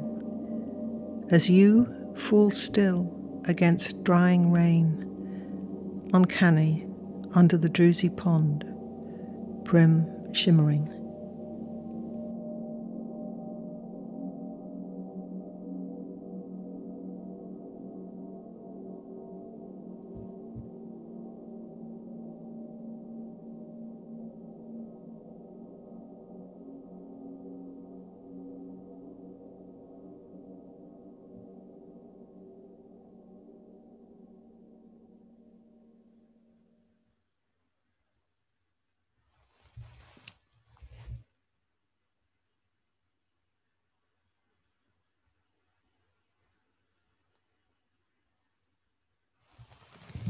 Thank you. Thank you. That's that's all from me. Thank you very much.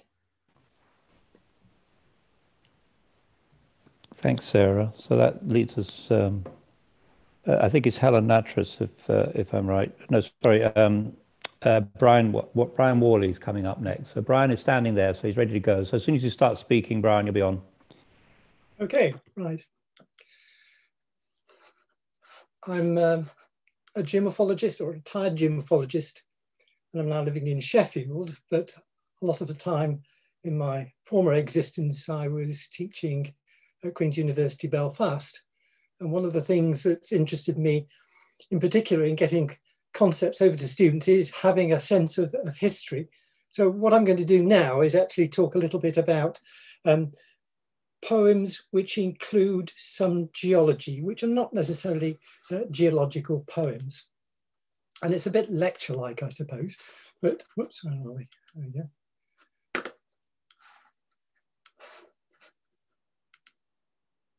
But you can see um, some of the material, and I've referred to some books which you might be interested in. So the covers are on there. Okay, we, we start off actually with uh, Ben Bulben and William Butler Yeats and his grave below that. But as this is a, a, Wordsworth year, I thought we'd start off with Wordsworth. And there are one or two books related to this, John White's book, Wordsworth and the Geologists. And uh, he brings in a number of uh, eminent geologists who started the Geological Society of London, William Buckland, Adam Sedgwick, William Whewell, and George Bellas Greenough. And I mentioned Jonathan Ottley there, who was a, a swill maker and clockmaker in Keswick, but taught Adam Sedgwick a lot, and that's not often realized. So Wordsworth had something to say about uh, geology, not always favorably, even though he had friends in the Geological Society of London. Uh, a book by Noah Heringman some time ago, Roman Romantic Rocks, and he looks at Wordsworth's poem Resolution and Independence, sometimes known as the Leech Gatherer. Uh, but he's going in, as you see there, um, Heideggerian theory of poetry touches on similar themes. I'm not going to go in that direction at all, but we will touch some of the places uh, looked at Proshansky in terms of a, a geological sense of place. And I got this book by Terry Eagleton not that long ago, How to Read a Poem, which is not so much how to read a poem, how to interpret a poem. And on the blurb, it says, uh, how does poetry differ from po prose? Um, is there a language peculiar to poetry? What do we mean by imagery? And it's that imagery one that I think is important in terms of creativity and imagination. And one of the things that I'm particularly interested in is how to read a landscape from a geomorphological point of view and, and how adding metadata onto a scene can interpret it uh, in, in a rather perhaps more meaningful way. So as soon as you know that this image here on the front of Terry Eagleton's book is called the Blue Pool, geologists will, and I suspect Patrick will immediately go and think of the Blue Pool and the Isle of Purbeck. And here's the geology map pointing to the Blue Pool. So as soon as you think of that, a geologist will be thinking of Purbeck Chalk, Jurassic Coast over to the, uh, to the right of the, and the east, bagshot beds, and the heathland plants associated with that SSSI. So though the image looks Mediterranean, in fact, it has quite literally an otherworldly, a Purbeckian view on that particular lyric scene. And of course, some poets have been called nature poets and the geology of place. And these almost left a trace in the, in the landscape through Pope's in Windsor Park, Conrad's Ode to a Trilobite, and of course, Arnold's Dover Beach. So you can interpret that in all sorts of different ways through Emily Dickinson and a number of Scottish poets, in particular Norman MacCaig, Sorley MacLean, and Hugh MacDiarmid, and Edwin Morgan. And in particular, Edwin Morgan, I think, is a, a very fine poet, the, the and I have in front of me uh, an signed book of Edwin Morgan's collected poems, and I'll refer to one of those later. So what I've called here landscape affinities, geology actually provides the landscape, the bare bones, the background on which pretty much everything is draped. The roads we drive on, what we see where our food comes from, how can we all incorporate these images and an imagination and in particular meaning? And I'm here concerned with geological meaning and linking into that. So we've already referred to the Lewisian and, and Assynt, and it was the geology of this landscape that became that was the bones of its beauty. So here's a poem. Uh, I'm not sure whether I should be reading these uh, at the moment, but anyway, um, you, can read it for yourself in that extract. I'm just sorry, just go back.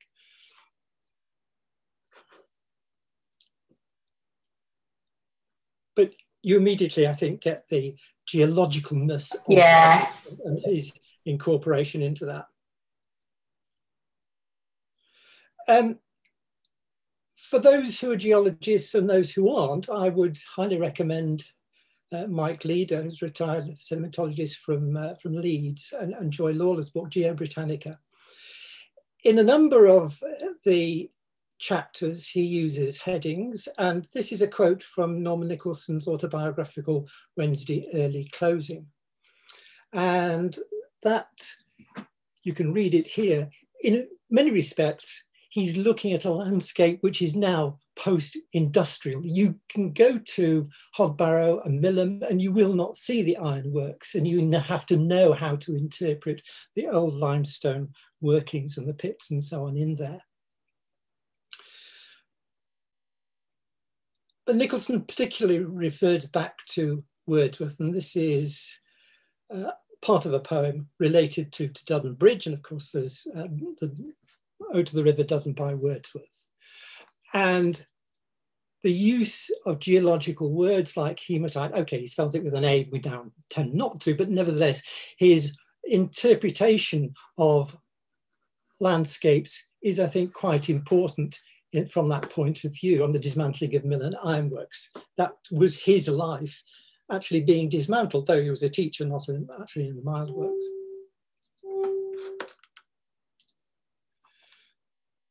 So we could say that Nicholson, in fact, is a, a, precursor of what we might now think of as the Anthropocene movement. And I, have listed a number of poems there. The figures in brackets are in the collected poems, the, the page numbers.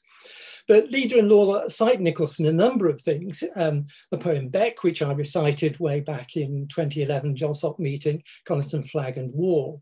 And uh, Harry's going to be talking a little bit more about the, the Seven Rocks later on.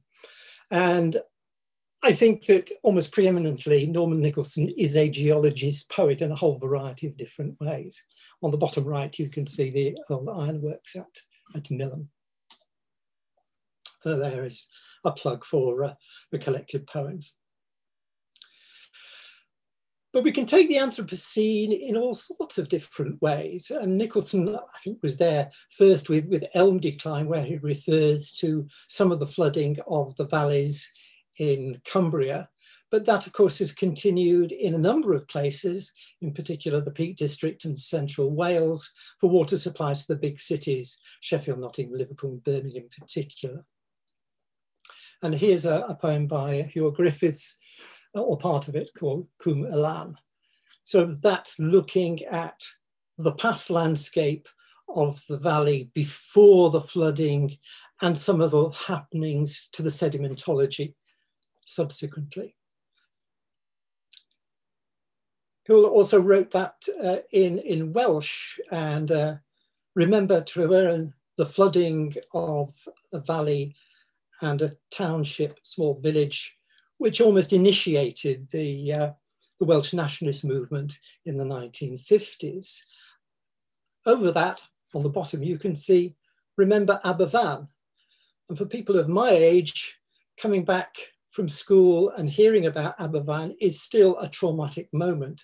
And I should remember, remember that Tiger Toast, uh, sort of like Daily Toast, a whole load of poems in Welsh about remembering Aberfan. So this isn't just an English language, it's also uh, a Welsh one and indeed a Gaelic one as well with some of the poets like Sorley MacLean. But I want to come a bit more up to date and look at Simon Armitage, in particular his stanza stones, and you can visit these stones. They're uh, very well worthwhile, and there's a poetry trail that you can follow, either in completeness is about uh, 50 kilometers long or go from uh, take a family walk up to these uh, Dew is particularly impressive the trouble with beck on the right hand side is that you can hardly read it any longer and that's a great shame because those are uh, th those are good poems obviously by uh, Simon Armitage in the geology and the environment in that particular environment of the upper Carboniferous. Uh, another northern poet, Alan Peacock, he quotes, my landscape then was to do with limestone, gritstone, water and sky. And I learned that stone was more than the geologist, artist or mountaineer saw. Okay, that's a good point of view.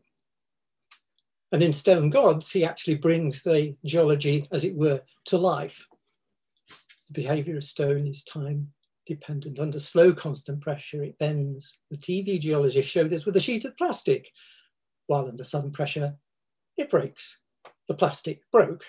And I think you can get a good view of the TV scene and some things that happen extremely slowly and under great pressure uh, inside the earth with that behavior of stone. Uh, the Nottinghamshire poet Mark Goodwin was also a rock climber. Um, produced this in, in his Steps published by Long Barrow Press, which is just down the lane from here in Sheffield. I'll let you read that. One of the problems about reading it yourself is that you don't get the timing right for what the poet actually wanted.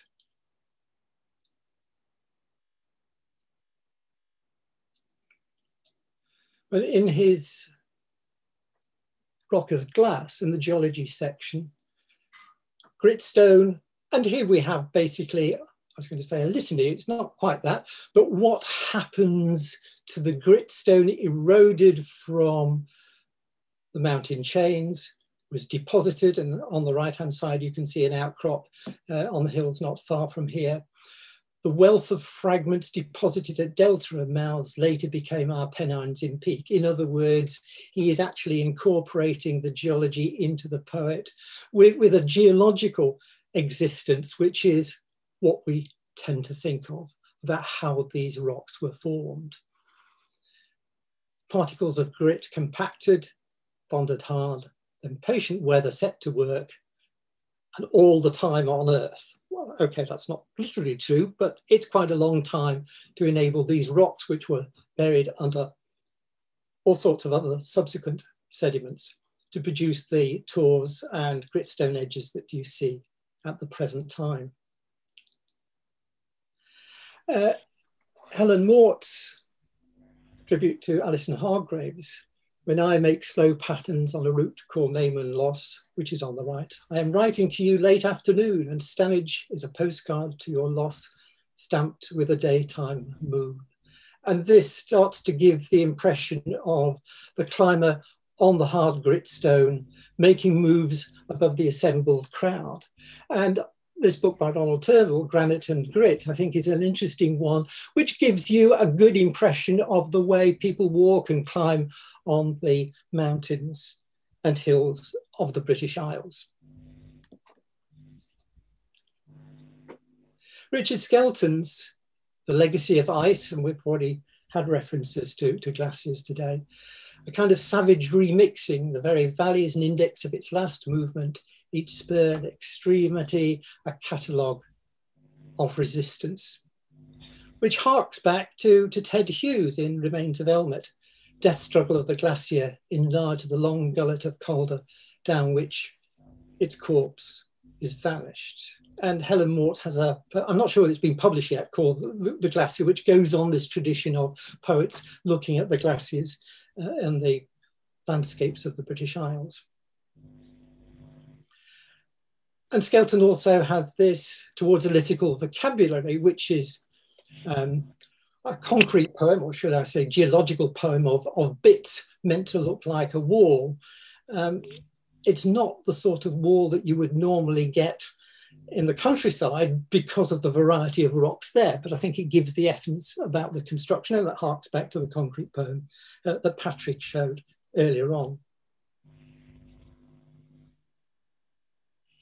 So one of the things that I've been interested in, as you'll probably gather, is bringing images of science and poetry together using the present is the key to the past. And in particular, how can we bring the dynamics and kinematics and the materials, which are basically geological, in the poems together with the, the geology? And that's one of the things that I've been uh, interested with. So we start with this rather fearsome looking at this universal soil loss equation. I won't go into that other than the fact that this is being constructed mainly for use in looking at soil erosion in the United States. And this is a rather fearsome looking equation to look at detachment rate of soil particles as raindrops hit them. And that leads to, to soil erosion, as you can see here on the left, the splash transport per unit, with, in other words, trying to quantify what happens when raindrops fall, what happens when the runoff takes material off the land. So this is basically a, a model, a generalization of a geomorphological process, but that geomorphological process has taken place over the millennia ever since land was eroded by water. In other words, this is almost one of the fundamental erosional processes. So how might we, we visualize this? Uh, and Drop started off as a, as a static concrete poem, but I suddenly realized not very long ago that we can add PowerPoint and make it a little bit more dynamic. So this is my attempt uh, to do that. So then we start with a universal soil loss equation, and that gives you the different components of it. A drop of rain in its fall from a thundercloud reaches its terminal velocity and finally will explode on soil. Millions of events like this wash soil off the land into the sea. Thank you.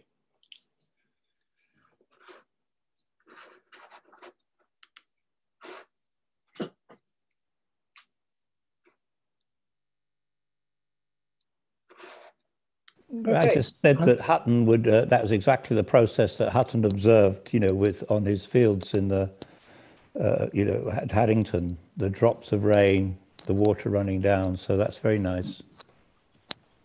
You've gone on to mute again, Brian. So I'm, we're going to pass to Marion now. Hello. Marion, yeah, there you are. Have you got me? Yeah, we got you. We got your full screen. Okay. Hello, I'm Marion Ashton, and I'm in Woodhall Spa, Lincolnshire. And it's lovely to be part of this event on National Poetry Day. Um, I'm a retired English teacher. I've always loved writing poems, and it's great when they're accepted for publication. Uh, my link to geology is through my husband, Mike Ashton, and he's the one who presented me with the GeolSoc magazine, the page about um, Geopoetry Day, and he got me to send off some poems. He has informed me I'm not always totally correct geologically wise, but I assured him that is poetic license. Um, I'm just going to read three short poems. The first one is Releasing the Trilobite. It actually took place in the 1970s. We were students and Mike was doing field mapping as part of his degree. And we were in Southey, South Wales. I was ambling about or reading most of the time, but occasionally picked up a hammer, as I did this time. And Mike was extremely impressed with the outcome, and you'll hear that in the poem. The second poem, Cool to the Touch, is about a part of an ammonite that is always here on my desk. I'm not sure where it came from, but I've had it for, for so long. And the third one comes from a day when we were traveling in central Texas we stopped off at this place, um, a particular place, the Enchanted Rock. So here's the first poem. Releasing the trilobite. I struck the siltstone, watched it split, release its secret, that ribbed rock creature, perfectly preserved, unseen since prehistory. Here on this hand, the spiny headed form, there, its mirror image precisely impressed. Inch long Time Lord, entombed for millennia, serendipitous gift from the God of the mountains. I'll attempt to show you it. There it is. And the next poem, Call to the Touch.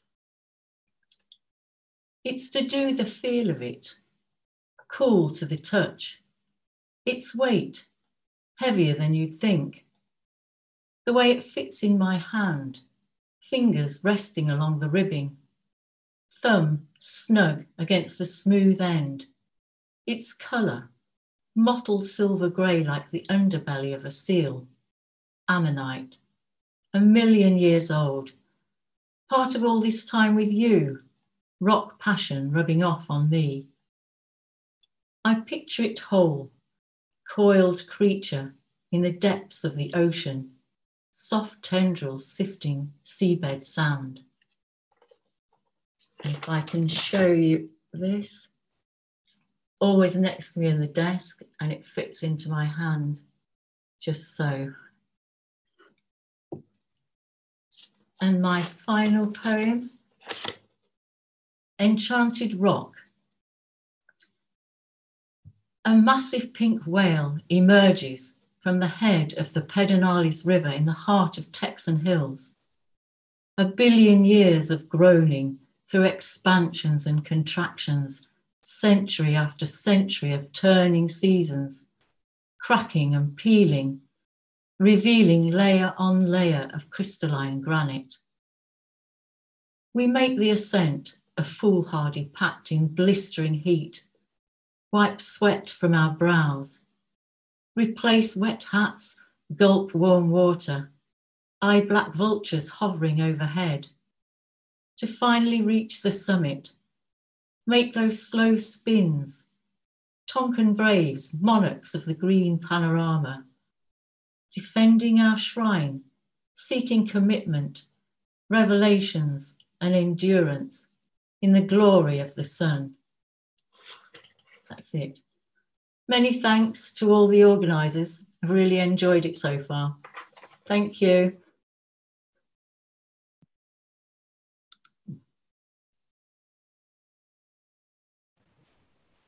Hello. You're up on, on screen. Am I up, Pat? Yes, you're up. Grand, thank you. Hello, everybody. Um, that was great, Marion. Um, when I saw this very rich and packed program, I was going to dip in and out. I thought because I just get fatigued, but I've been following everything, so thank you. Um, my name's Helen Boden. I'm a writer, editor, community educator, and creative facilitator from Edinburgh, the Yorkshire accent. Um, I grew up in the Pennines. I stay beside the Pentlands and places like that. I think are very much the kind of bedrock to my writing. Um, I'm going to read a new prose poem which has come out of the local lockdown exercise I was taking. And just thinking how people have been talking about place identity today. Um, I think the underlying, this is very much about how the underlying geology determines the landscape and its social uses. Um, I'm not going to screen share, I'm just going to read it, but it's a it's a prose poem in in four paragraphs. Um, and somebody, I'm, I'm now lo losing the thread, but somebody was uh, earlier made an interesting point about poetry and prose and the distinctions between them. And there's been a lot of prose poetry developed in the last few years, and I think they're a very good way about for incorporating science and place and lots of other things. So this is for um, a four-piece prose poem um, set in a kind of grid formation, and it's called quadrille. Quadrille. One, geometric shelter belt. A rainless month, permitted exercise, right angling field boundaries at the village edge, a cracked and popular route not a right of way through desire path tree belts, council designated sloping wooded farmland.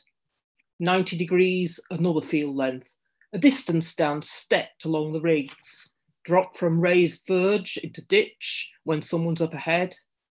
In an isolation, pas de deux, step aside, pause, step in, turn. Take sides across the incised channel of a modified watercourse. Power line, an elevated hypotenuse intersects overhead. High voltage cables graph for key diagonal to from the capital, the power grid, the national grid. Pylons plot a line for the hills across the axes of the shelter belt, the green belt, the central belt. Fire hazard grows. Two, lane. Take an evening turn. Five corners out to Dalmahoy Hill on the dried muck path, climb through the wind up the igneous sill for the view beyond Lothian. Five corners back to the village. Along ploughed field site straight, turn. Gorse verge above freshly audible river incision to Helpside, turn. Down over the water of Leith, across glacial meltwater flat, Cockburn Bridge, up through Glenbrook, Broadleaf side, turn, along Mosswall side, Beach Het side, fresh, fresh ploughed field side, growing lambs alongside, echo off the Bankhead steading wall, turn. Down, up, over the nameless burn, turn, Larch side, John's burn. Possibly some names there that'll be a bit familiar to those who work at Heriot Watt. Three, circumstance. Some grids are smaller, how can we measure how constrained, how limited we are in rooms, in gardens if we have them? Mine's triangular. What we learn are the perimeters of our worlds within the circumference of daily walking, the parameters of our interpretation of the guidelines. Streets below tenements don't have space for all the footfall round the block. In the peripheral, field-bound, woodside, forest side, unpolluted broom bloom time with improving visibility across this moral grey area. How high, how far, how long is two? Four, the Cockburn Leithhead dance. Country lane discipline, swerve and greet, greet and swerve, judge and be judged by those who do not observe the passing protocols. Walking grasps the increase, decrease, increase of fear, blame, compliance of spring, which broadleafs are out and which are still in bud have yet to leave. The further up by the headwaters, the brighter the leaves. After the farm lane stop beyond the last corner that's a curve, forest starts. All terrain track describes a dusty earth parabola down to the riverside, swerves up to the moor. Fire risk increases. After two months of these out and back walks, of evening turns, the lanes assume small island quiet. Auchinoon, Corston, Dalmahoy, Kames, Ravelrig, the sea cliffs of an imaginable coast.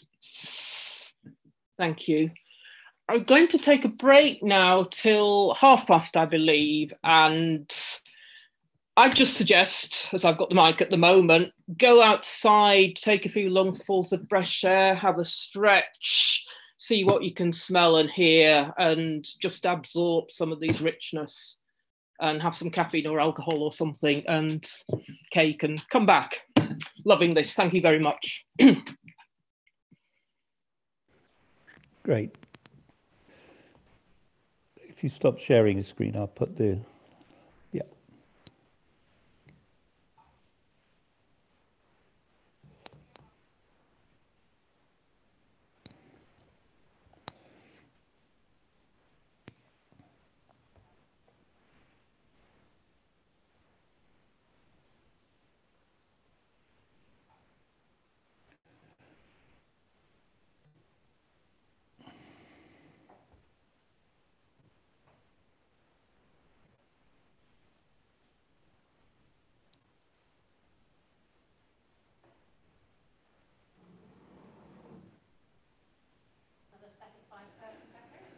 Oh, great. I said, great. Helen, very happy, you know, because she's quite well known. Helen Boden, she's quite well known. She's quite close, actually. So I'd love to meet up with her. And she's Patrick, you have the audio on. She lives near the Pentlands, and she obviously knows Heriot Watt because those are all that. That's the footpath we. Patrick, we can hear you talking about me. Uh, so, um, so uh, Patrick. No, I don't think so. Patrick. She might teach at every university. No, yeah, she might. So no, she's a person that's quite good. I mean, I, I think I'll help.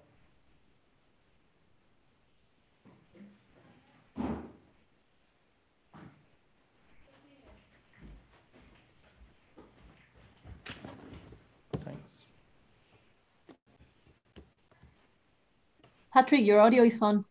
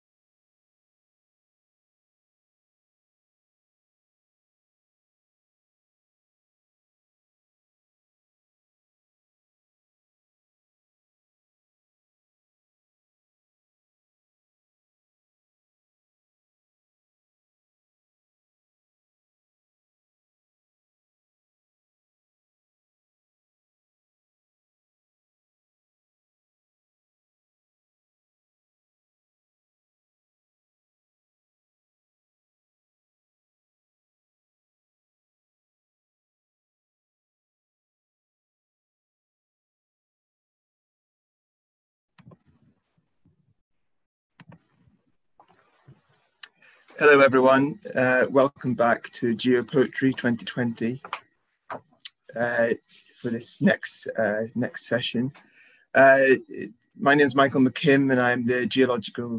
I'm a, the user services librarian at the Geological Society of London, um, as well as a poet.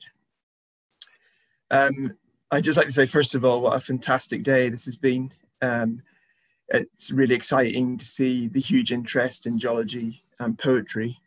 Um, a big thank you to Patrick uh, for organising today, for really masterminding it all from the beginning.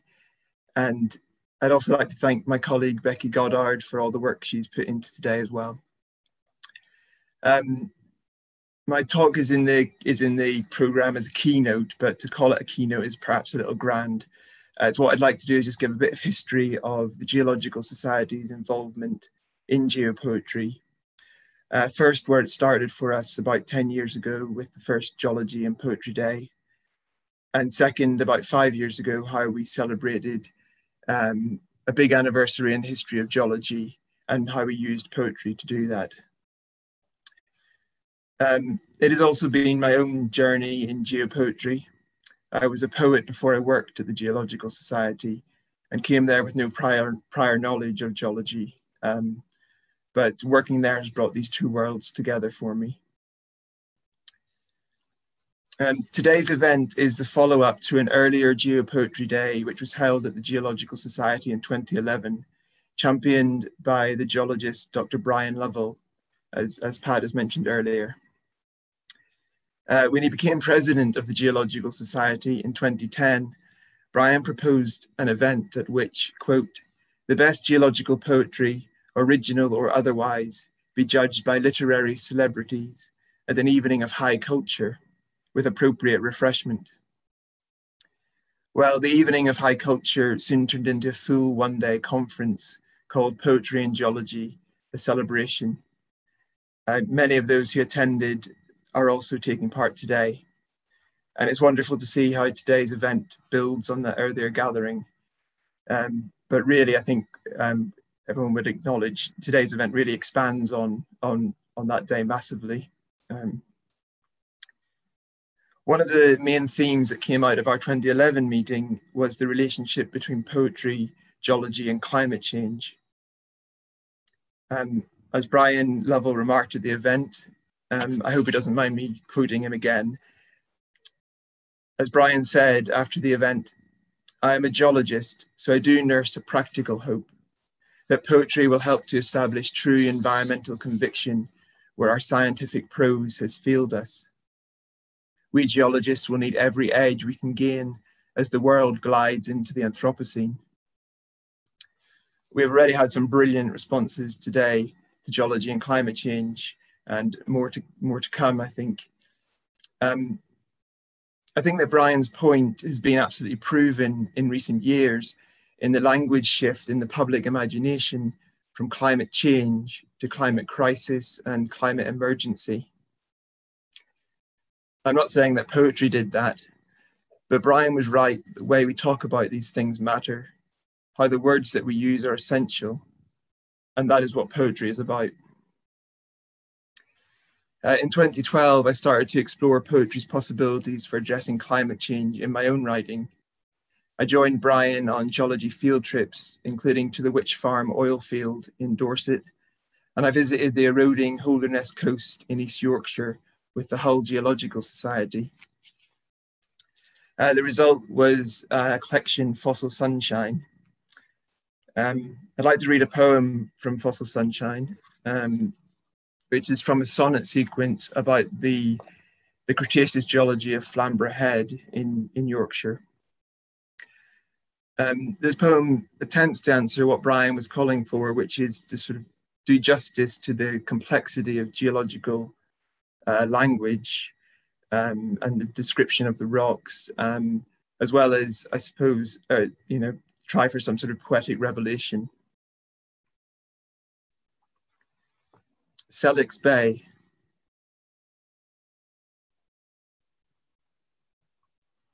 Like veins of fat in a hock of ham. Fault lines score down heaved chalk cliffs and across the thick shore platform. The flints are uniform, and calcite clefts indicate the brecciated crush zone occurring to the south of the west-east latitude of tectonic disturbance. It's highly complex, to say the least. But there's a rhythm in the chalk, soft and harder beds, nodules, wispy marls, alternating flints, regular as clocks that mark a record of Cretaceous cycles. The whole Earth's orbit accurately ranged. These frequencies, a pacemaker for change. And I'm just going to share my screen.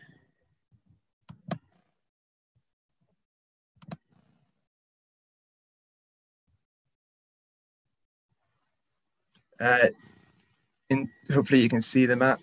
Uh, in 2015, the Geological Society marked the 200th anniversary of the publication of William Smith's delineation of the strata of England and Wales with part of Scotland. Uh, it's the first geological map of a country and it's published in 1815. I don't have time here to go into detail about Smith's life and achievements, but I will put in the chat later a link to our online exhibition uh, curated by our archivist Caroline Lamb for those who would like to find out more. Uh, to mark the anniversary of the map, I commissioned over 30 poets to write. I commissioned over 30 poets to write new poems in response to the map, uh, Smith's life, or the science of geology. Um, I was thrilled by their generosity and enthusiasm and the different routes uh, their poems took uh, it was published in an anthology um, called Map, Poems After William Smith's Geological Map of 1815. One of the things that struck me in sort of reading the poems and commissioning this is that when most of us look at a map, we look for home and the places that we know. Um, but I've, what I like about geological maps is the colors on a geological map make us see home in a radically different light. And so the poems in the anthology, I do believe, confront the reader with new ways of seeing the landscape and history of Britain. Um, I'll read a poem from Map, which is the first poem in the, in the anthology, and it's by the poet Maura Dooley. This is Maura's poem, Treasure Island. Like skinning a rabbit, what's revealed, like skinning a rabbit.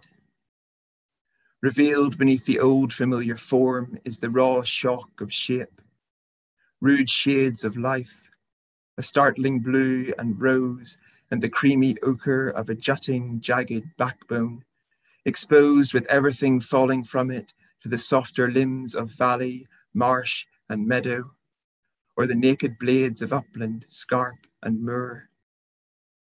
Like oil on a puddle, both muted and glinting, the colours have settled now, and no matter the bleach and batter of sunlight, damp, the slow turning of years, paper folding in on itself in awkward formation. What's charted here in new translation is the perfect record of truth's imagination. I think that Maura's last line here, the perfect record of truth's imagination, speaks to the coming together of geology and poetry. As a poet, what draws me to geology is its power to see what's no longer there or isn't there yet. It maps what is hidden from view. It is fundamentally a scientific research for a scientific search for truth, but has always also needed vision and imagination. I wonder, is it this shared investment in truth and imagination that brings poets and geologists together today?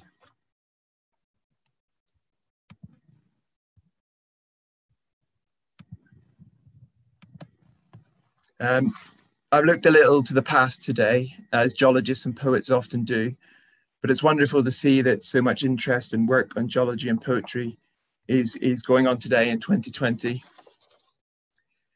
And that so many new projects are happening and poems being written. It's, re it's really, really exciting.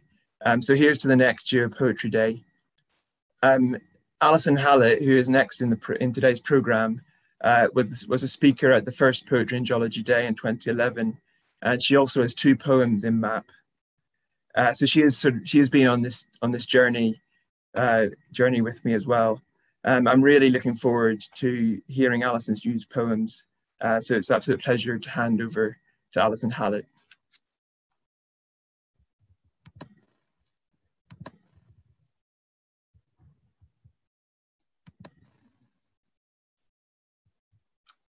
Thank you, Michael. Uh, can everyone hear me? Um, my name's Alison, and I'm delighted to be here today launching a new book, Tilted Ground. Uh, but before I do that, I would like to thank the organizers of the day, uh, the Geology Society, Pat Corbett, uh, Becky, who's been working away behind the scenes, and of course, Brian Lovell uh, for starting all this off um, a good few years ago. I've been working with stones for quite a long time. I run a project called The Migration Habits of Stones.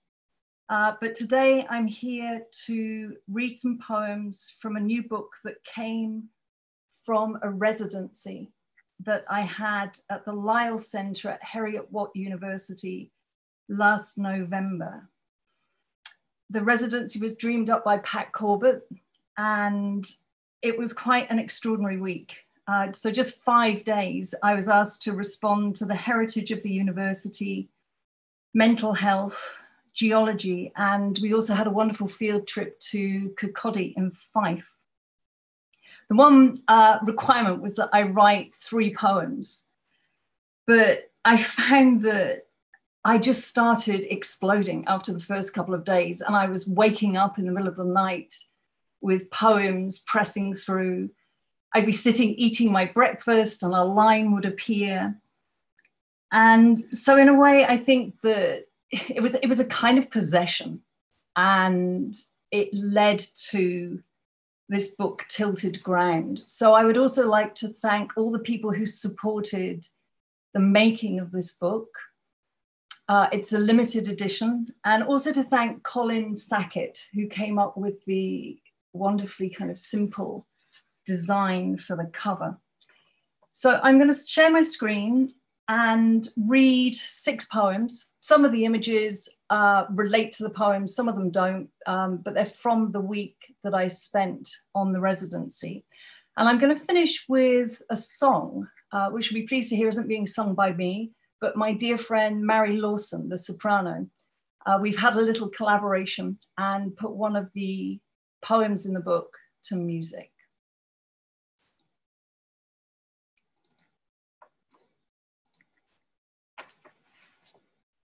I'm going to start with a poem from the heritage section in the book. Heritage Tour. Straight lines, circles, deeper, shallower, all directions at once the ghosts of Heriot Watt University float in the air like ships without anchors. Here a building, there a building, everywhere a. Sitting on the top deck of a bus at the end of Chambers Street, Pat says, We could be in one of the old lecture theatres sitting here. But I'm in a bus, I want to say. I'm in a bus. Keep up. The road shivers and slips in a coat of rain as demolished buildings build themselves up again. Pat searches the pavement by the museum for a fossilized river fish, believed extinct until someone found it in the sea off Malaysia. Shapeshifter, fresh to saline shifter, and Scotland, relieved of the weight of its ice cap, still rising bit by bit, while England sinks. Almost impossible to think the solid ground is lifting, and yet, and yet, it is. While I was on the campus, uh, I was taken to see rock cores. I'd never seen cores before. uh, I was taken to the cores store. It's one of the two times in the year when the cores are taken out. And uh, I, I, think it's safe to say that I fell in love with these rock cores, these nine meter cores that took me so deep into the earth. And um, I was very generously hosted there by uh, Andy, Doctors Andy Gardner and Helen Lever. And I'm always very concerned about placing humans uh, inside of the whole debate of nature. We're, we're often separate from it. But I, I, like to locate human beings within the continuum. And I asked them to do something for me uh, while I was in there. This is my second cores poem. I asked Helen and Andy to lie down at the end of one of the rows of rock samples. I have been warbling on about humans in the continuum, the need to show we're part of nature and not separate from it. In Guadalajara, I watched a woman ice my name onto a chocolate skull it was sweet and awful. The day of the dead, I could and couldn't eat it. They lie on the tables and smile and fold their arms. And even though we don't talk about femurs and fibulas dissolving in silt, we know without doubt that's what we're not talking about.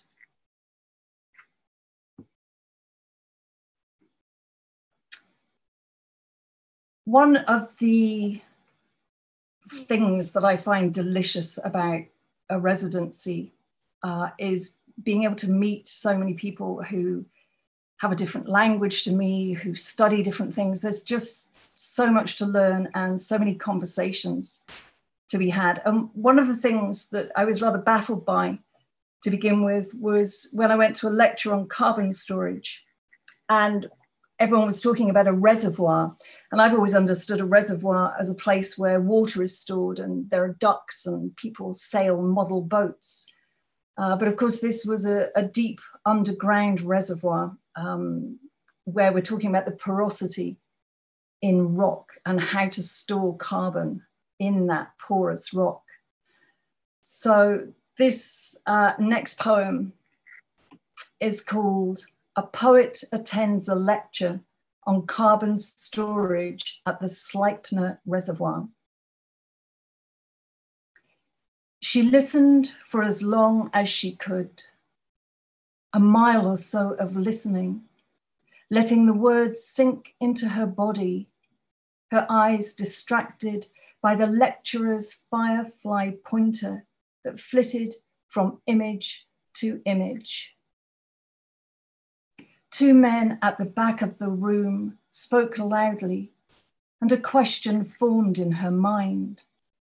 An egg building in size and pressure.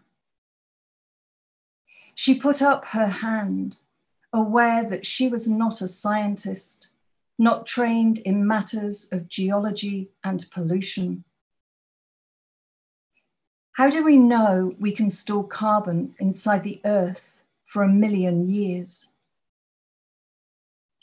There was a silence, then laughter, then silence again. Pat took a photo at precisely the moment she asked the question. Or perhaps it was the second after, when the lecturer stood quietly, his two hands pressed together in front of his chest, as if he was praying.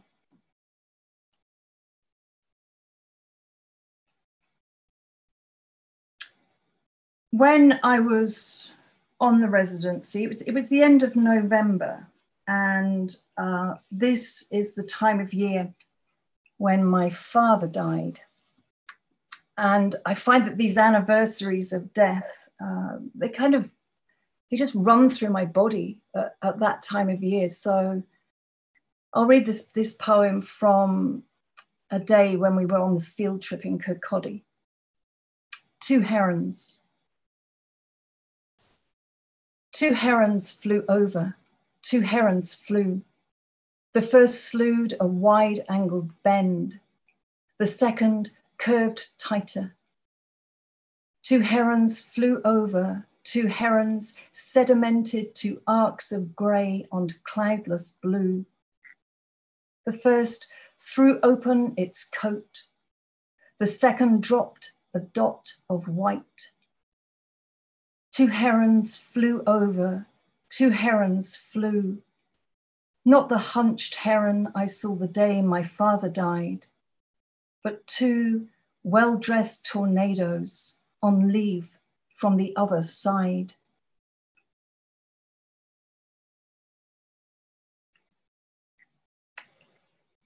When I got back to Bath, uh, where I live, um, I found something in the pocket of my skirt that I'd worn on the day that we made the field trip to Kirkcaldy. Uh, this is called The Lily in the Stone. Friday morning, I find a tiny pebble stashed in the right hand pocket of my skirt and remember that Pat gave it to me at the end of the field trip to Kirkcaldy Beach. I run my finger over a line of raised white ridges. Crinoid, I say, then stem of a sea lily. It's good to find it again, to remember the day on the beach and how some plants outlast pyramids. I wonder what odds the bookies would give of a Paleozoic lily meeting a human in the Anthropocene. And later, soaking in the bath, six words come again and again, like a mantra or a chant. Praise be for random, synchronous complexity. And I'm going to finish with the song, which is sung by Mary Lawson. The song is called Friday. And I think this probably came after Andy invited me to taste one of the samples in the core store uh, so that I could assess its texture with my tongue. i am not sure I'd ever eaten a rock like that before. This is Friday. Thank you to Mary for singing this, and thank you to everyone for listening.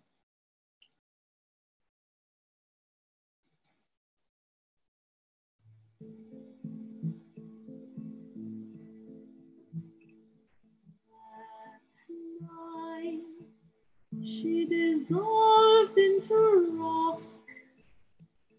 The fine quartz strings grazed against her skin as they dug their way deeper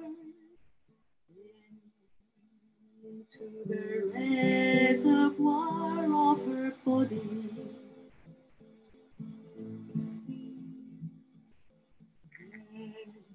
Ochre, yellow, the fossilized swam to life inside her. When morning came, she poured herself into her shoes and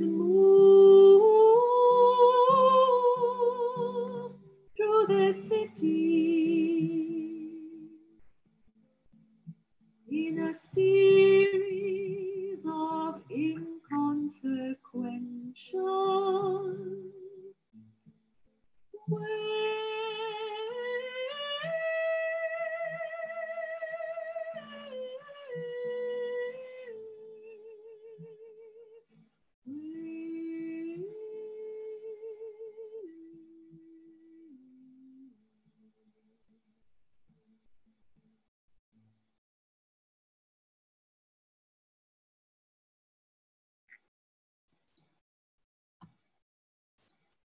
Thank you. I'll now hand over to Helen.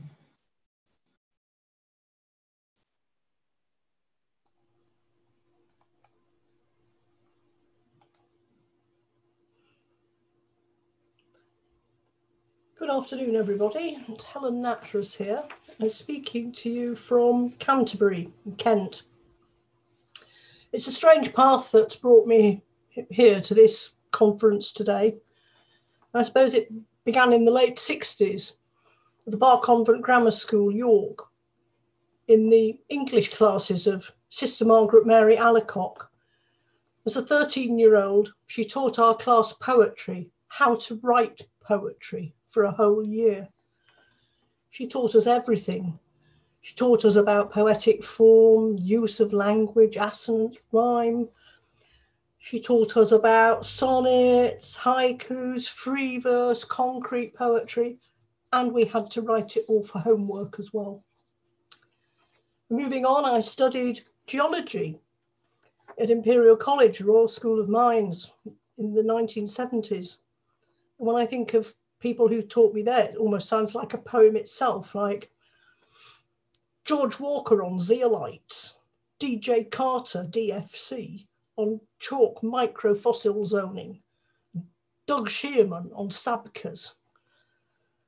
Following that, I spent 40 years in the construction industry doing tunnelling and deep basements and all that sort of stuff, that interface between structures and the ground, trying to keep things like um, ground risk under control for big hitting property developers who want to know why their programs got behind. Well, I run, and running in parallel with that, I had this huge music life going on as well string quartet, orchestra, harpsichord lessons, all that sort of thing.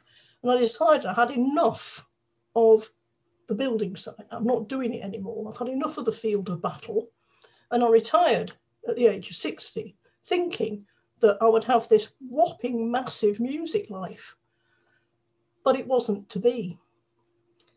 Hearing loss bit huge chunks out of my music life, and I was devastated.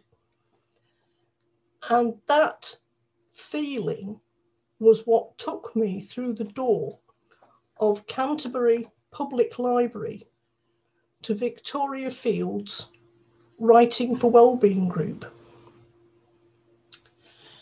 So I'm going to sh share my screen with you now.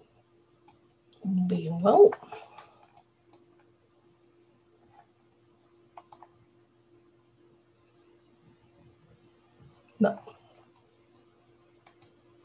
Here we go.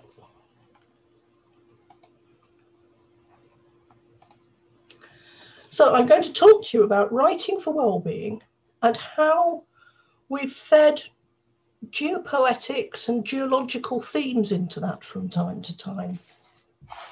So what is writing for well-being?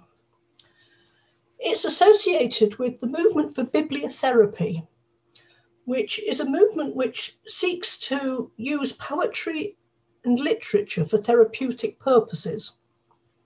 It can help to facilitate psychological growth and healing. It can reframe difficult life events and aid anxiety and problems with anger and depression. It can help people to express inner conflicts. But writing for well-being is creative, it's in the moment and it's now. Now, this is where our group meets. Canterbury Public Library's rather grandiose pseudo Gothic 19th century facade, and behind it, a modern extension. And we meet in a nice modern room there, or we did until COVID, but more about that later. And our group began as a spin-off from Canter Canterbury had a literature festival called the Wise Words Festival. And out of that grew Victoria Fields Group meeting in the library, supported by Kent Libraries and Registry and Archives Department. And it's a two hour drop-in session on a Friday afternoon. It's not a literary criticism group. It's not a psychiatric therapy group but it's a group where trust and confidentiality and self monitoring of what we write is important. It's a safe forum. And perhaps a, a word about sort of containment is, is appropriate. It's it, it, this idea of containment It's this session is contained in time. You have to write now. It's not homework. Um, it's in a room. It's contained in a room. It's contained in a way by a moderator, such as Victoria, or our small group of moderators who've taken over from her now. And it's a, a, forum in which people can access their emotions, but in a sense contain them as well. They can approach them because they're contained. And you have to write, it is now, it's not homework. So what do we do? Well, we have the first hour begins just by saying hello to people because it's a drop-in session. We might know some people and some people just come through the door. And we have to remind people of our ground rules about confidentiality. And immediately, without hanging about, we start on a six minute free write. And free write means that the person who's in the chair will give you a word or a phrase, and you just write like mad. It's crazy. You just write, write, write, write, write for six minutes, and you go, stop. And it's always a surprise what comes out there. And then we have a bit of a feedback, a discussion, what came up for you. And then we invite people perhaps for 10 minutes to rework some of the material and, and then read it out. And reading it out is an invitation, it's not an obligation. And if you write something that's a bit personal, that's fine. You just keep it to yourself. Or if you write something that you think might be too upsetting to read out for the group, it's fine. You just keep it to yourself. And so in our second session, we move on to a poem which Victoria in the past, or one of us now, will have chosen. And when we're together, we read it aloud in the group, each person taking perhaps a stanza or a line. And if it's a short poem, we might go around the group, you know, it, quite, quite a number of times with um, that we might have heard it maybe three times by the time we get to the end, or it's a long poem, we might have to go round the group three times to get to the end of it. And after that, we might ask people briefly to what did you, how did you find the poem? What did it evoke? And then quickly we ask people to write something arising from the poem. And we might give them a lead, maybe a line, a reply to the author. Somebody once wrote a really dreadful reply to William Wordsworth's Daffodils.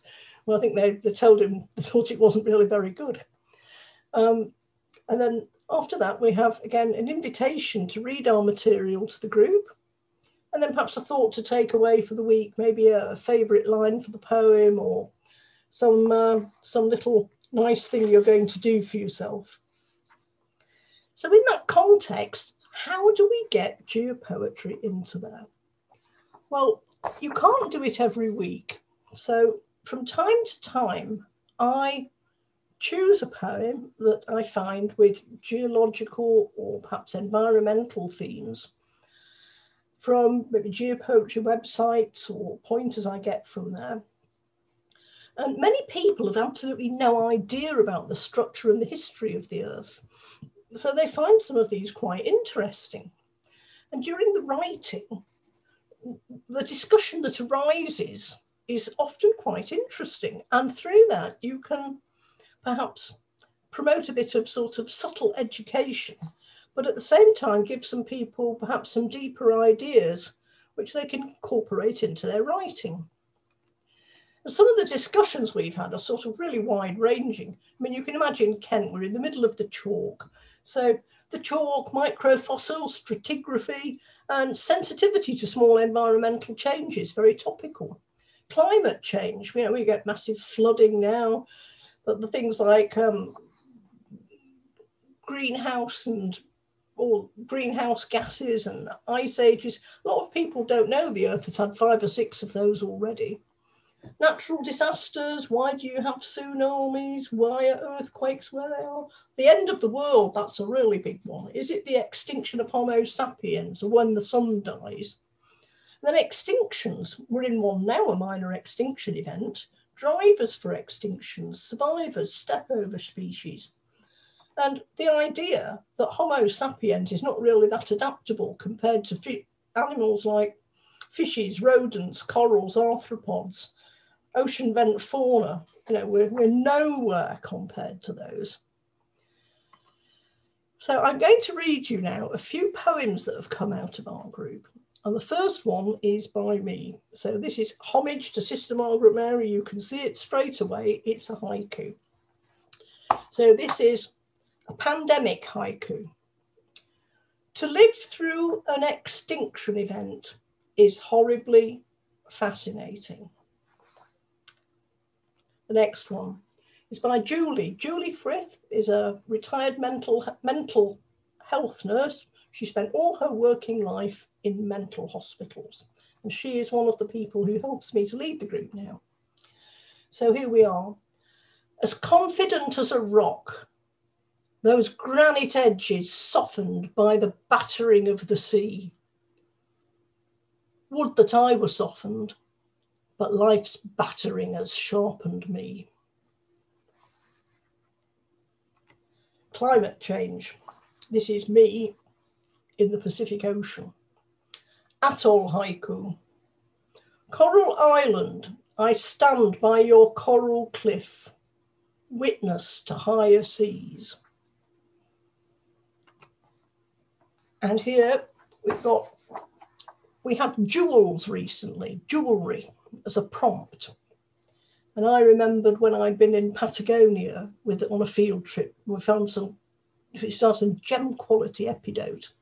So I'm writing, mantle plume, jewel's birth passage from Earth's belly, flawless epidote. And to finish with, I'll read you one by Patricia Bowler, She's a lady in her 80s and she had a rather disrupted childhood through evacuation and the, the sort of aftermath of World War II. But she's a really plucky person and she did a degree in psychology later in life. And she just walked in through the door one day. And this is one of her poems Jewels. Mythical and mystical, mysterious and beautiful stones torn from the earth, taken, then hammered, chiselled, filed, and battered, made to fit with style and mood of the time, worn now by women and girls, where once such strength was male adornment. And these are some organisations who promote bibliotherapy. And I'd like to finish by telling you that although our group can't meet in person now, we still meet every week using email and WhatsApp. And we've got six months worth of writing from the lockdown, and we're hoping to publish a book. So thank you for listening, and I hope you found that informative.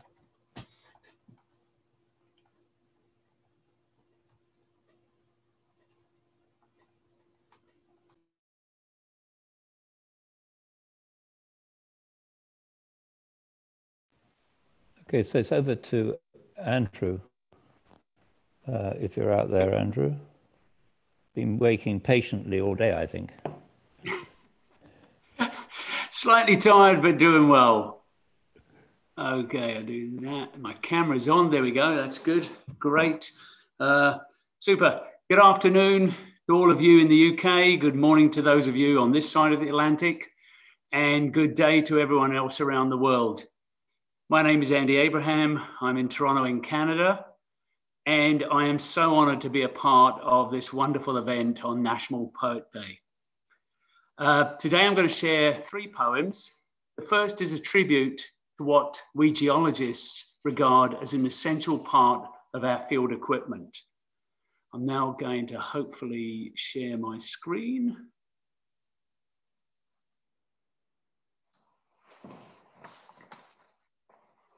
and I'll stop the video. So my camera's off, hopefully.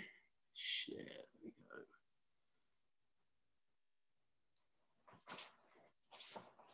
Field boots.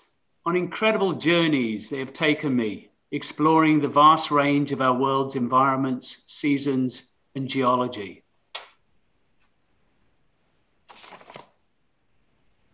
through muskeg, stream, and the complex, sometimes painful crisscross of Old Burn.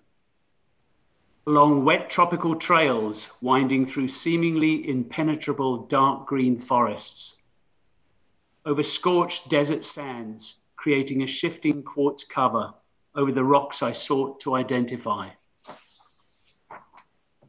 Across windswept grasses and lichen covered crags of the Arctic tundra, and up mountain passes and down steep gulches requiring careful footing.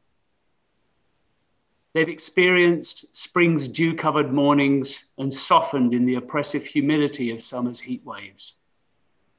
Grown heavy in torrential rains, welcomed the crispness of fall, and somehow survived the shocking cold of winter. Having traversed the geologic column, they have touched ancient volcanic arcs and laid upon the exhumed roots of mountain chains stood upon pre existing oceans that teemed with Earth's early life, and on the fossilized remains of the first great forests. Walked along preserved slices of ocean floor high above sea level, and navigated mine workings a thousand meters below. They felt strata from the age of dinosaurs, sensed movement of glaciers in striae formed during the last ice age, and endured the heat of recent lava. Traveled the hallways of geochronology labs and straddled the unconformity at Siccar Point that changed our understanding of time. They have trodden on the waste from many mines and carried the imprint of human activity affecting our planet rock worn and bush scuffed, protecting and propelling, still carrying the sense of soils long past and memories of outcrops visited. Now, with laces limp and frayed and collar worn, they that accompanied me on many adventures and carried me for miles, lay still upon the garage floor.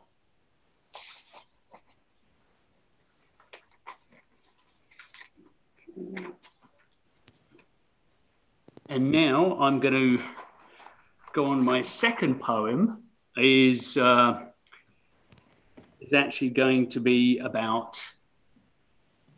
It's a, uh, it's actually accompanying a piece of art that I've done, a portrait, and it's named Fossil. If a fossil I could be, which one would you like to see? A foram or a graptolite, maybe pollen from a tree. Those are important indicators of environments long ago. They're interesting choices, but ones many would not know. Should I take a coral's form that had felt the tides go by? Or the bones of a dinosaur? Now that'll surely catch your eye. Instead, I'll pick an ammonoid, nature's masterpiece of design preserved by quartz and calcite, with a spiral so sublime.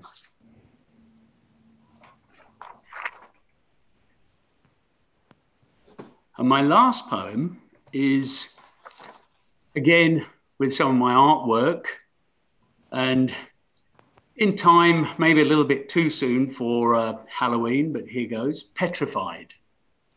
A dark force from within Earth's core seeps through crevice, fault, and pore. Its unseen fingers dendritically stalk through rocks and beds of sand and chalk. Nothing resists its transforming goal. When your life ends, it takes control, attacking with its aqueous knife, destroying cells that gave you life, dissolving each part with cruel relish supplanting you and all who perish, changing you from flesh and bone to something formed in cold, hard stone, altering your chemistry, left fossilized, no longer free. I wish to thank all of you. It's been an amazing day so far, and there's still plenty to go ahead. I'm, as I said, I'm really honoured to be here, and uh, I hope you enjoyed that and uh, look forward to the rest of this event. Thank you.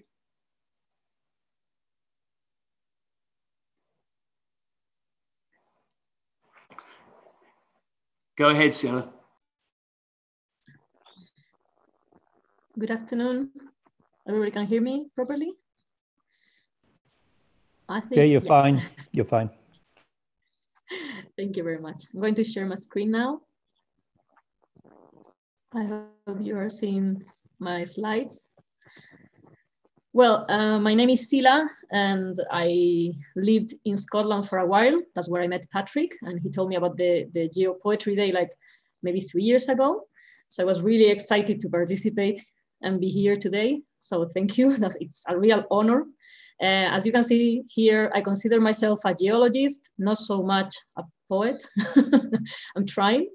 And um, well, I've, I've, uh, I've come with a slightly different approach to the Geopoetry Day, as lately I'm changing from geologist to teacher of science in a more general way. And I thought poetry could be a really nice way to actually teach geology, especially, especially in a bilingual context, as in Spain, sometimes I am lucky enough to, to, teach um, students that have to learn science both in English and Spanish. So I started writing some kind of haikus, uh, geological haikus. And then I thought of this theme of the possibility of using them as a tool for teaching. So the first thing is for those of you, I mean, probably most of you know more about haikus than me. As I said, I'm a geologist. But then um, I'm just going to tell you quite quickly what a haiku is in a very general way. Uh, a haiku is just a, a one kind of poetry that is traditionally Japanese. And there are many translations. This one is from, from Wikipedia actually. And usually they are about nature and they talk about seasons, animals. So I thought it was a nice format to use in geology. Uh, this is a translation, but uh, one of the things about haikus is that they are quite brief. So uh, when they try to, to translate them, respecting the original structure, uh, one of the possibilities is to keep them with a five syllables, seven, five structure, so five, seven, five. That's what I think uh, it was a good teaching tool because it's quite short. You force the students to write a very short thing that has a very strict format. And it's about nature, seasons. So putting geology in the mix sounds like a likely thing to do. Um, how could you use haikus in geo teaching? Well, you could use them for describing elements, geological elements, any kind, uh, geological processes, which increases the difficulty because you need to understand the process before putting it in such few words. You could actually play with them, offer them haikus already written, and pair up with pictures of, of the depositional environment, for example, or the phenomena, the geological phenomenon. Uh, you can actually make them guess each other's uh, topic reading by reading the haikus written by the partner. So you could actually do many things with this. Uh, what kind of advantages this would present a, from a didactic point of view? Well, first of all, you are improving the, their language skills. And I'm not just talking about a bilingual class here, but just a geology class anywhere. Uh, you force them to develop nice summarizing skills because you have to describe something that may take a whole book in just three sentences, quite short. It requires a good understanding of the topic and, and control of the vocabulary, the scientific terms they need to use in the haiku. And it's a good way to introduce them to poetry. So this uh, nicely links with uh, what Norman was talking about geopoetics, like giving them a different view of the world, introducing poetry, uh, science all together as a way of teaching and as a way of making them more creative and, and making like making poetry closer to them, let's say. Uh, so I think, I believe it would be a useful tool, not just for geology teachers, but also for all those poets in residence, which uh, in at schools, uh, developing their activities. So it could be a nice way of, of doing transdisciplinary activities, I think. Uh, one thing I have to remark about trying to do this geo haiku activity in a bilingual teaching context, I'm referring especially to Spanish English because I don't know if I said it, but I'm from Spain and I'm actually talking right now, I'm, in Spain. And uh, in Spanish, words and sentences are usually much longer than in English. So for example, this would be the previous poem, the previous haiku. In English, you have five, seven, five syllables. In Spanish, you need 10 syllables to say the same thing, nine and six. So this exercise for a Spanish student who needs to write in English is a very nice piece of work. So that's what I thought it was interesting. Uh, uh, what, what are the advantages of using it in a bilingual context? Well, it's applicable to all levels because you can simplify the language as much as you need. Uh, it promotes, as I said before, the use of scientific terms. Uh, it requires accuracy. You need to select the right word for the right thing. Uh, of course, even if it's a very short format, it requires a good grammar control and you can easily reinforce learning with images. So, uh, as I said, I kind of wrote myself 12 geo haikus and tried to make uh, to, to make them in a way that it, it, they made sense from a geological point of view. So as I am a sedimentologist, uh, what I did was, okay, if I had to teach students about how the sediment is born uh, in the source area, surface weathering, dissolution, erosion, goes down the mountain to lower areas through transportation by water, ice, wind, and then gets deposited or precipitated in different sedimentary environments, depositional environments, how can I translate that into poetry? So that's where I that's where I came with came up with the idea of the 12 geo haikus. And I called the whole set Birth, Life, and Death of Sediment. I'm not going to show all of them because I am aware we are a bit tight on time, but I will read some of them. So before that, just to mention, how did I select uh, the theme for each geo haiku? Well, I looked at this figure basically and thought, okay, I will try to follow a path, a natural path from mountain area through river, wetland, lake, pond, uh, delta area, coastal area, including the beach, shelf, talus, and the, the bottom, the sea bottom.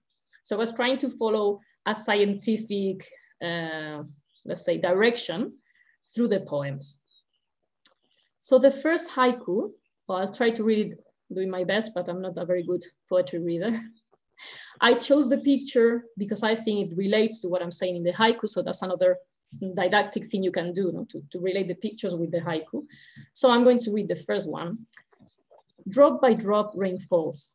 Wind, ice, sun, and exposure. Sediment is born. With this haiku, I wanted to refer to the weathering, uh, the erosion, and how the sediment forms in the upper areas of the mountains. Uh, I'm skipping the second one, talking about braided rivers, and I'm going for uh, the formation, precipitation of carbonate in caves or in tufa rivers. Murmur of water, white leaf petrified in time, calcareous plant. As you can see, I'm trying to reinforce with images of petrified leaves and fill pictures basically to increase engagement. Geohaiku 4 would be about the river, uh, probably a meandering river, and I will read it now. Floodplain, flat and rich, water serpent slithering, at the end, the sea. And I'm skipping the intermediate ones because I don't have so much time, but I have reunited here three haikus. Uh, it would be easier to just use a different kind of picture, but because they were the last ones, I chose a more kind of uh, down, uh, dusk image. But you could use here an image about the beach, which is mm, basically the shelf, which is Geohaiku 10. This would correspond to the turbidites forming on the talus, and the last one to the sea bottom. So I'm going to read the three of them. Geohaiku 10 sunbeams shining through, red corals in clear water, flat depth, shallow sea. Geohaiku 11, corresponding to the talus, debris on steep slope, broken starfish, cracked seashells, turbulent mar flow. And the last one would be Geohaiku 12, about the sea bottom. Silent clay settles, a calm, deep destination, end and beginning. So as you see, this is a proposal to use poetry as a way of teaching geology and also applicable to a bilingual context. So, well, uh, the haikus were intended to be real haikus. I know it's quite far from the, the typical haiku mm, theme, but I thought it was a nice way to, to try and use poetry in the, in the geology teaching environment. So thank you very much. And thank you for allowing me to be here because it's, it's been an amazing day and I'm really enjoying it. Thank you very much.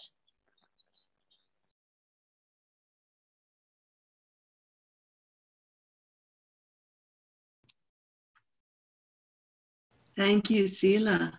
Am I here? You are here. Okay. My my name is Alice Major, um, and I'm joining you here from Edmonton, Alberta, Western Canada. I am uh, here on Treaty 6 territory, which is a region that has been inhabited by Indigenous peoples for perhaps 14,000 years. I'm going to read you just one poem today, but first I want to give you a sense of the landscape and geology that inspired it and have inspired a lot of my work. So, if I may, I'm going to start sharing my screen.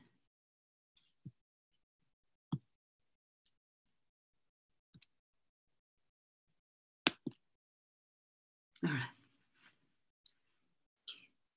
This is what you can see from a viewpoint just west of Edmonton city downtown, this bowl of aspen parkland.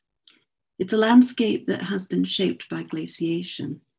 If you were here beside me, you'd be standing on what was the bed of Glacial Lake Edmonton, which formed at the end of the Wisconsin glaciation. You can't see it from here, but down in that valley is the river that made it.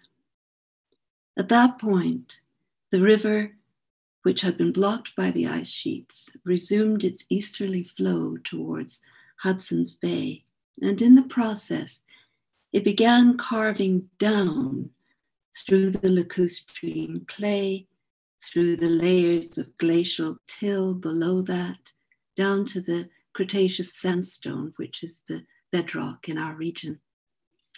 This is the North Saskatchewan River, 3,000 kilometers end to end, its water flows.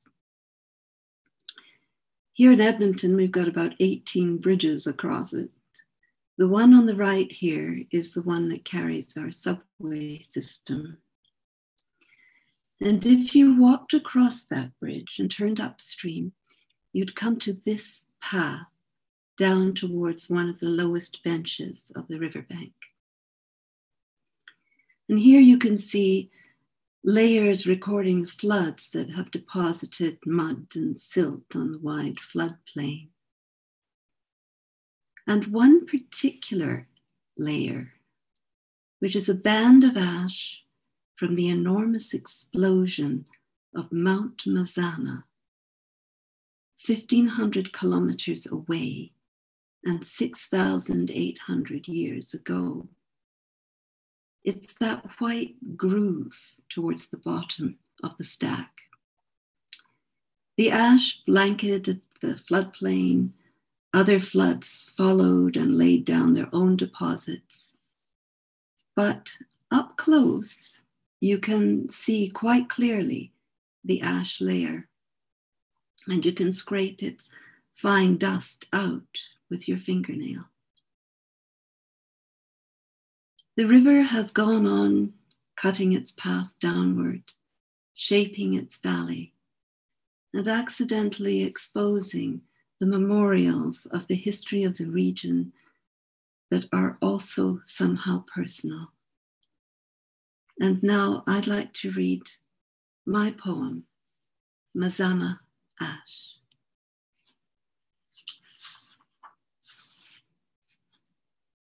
Mourners, we hold our funerals beside the river.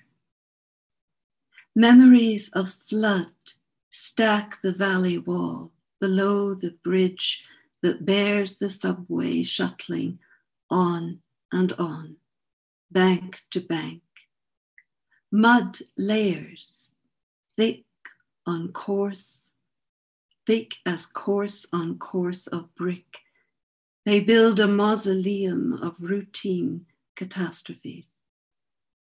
Interrupted by a pale discontinuity, a line of ash that clings fine and grey to fingers. Diaspora of dust from a ruptured mountain that scattered this funeral pall millennia ago. A penumbra dropped across the sun, a time when all should have stopped, but carried on. Thank you so much. That's from a collection called uh, The Occupied World, um, which happens to be my most geological book. It's been a, wonderful to be part of this. Uh, thanks to all the presenters and especially to the organizers. And now I guess we get a 10 minute break. We'll do better than that. We have uh, a break, I think, until 4.55, if I'm correct, when Ken Cockburn will come back. Well, so, there we go. So uh, 4.55. So we've actually got a 25 minute break. So I think that's nice because we've had so many beautiful things. And Alice, your, your voice carries beautifully across the pond, you know, across that golden pond almost. Uh, really appreciate that, the images uh, and the, you know, the pointing out that, you know, to see you put your nice clean hands in that dirty ash layer, you know, um, that was beautiful. So thank you very much. And we'll see everybody uh, with Ken at five, five to five for our last session. Thank you very much, everybody.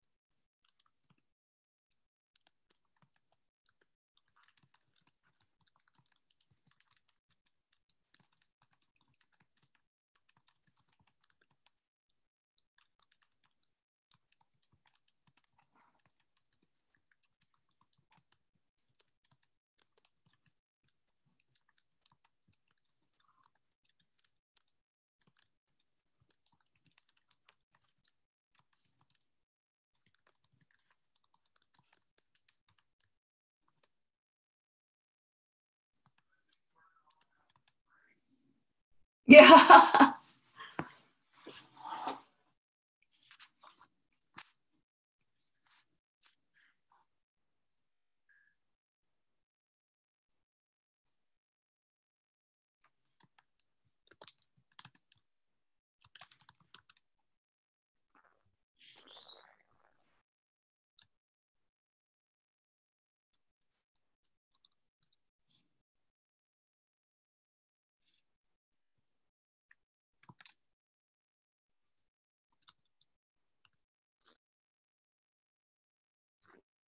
Alice, your audio is still on.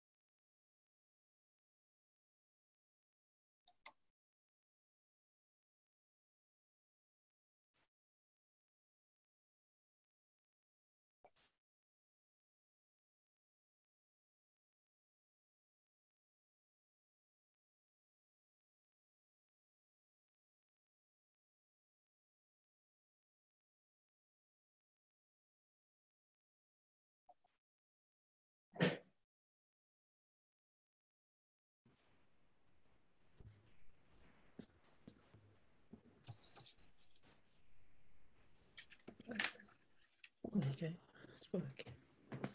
So when you want to join?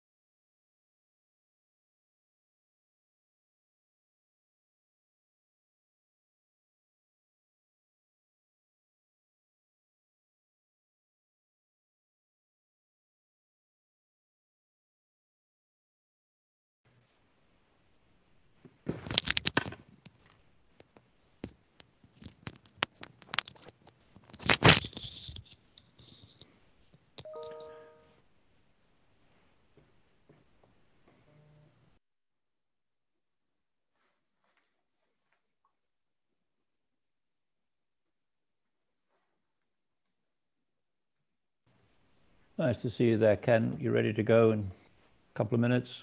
Ready to go when, uh, yep, Yeah. everybody's back, as it were. Give people a couple of minutes to come back for this last session. Yep, yep.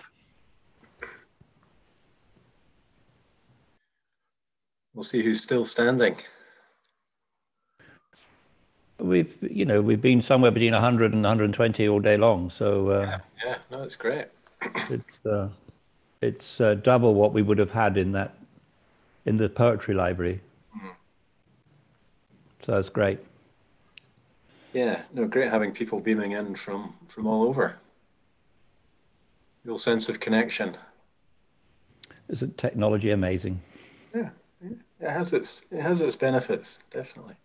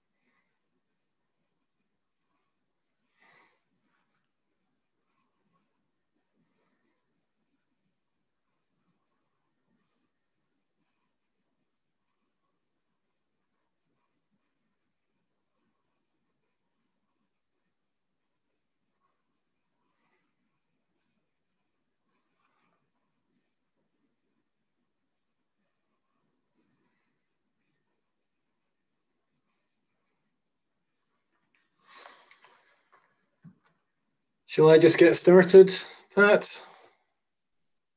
Absolutely. Yeah, I think uh, it's time by my watch. Great. Um, well, welcome back, everyone. Uh, my name's Ken Cockburn, and I'm speaking to you from Edinburgh this afternoon. Um, great to be here. Great to, to be with people in such a wide uh, variety of places, um, talking about such a wide variety of, of subjects, um, all connected by geology. Um, I'm going to be um, talking about Edinburgh, um, reading some poems and a piece of prose by a poet um, about Edinburgh. So I'm just going to go into um, screen share mode to do that.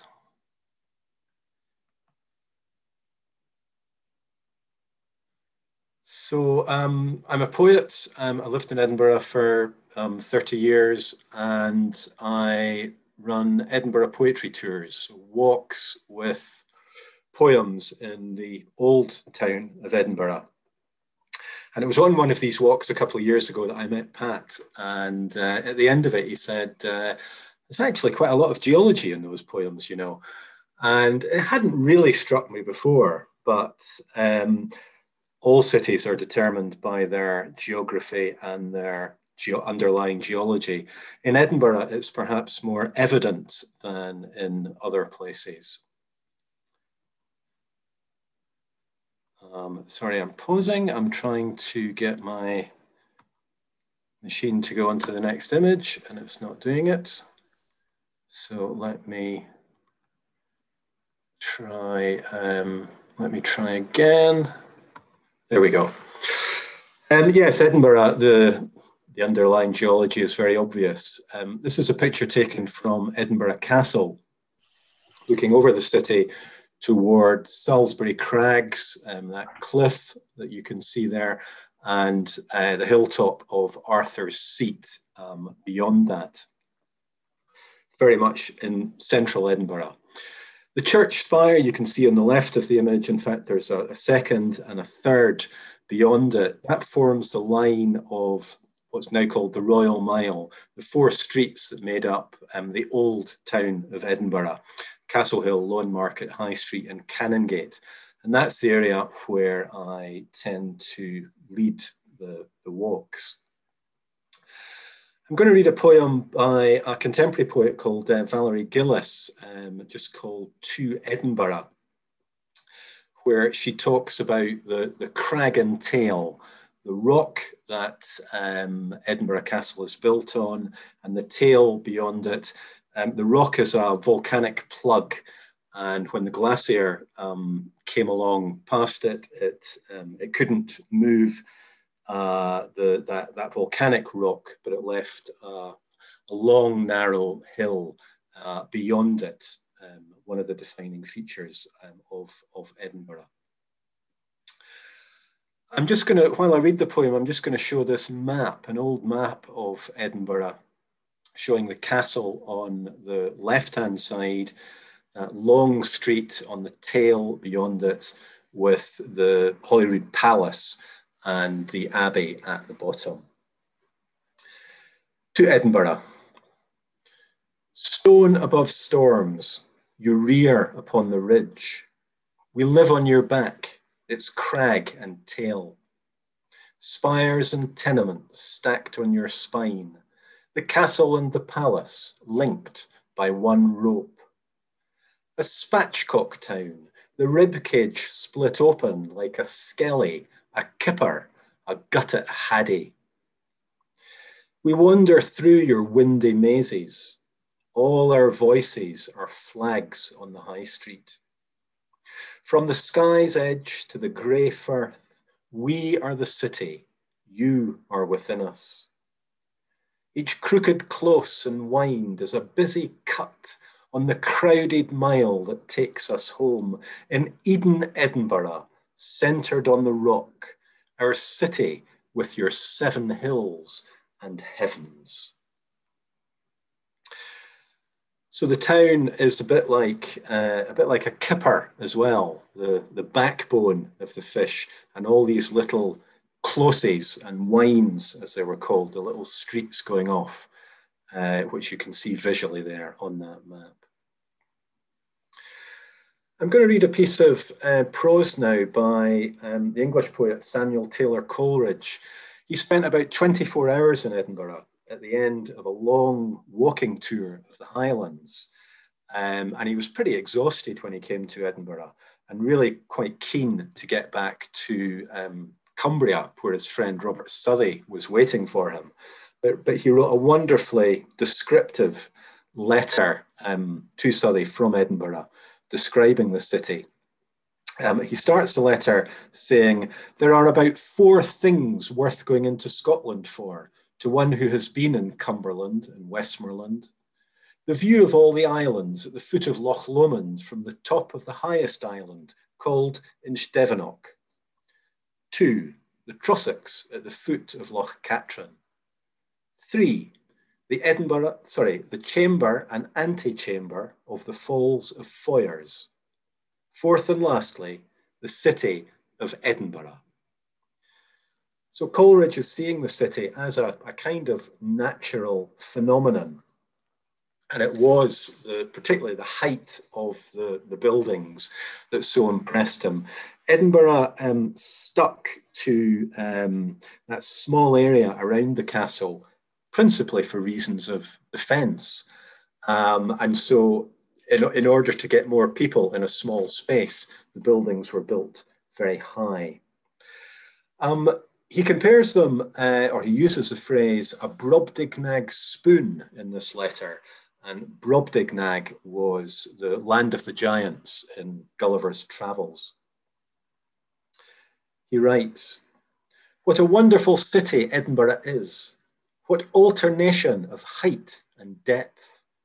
A city looked at in the polished back of a Brobdingnag spoon held lengthways, so enormously stretched up are the houses.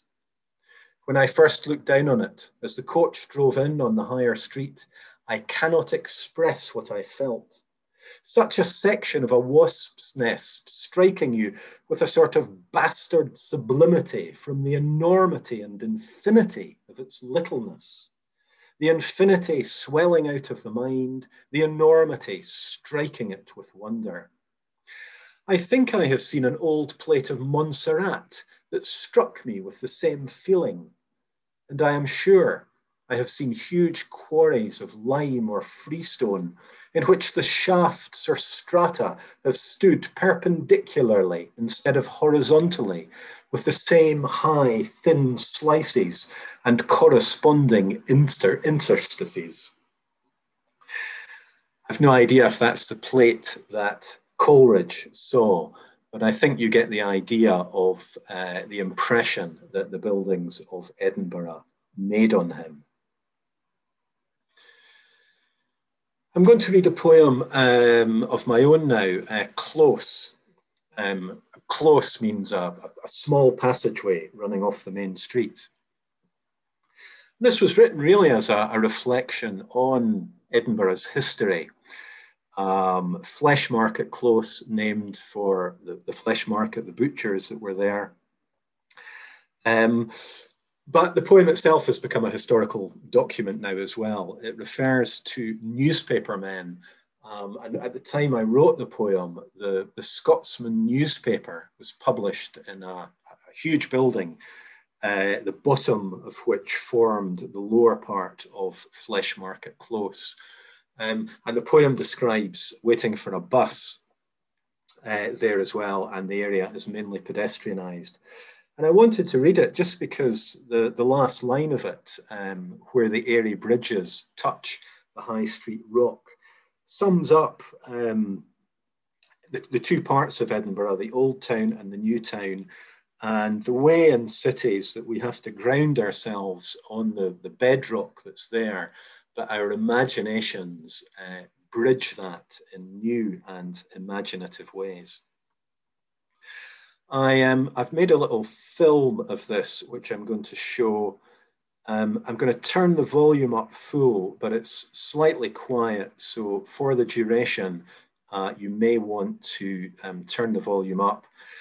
The view here is looking up the high street. Um, the spire there is St Giles, and if you kept going, you would come to uh, Edinburgh Castle. Sorry, I'm just trying to get my cursor back.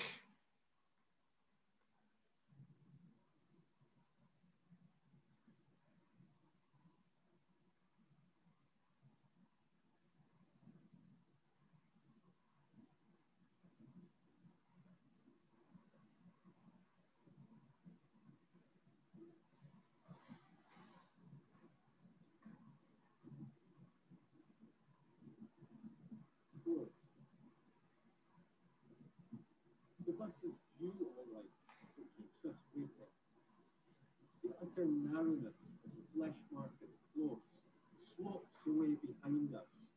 The ghosts of butchers faint amid newspapermen, fanatics of now. My daughter races down it. At the foot, a silhouette against the buzz and flicker of the street. She lingers for a moment. A single step could snap this contact line. She shouts I'm not to move and runs towards me. And soon the bus arrives. We move across the junction of the old and new towns where the airy bridges touch the high street rock. The poem is in the, the pack if you want to have another look at it. Oops. Um, and that's an image just to give you an idea of um, the old town in the background built on the rock and North Bridge uh, that the bus goes down, kind of floating in, uh, in, in the air there. Um, I've got one more poem, um, and we're going to go down to the foot of the mile for this. This is a poem about the new Scottish Parliament building, uh, opened in October 2004. And this, this is an image made in concrete on the side of the building itself. It's a kind of plan uh, or sketch really of the, the Parliament. The, the boat-like shapes in the middle of the image are the main buildings. They're, they're, they're connected, um, though you can't see that in this in the sketch. Um, and then it's a bit like a body, really. They're the, the, the, head and the shoulders of it. And then the torso and the legs uh, moving down um, are areas called the garden tails that, that reach towards uh, Holyrood Park and Salisbury Crags. But you can see from that just the difference in the shape of the buildings of the Parliament and the more square, um, right angled uh, shapes of the buildings uh, around it. The poem is by um, James Robertson, uh, well known as a novelist, um, but also a poet. It's called The Vision of Enrique Miralles. Enrique Miralles was the uh, Catalan architect who designed the parliament. Um, he died uh, during its construction in the year 2000, so he never saw it completed. But he thought very carefully about the location of the building, um, wanting it to be to fit both in its locale, but also to have the scale of a national building. This is a photograph of it taken from the New Calton burial ground on the side of Calton Hill. You can see the slope there of Salisbury Crags and Arthur's Seat above it. And the Parliament is the building in the middle uh, there with the curved roof. Um, again, I'm going to play a little film of this. Um, the sound in this is a bit better, so um, hopefully you won't need to turn up your volume again for this one. The Vision of Enrique Miralles by James Robertson. A subtle game of views and implications is what I play. Once, Edinburgh was this, a mountain and some buildings, synthesis of human and geological formations. What we create must fit with what's on hand, cut through the old town's grain and yet enhance be mindful of the past, and yet advance. A parliament that sits within the land, a gathering where land and people meet. The land itself will be a building block. To me, this is of greatest consequence.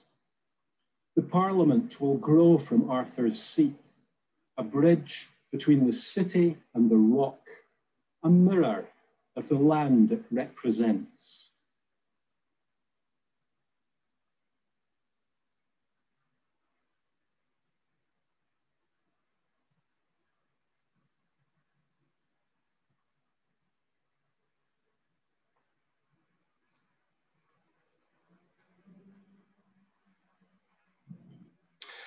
So thank you very much. I'm going to finish there. Um, there's poems um, of Edinburgh at uh, my website, um, edinburghpoetrytours.co.uk. Uh, the close poem and um, some extracts from the Coleridge uh, letter are in the, the pack. Uh, I'm just going to stop share. And I'm going to hand over now to, I think it's Harry Whalley who is uh, speaking next. So Thank you.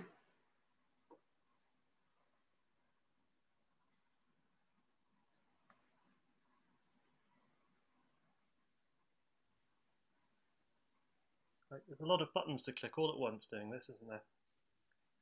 Uh, thank you very much, Ken. I'm also um, in Edinburgh, and I'm a composer. Uh, I've written some some poetry, but um, music is where my field lies. Uh, and I'm also the son of a glacial geomorphologist and uh, fellow panel member who spoke earlier, Brian. So my talk is about uh, a commission from the Norman, Norman Nicholson Society uh, to write some music about uh, and in response to his suite of poems, Seven Rocks. Uh, so I'll talk a little bit about that and play some extracts. then um, talk a little bit more about um, ideas of interpretation and how that's led on to some other projects that are geologically related. So broadly speaking, I think when you're trying to uh, take a scientific subject and represent it in an artistic form, there's a balancing act to, to do. Um, sometimes we read about pieces like, uh, I don't know, putting a, note value to uh, a, a, letter name and a DNA strand, then somehow listening to DNA. And it's so representational that it actually misses the essence of what DNA is. You know, the, the structure of the du double helix uh, and the way it divides and um, these sorts of uh, coded features of the, uh, the DNA RNA might be a, somewhere that, that, that, that is further towards the real meaning of it, even if it's slightly less representational. And on the other side, sometimes people uh, sort of go into past sort of metaphors and into metaphysics and talk cross purposes. And I think there's a sweet spot in the middle. Um, and that's where I'm in, in this work, I'm trying to be, but it's a hard balance. And sometimes maybe it's easy to fall one side of the other. One of the things that really appealed to me about Norman Nicholson was that it feels like a poetics of description. Um, there's a lot of beauty in the structure of the, the, the, words and the verse. And as a, as a musician, I'm often listening to the cadences of the spoken word. But there's also a real honesty about it. I mean, uh, Seven Rocks uh, is written, uh, laid out in the order of their geological formation. And that just kind of feels like the right way to have done it. Uh, so it's deeply connected to the, um, the sort of the truth of the matter, if you like. So it was commissioned by uh, Norman Nicholson Society. Uh, the first performance was three of the four quartet members, so there's actually two versions of it. I've been lucky to have it performed um, in various places uh, and by various ensembles. Um, there, there's only a couple of good recordings, so um, I'll, I'll, glaze over some of the sections that are, uh, you know, for the sake of, of time and for that reason too.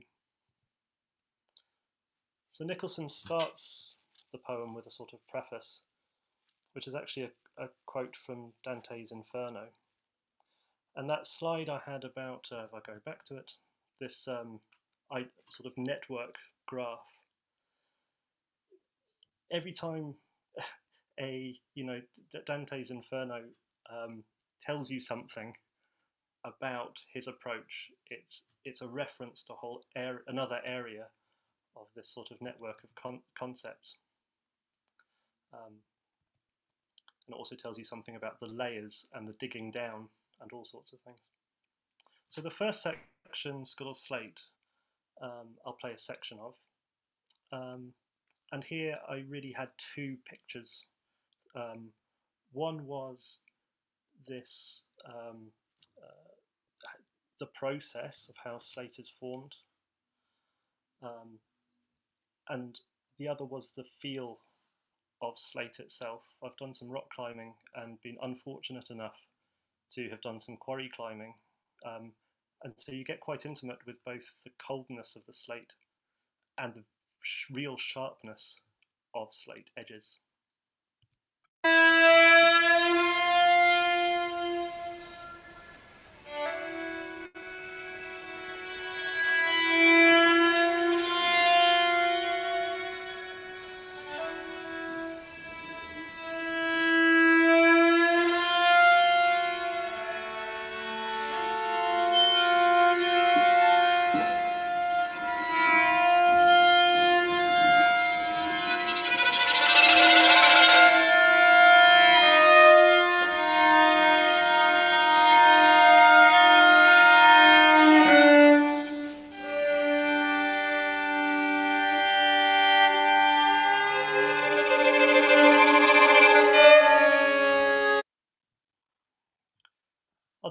pictures that I used were a lot of it involves water, which has come up a lot today, and how it shapes, uh, shapes the landscape. These little mountain streams and the sort of fractal nature of that.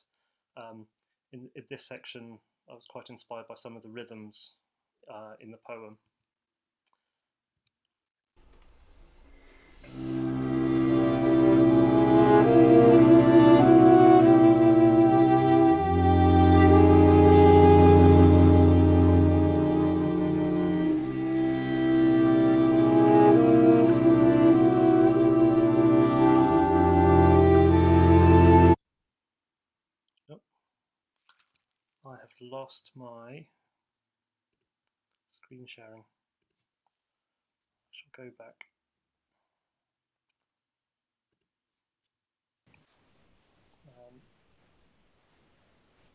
Yeah, we're still seeing you now, but you're not in uh, show mode. Yeah. Did um, the chat panel came up but then everything went wrong. So let me try again. Yeah, bad luck. this is um, um, okay. I don't. it's asking me. Share. If somebody can signal whether it is or isn't working. Yeah, at the moment you're still in um, preview mode. Right, sorry about that. Yeah, that's it. In coal, uh, Maryport coal, the um, the the process of compression. Uh, this is towards the the more representational sort of level that I was uh, alluding to earlier. So it's a repeated motif, uh, and you can hear the process of compression.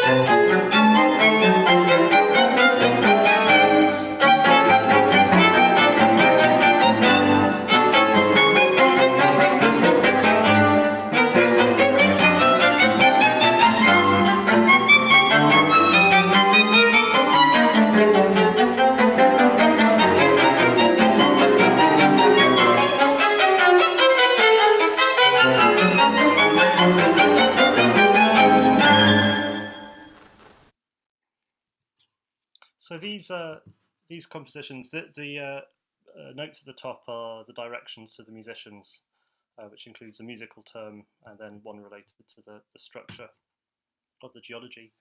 This led to um, a residency at the Banff Centre in uh, Alberta, um, where I had a, a cabin uh, and gave myself the task of trying to think about how long geological timescales might be represented in music, because uh, music as an art form uh, exists in time. Uh, so I, I, ended up uh, coinciding with a, the Mountain Writers um, residency and uh, met Helen Mort, um, who encouraged me because I was struggling with this almost impossible task to write it in words or um, a poem. Uh, so I, I did that, and I think I'll probably just about have time to, to do this before uh, the next speaker. Water over time. Spindrift falls as secondary snow, a playful afterthought, now sitting patiently waiting for the sun to remove its crystalline structure, a memory of what it was like to flow would have to wait. Instead, the sun goes down. It is winter's turn.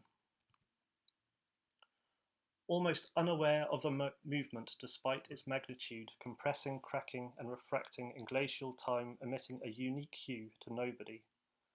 Playing a game with entropy, the goal to return to water. Meanwhile, the moraine in anticipation waits, but the journey is disparate, and whilst lifted up on a colossal shard, the reality of the situation unfolds. It is the ice that moves the mountain. At last, a sudden liquid gasp. A droplet, a stream, a river, a fjord, the horizon. In a sacrifice of identity, if not death, so to give life.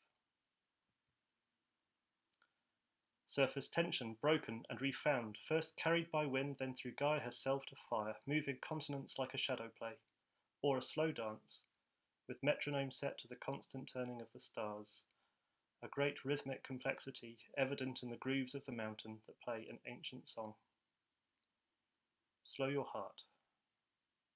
Slower. Slower still. Slower until. And uh, I'll leave it there for the next speaker. So thank you very much. Um, it's been a real ple pleasure and a privilege to uh, join people and so many people from Edinburgh virtually who would be nice to meet in person around Salisbury Crags or similar someday. Thank you.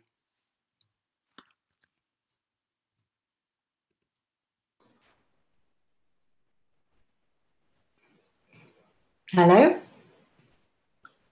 Hope you can hear me. Yeah, you're good to go, Nia.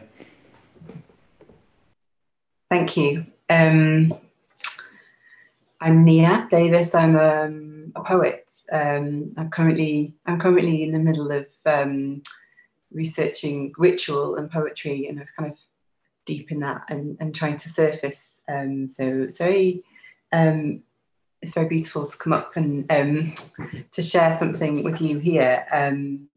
I'm going to make this these poems ritual poems, and I'm going to dedicate them to the geologists uh, and uh, invoke the geologists um, to my aid um, because um, geology has always been with me. My father was um, is a retired geologist.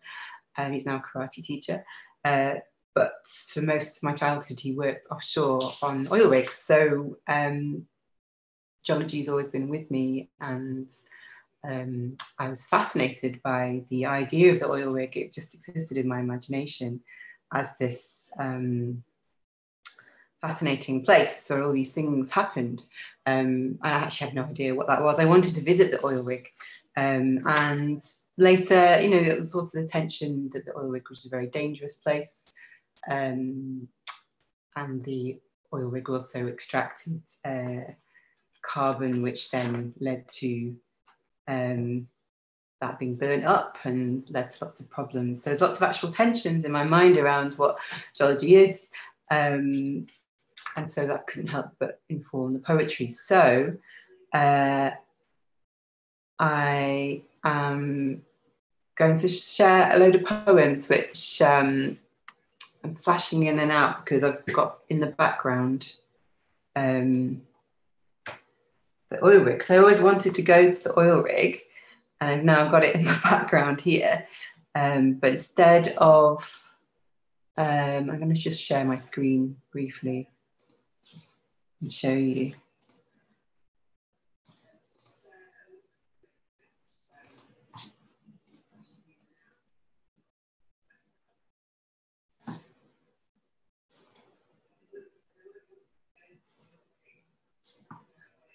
So here's uh, my father drilling in Australia.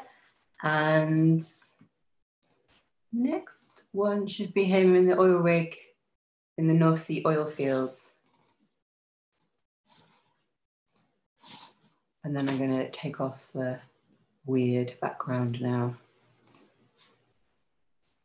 There we go. So, um, so I've also brought some uh, some objects to share. Um, can stop this.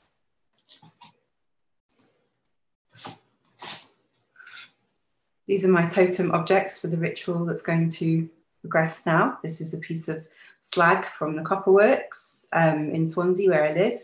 This has been um, created from the, um, the huge compacting of different kind of uh, processes that went into making copper. Uh, so this, I keep this on my desk as my scholar's rock. Um, my other ritual objects are this ammonite and um, my first attempt at oil painting from lockdown. So I hope those things are going to be my score to guide me through the poems here.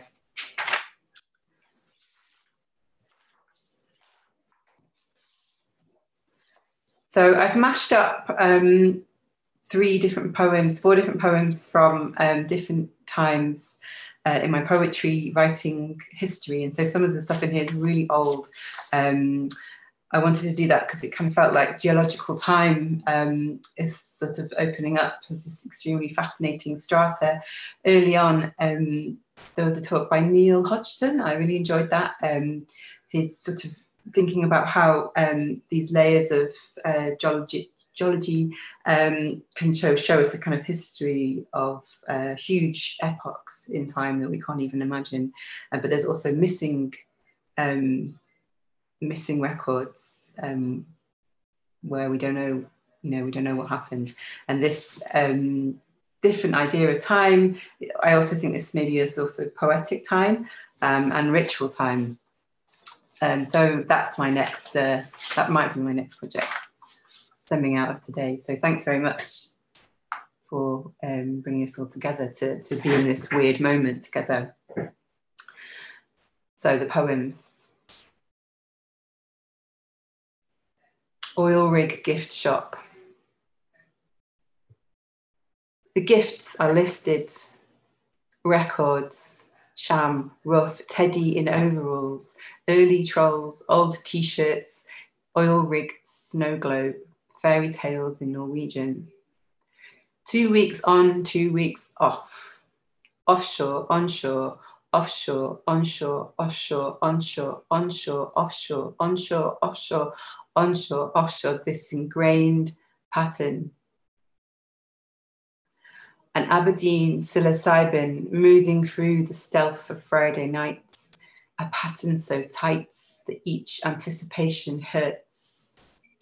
Oil rig exotic, roughneck, occidental, log jam ethic. Yeah, so it is mudlogger, two week friction, put my hand against, put my hand against ocean nomad.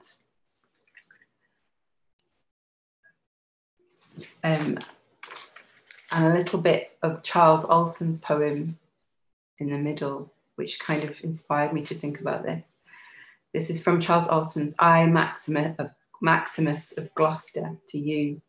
Offshore by islands hidden in the blood, jewels and miracles, I, Maximus, a metal hot from boiling water, tell you what is a lance, who obeys the figures of the present dance. So, Ocean Nomads. This is a very old poem. On the super sickness of the open, I wanted to go home to the steel islands, petro geoshifters adrift on North's flexion, its compass, its treeless decks. Ocean nomad umbilicized to the wells until the derrick hands unleash her on her buoyant ribs. Ocean nomad assembled Trosvik Framnes 1975. Ghost yard of oil boilers and steel riggers.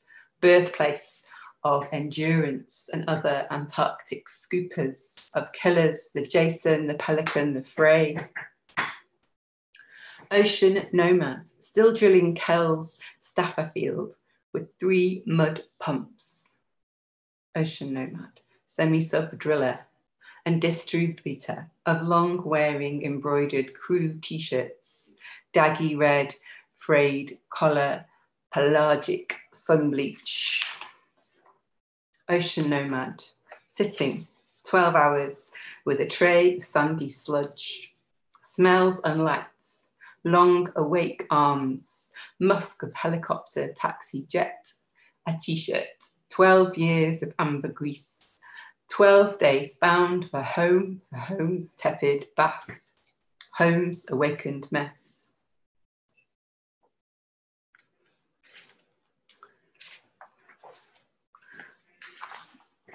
A poetics on diamonds. Think of a diamond body. The diamond body is a light body, and the rainbow body, a multiple body, the most sacred body, the subtle body, the blood body of bliss. I can tell you how it affects. It's this hard edges are useful. I can learn how to cradle the diamond body, this spacious cut surface. When I was a child, I had a book that explained the oil rig. In the book was a diagram of the drill. The drill had spirals of diamonds corkscrewed around it. The picture showed the diamonds had been cut in order to cut. The diamond is selected to drill the ocean floor because it is the hardest substance in the world. The diamond is not just an adornment, it is the hardest extractor. It is a mineral to find the other minerals, to burn up and change the minerals, the minerals forever. A crumple in this, a toxicity report, grapple, breath, was only surfaces, licks, the inner intimate, X ultimate. When I invoke, I swell, middle seas ripple, and that's the life for me. Seas, slight juncture this way, that way, I swell, that's the life for me. Functioning.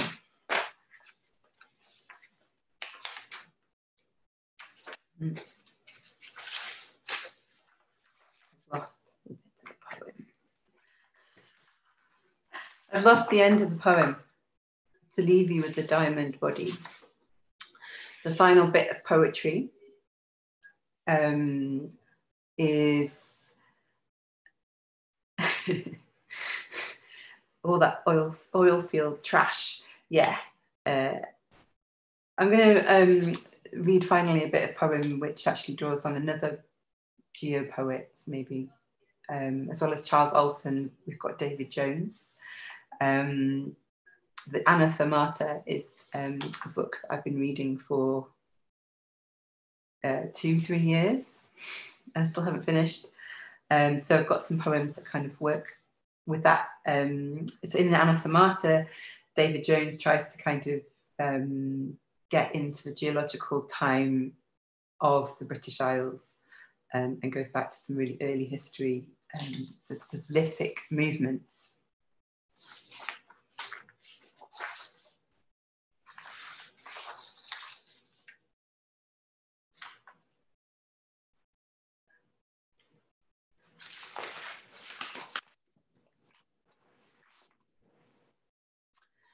Superpelest stalled in crystallos from the gospel side choir all the boreal scholar.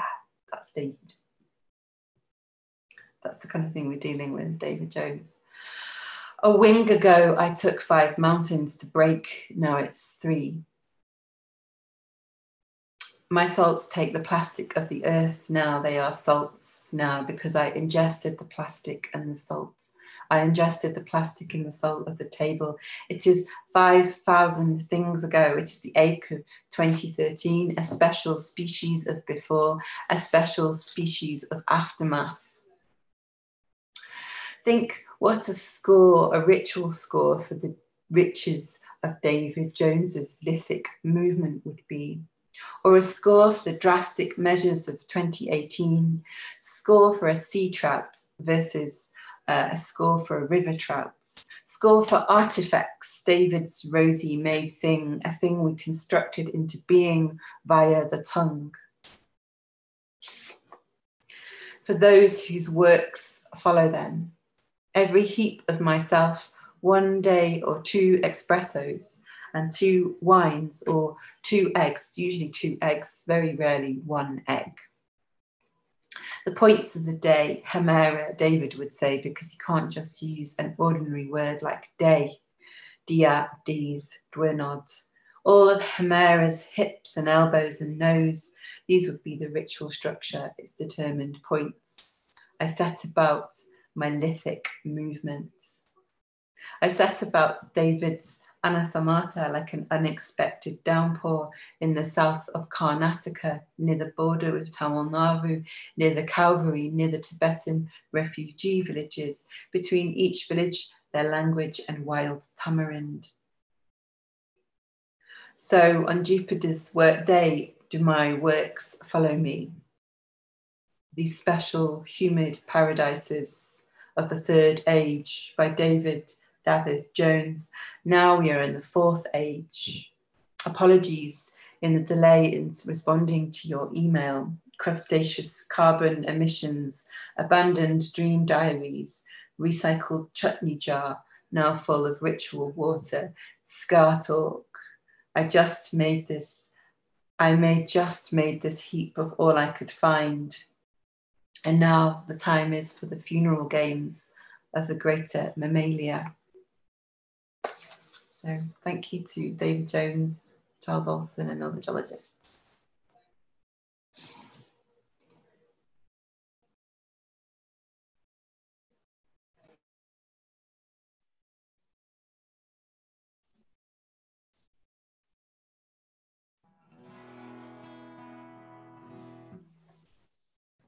You're ready to go, Pocus Wedges.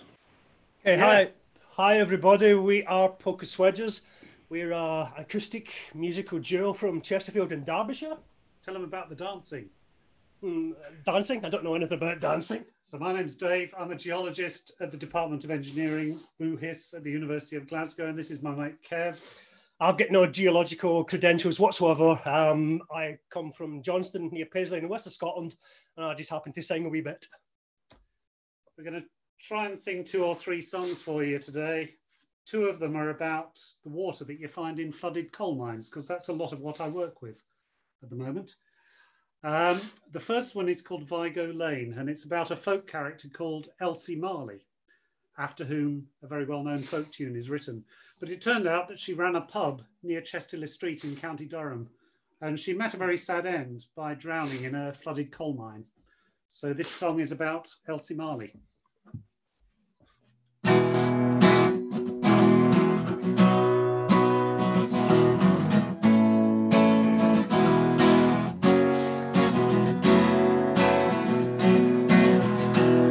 About Berkeley town, under the sign of the swan, lived a gentle barwoman by the name of Alice Marley.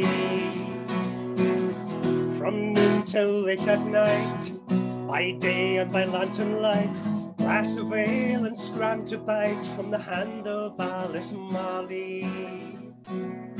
As the swan does love the water clear, and man does love good ale and beer. All did love this woman dear, the lovely Elsie Marley. Now Marley's Inn was a handsome sight till the roving Dutch passed by to fight and to subdue the Jacobite, and they shot the swan to pieces. But Ralph and Elsie respect no fate. They kept the swan with the children eight till the year of 1768 when Elsie Marley sickened. As the swan does love the water clear that flows from the fells in the Tyne and the Wear, as man does love the amber beer, all loved Elsie Marley. Tell the news tell it plain. She's been found dead down by Vigo Lane. She's in a coal pit, fallen down into the ochre water. And tell the news to Geordie and Jane, the fearful news from Vigo Lane. Elsie Marley, she is slain, drowned in the ochre water. As the swan does love the water clear, that fills the pits down by the weir. As man does love the ochre beer, all loved Elsie Marley. Now Elsie drinks the blood red water, for the coal has taken Harrison's daughter. Drink ochre ale and coal black porter in a toast to Elsie Marley. From Byker Hill to Walker Shore, we'll, we'll call you lads forevermore. We'll dance a jig, we'll rant and roar to the tune of Elsie Marley. From Byker Hill to Walker Shore, where we'll call you lads forevermore. We'll dance a jig, we'll rant and roar to the tune of Elsie Marley. From Byker Hill to Walker Shore, where we'll call you lads forevermore. We'll dance a jig, we'll rant and roar to the tune of Elsie Marley. Tune of Elsie Marley. Tune of Elsie Marley. Tune of Elsie Marley.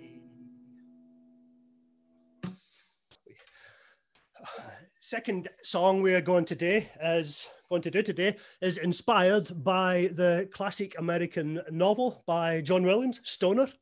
Um, it does contain some geological metaphors, I should say, hence, um, hence the reason for it. That's our excuse for singing it anyway. It's a fantastic book, highly recommended.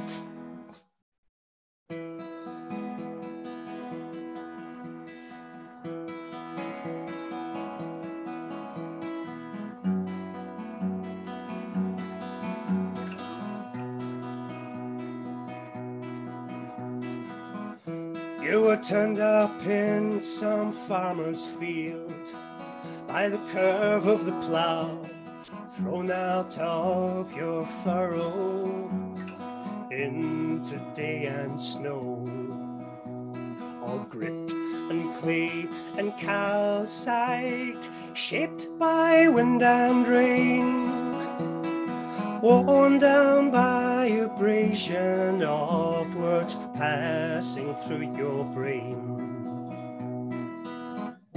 There is no sign in the desert telling you what to wear. There's no one there beside you. You run on pure instinct and you wage your wars for the long haul against your wife and peers. You don't show much emotion and you don't show any fear. Stoner,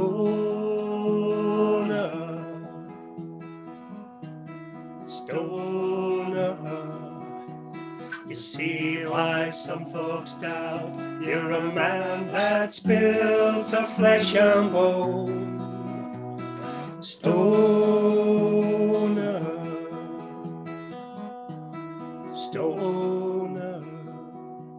You see why some folks ask if there's anybody home. And inside every heart of stone, a residue of summer heat, insulated by the snows of winter and the pounding of all those feet. A tiny spark of fission from some decay of a nuclei. A glow of love and lust and kindness find some place, some place to hide. And given the run of many years, the stone will wash away and disaggregate its hardened self to a bed of common clay. Inertia versus entropy we know who wins in the end. You hardly try to fight it, you're just and an old friend. Stoner, stoner. You see why some folks doubt you're a man that's built of flesh and bone. Stoner, stoner. See why some folks ask if there's anybody home at all, at all, at all. Is there anybody home?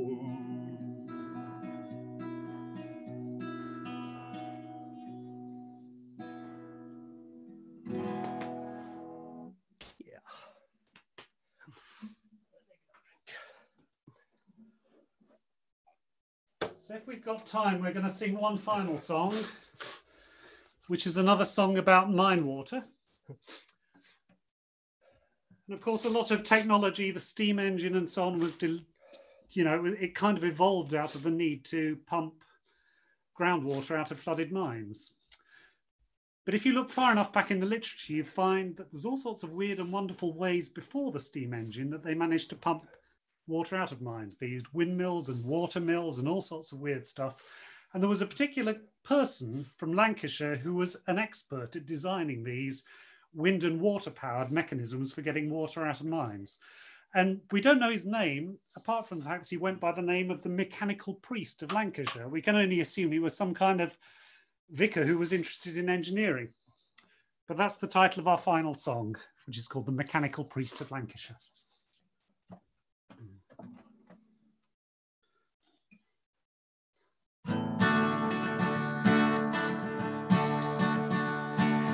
Year is 1708, machines are our new gods. Sent from heaven to spare the peasant from turning up the sod. They mill our grain, they pump the rain that seeps down into Hades. And north of the Tweed they need a man to keep the coldness dry. The the lairds of Fife have all sent out the cry. For the man with no name of mythical fame and no small skill with the ladies. And from Rossendale to Rochdale, he keeps the coal mines drier than they've ever been on Rother or Tyne, and the water comes no higher than ordained by the priest, a mechanical priest, the priest of Lancashire. Oh, oh, oh. Tis like a spell, a wonder work to drain the blood from our faces.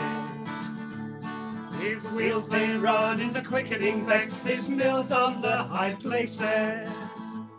They take the strain and they pump the rain. that seeps down into Hades. And from Accrington to Darwen, he keeps the coal mines drier than they've ever been on the Rother or Tyne, and the water comes no higher than ordained by the priest, the mechanical priest, the priest of Lancashire.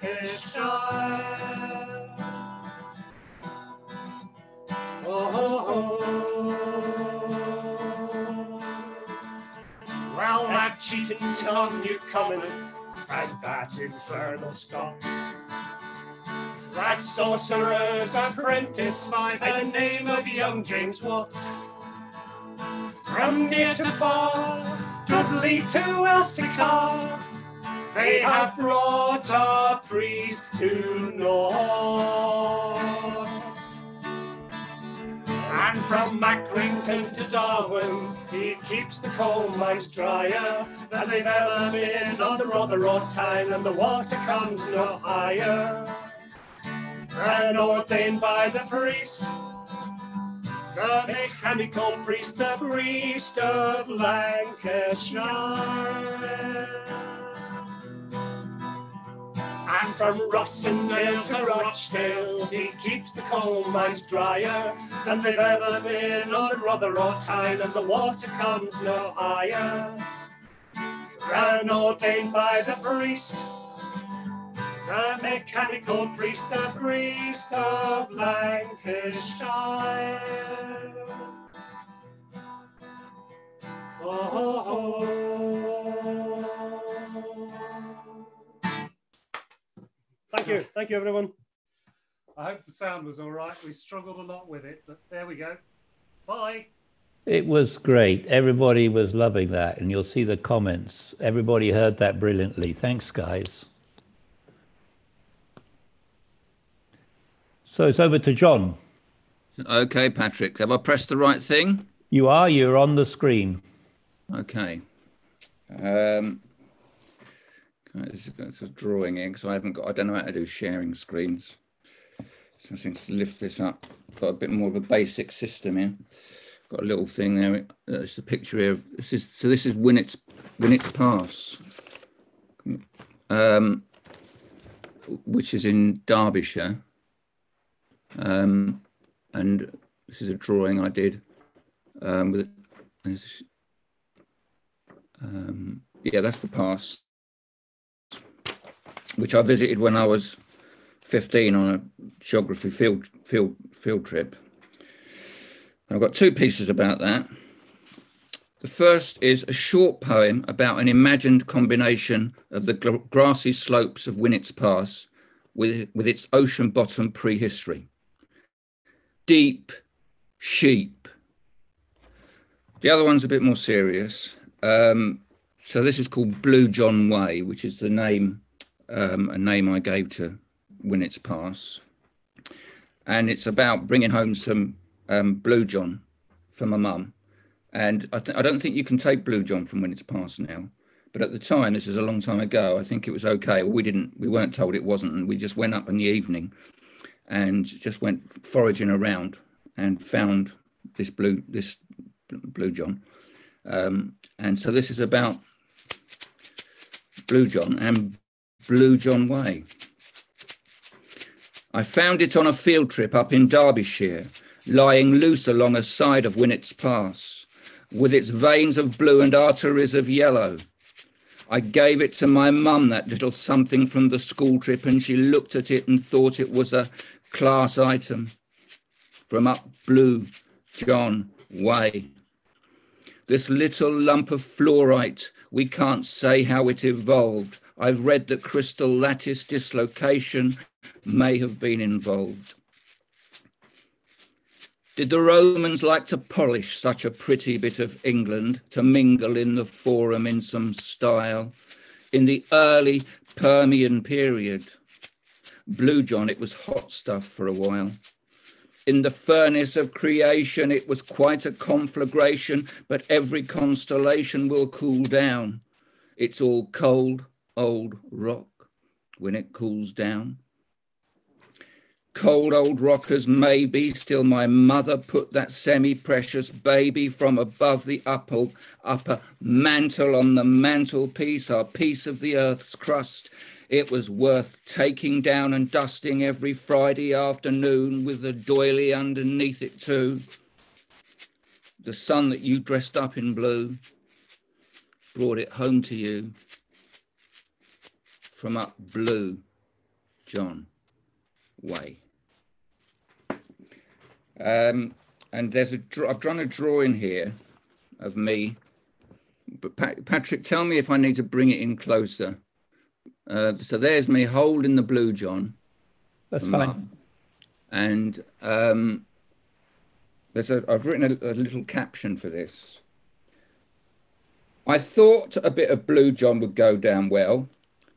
My mum was quite mineral minded. What with her getting me to do that etching on a piece of slate, sprinkling iron filings all over the floor, and marrying a diamond, a small one. Um, so the Winnats Pass uh, it was surprising to me to find out that it was immersed in water at one time. I think you, you hear some of these things, these geological things, um, but the fact have, having walked on it, to, to, to, hear that it was covered at one time uh, in water was just an incredible thing. And I'm, uh, in the pack is mentioned um, John Keats's poem to Ailsa Rock, and I'm just going to read a few lines from it because he speaks about that rock um, being immersed in water. Hearken, thou craggy ocean pyramid. Give answer from thy voice, the seafowl's screams. When were thy shoulders mantled in huge streams? When from the sun was thy broad forehead hid? How longest since the mighty power bid thee have an airy sleep from fathom? Sorry, I got that last line wrong. How longest since the mighty power bid thee heave to airy sleep from fathom dreams? Um, and so there's some other poems in there relating to Ailsa Rock. But I'm going to go on now um, to a piece about Francis uh, Florence Bascom. Um, so I had a chance to, obviously, like many of us have had, we've had a chance to research geological things, and uh, I found uh, this um, woman geologist. Her, her years 1862 to 1945, and there's for anybody interested, there's a there's a very good a podcast uh, on her on a website called STEM STEM Fatale. It's an American uh, site. So this is for Florence Bascom. At university, they put me behind a screen, for I was not to be seen by the studying men. Was this, I be, was this because I was such a blinding distraction? Or was I an unfortunate fact to be kept from the fiction of a superior fact finding gender. Anyway, day in and out, I was put in doubt behind that screen, hidden, but not pretender. For whose discovery was it that local cycles of erosion were not the suggested two or three, but at least nine? Yep, it was mine. In spite of the persistence of the efforts to erode my existence. So when I went to university myself, um, I mean, I, have always had an interest in science. Um, I did biology. I got the same grade in biology as I got at A level in English. Um, I, I, I, wrote a poem about amoeba. Um, you don't have to have a partner to start a family. You can divide by mitosis. You don't need meiosis or any help from me.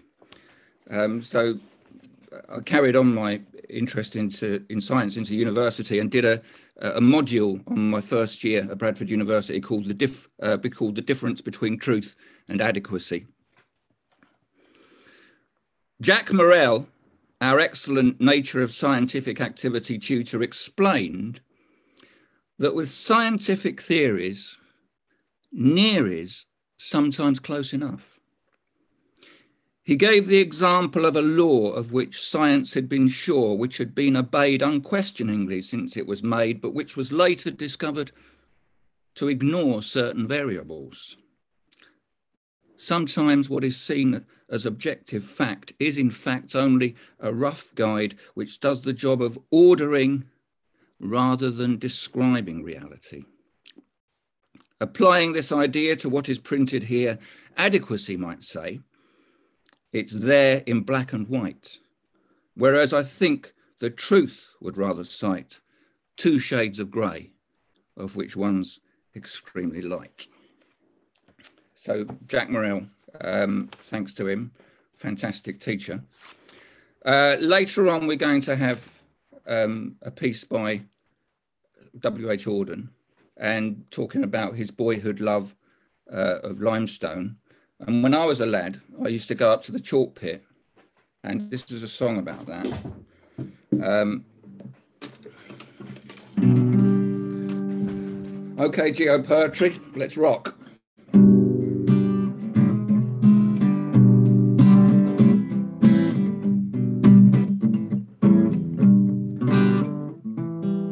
I don't know who it was, took me the first time up to see it, but I do know that it wasn't a girl.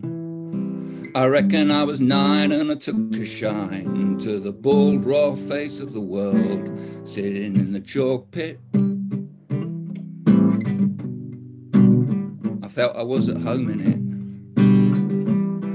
The second time I went back a little while later with a blue sky, I went up alone.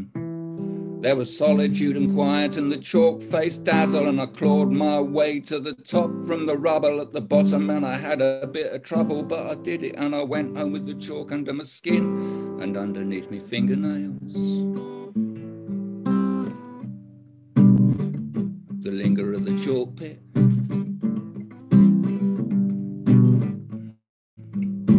I was in the world, and look, it was a bit of it. The third time, this was quite a few years later, the data was now different. There was such a lot of grass that had grown. No more sign of the shine and the dazzle, and I had a bit of a moan. But who was it back at the front of the classroom, clearing off the chalk with the felt face rubber, the chalk face rubber?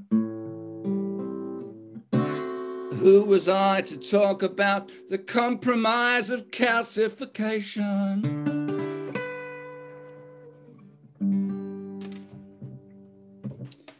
Um, so we move on now to um, this picture here.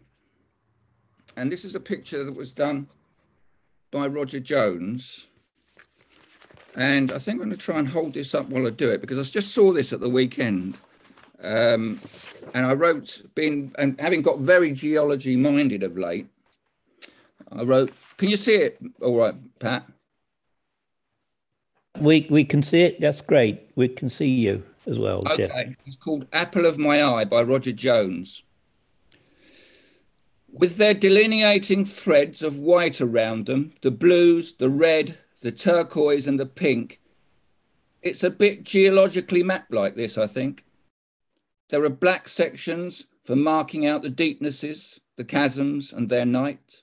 There is an area of blues, smack in the middle, where you cannot tell where one bit starts and one more is beginning. But that's all right, in my eyes. Not fast, nor hard, or border fixed. A celebration of the element of mixture. So, um, really, this is what, to me, this is we're having today. It's a celebration of mixture, a mixture of poetry, um, mixture of many things. Mixture. We had a a long, a lovely long talk about workshop techniques earlier on, and I think the mix has been beyond um, what one expected. And um, I, I, I, I won't ever look at Arthur's Seat again uh, after I heard the phrase bas basalt intrusion. I, would never heard, heard that before. And um, Neil Hodgson talking about a silent library of strata, which is such a beautiful um, way of expressing that.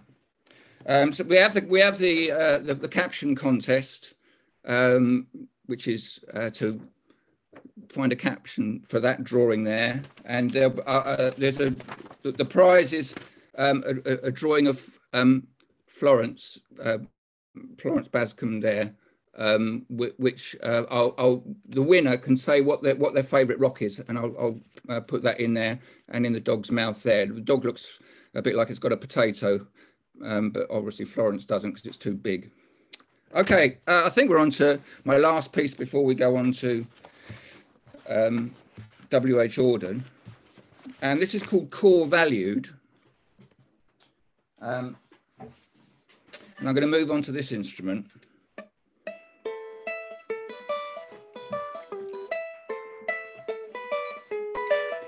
So what's the score? with our planet's core so far below the Rocky Mountains skin. Enormous quantities of iron, gold, and nickel. Without it, it's a pickle. We'd be in all right. For at the core is found the source of the Earth's magnetic force, which ensures the vital ozone shield won't yield to solar blowing. Without this dead hot bullseye at the center to sustain, solar wind would have its rhyme. 1800 miles of distance down Way beyond the distance we can grapple with and bore the outer and the inner and the inner inner spinner of the core. The planet, like its people, has its deep down precious elements, a hidden and perpetuating part a little along the lines of the heart of an apple.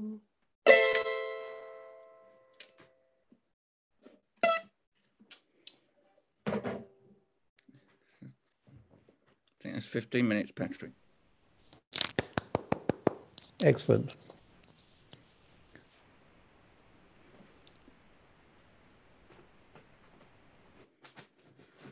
So I, I guess you're going to take over the reins of introducing in praise of limestone.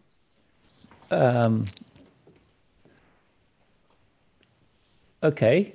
Uh, we were asked by Nick Walton, who is one of the GeolSoc board, to include, you know, the most famous poem about geology, and he said that's in praise of limestone. And so I thought it would be a good idea if we just read part of that. I put it in the document that's there, but I thought it would be a good idea if we asked John to um, to read that, and then you know maybe I could come back uh, with a little bit of some thought about that uh, as a as a geologist. In other words, a response to that. So, yeah. John, would you and would you would you start by reading that? Yeah. Okay. Um, I did I did do a drawing of W. H. Auden, um, but that's um, that's him in Iceland in volcanic terrain, so that's not applicable here. Um, so this is in praise of limestone. Just the first uh, the first part of it. Um, it it's it's a very lovely. I, I, hadn't I had read this once before, but because I've been asked, and this is one of the wonderful things you've you've made us concentrate, bring our focus in on things, and I'm very grateful in praise of limestone.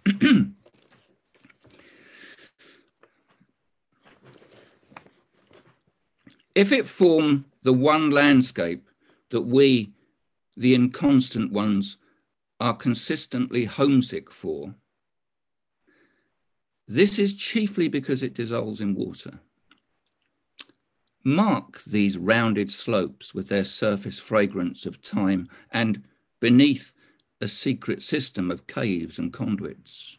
Here, the springs that spurt out everywhere with a chuckle, each filling a private pool for its fish and carving its own little ravine whose cliffs entertain the butterfly and the lizard. Examine this region of short distances and definite places. What could be more like mother or a fitter background for her son. The flirtatious male who lounges against a rock in the sunlight, never doubting that for all his faults he is loved, whose works are but extensions of his power to charm. Hmm?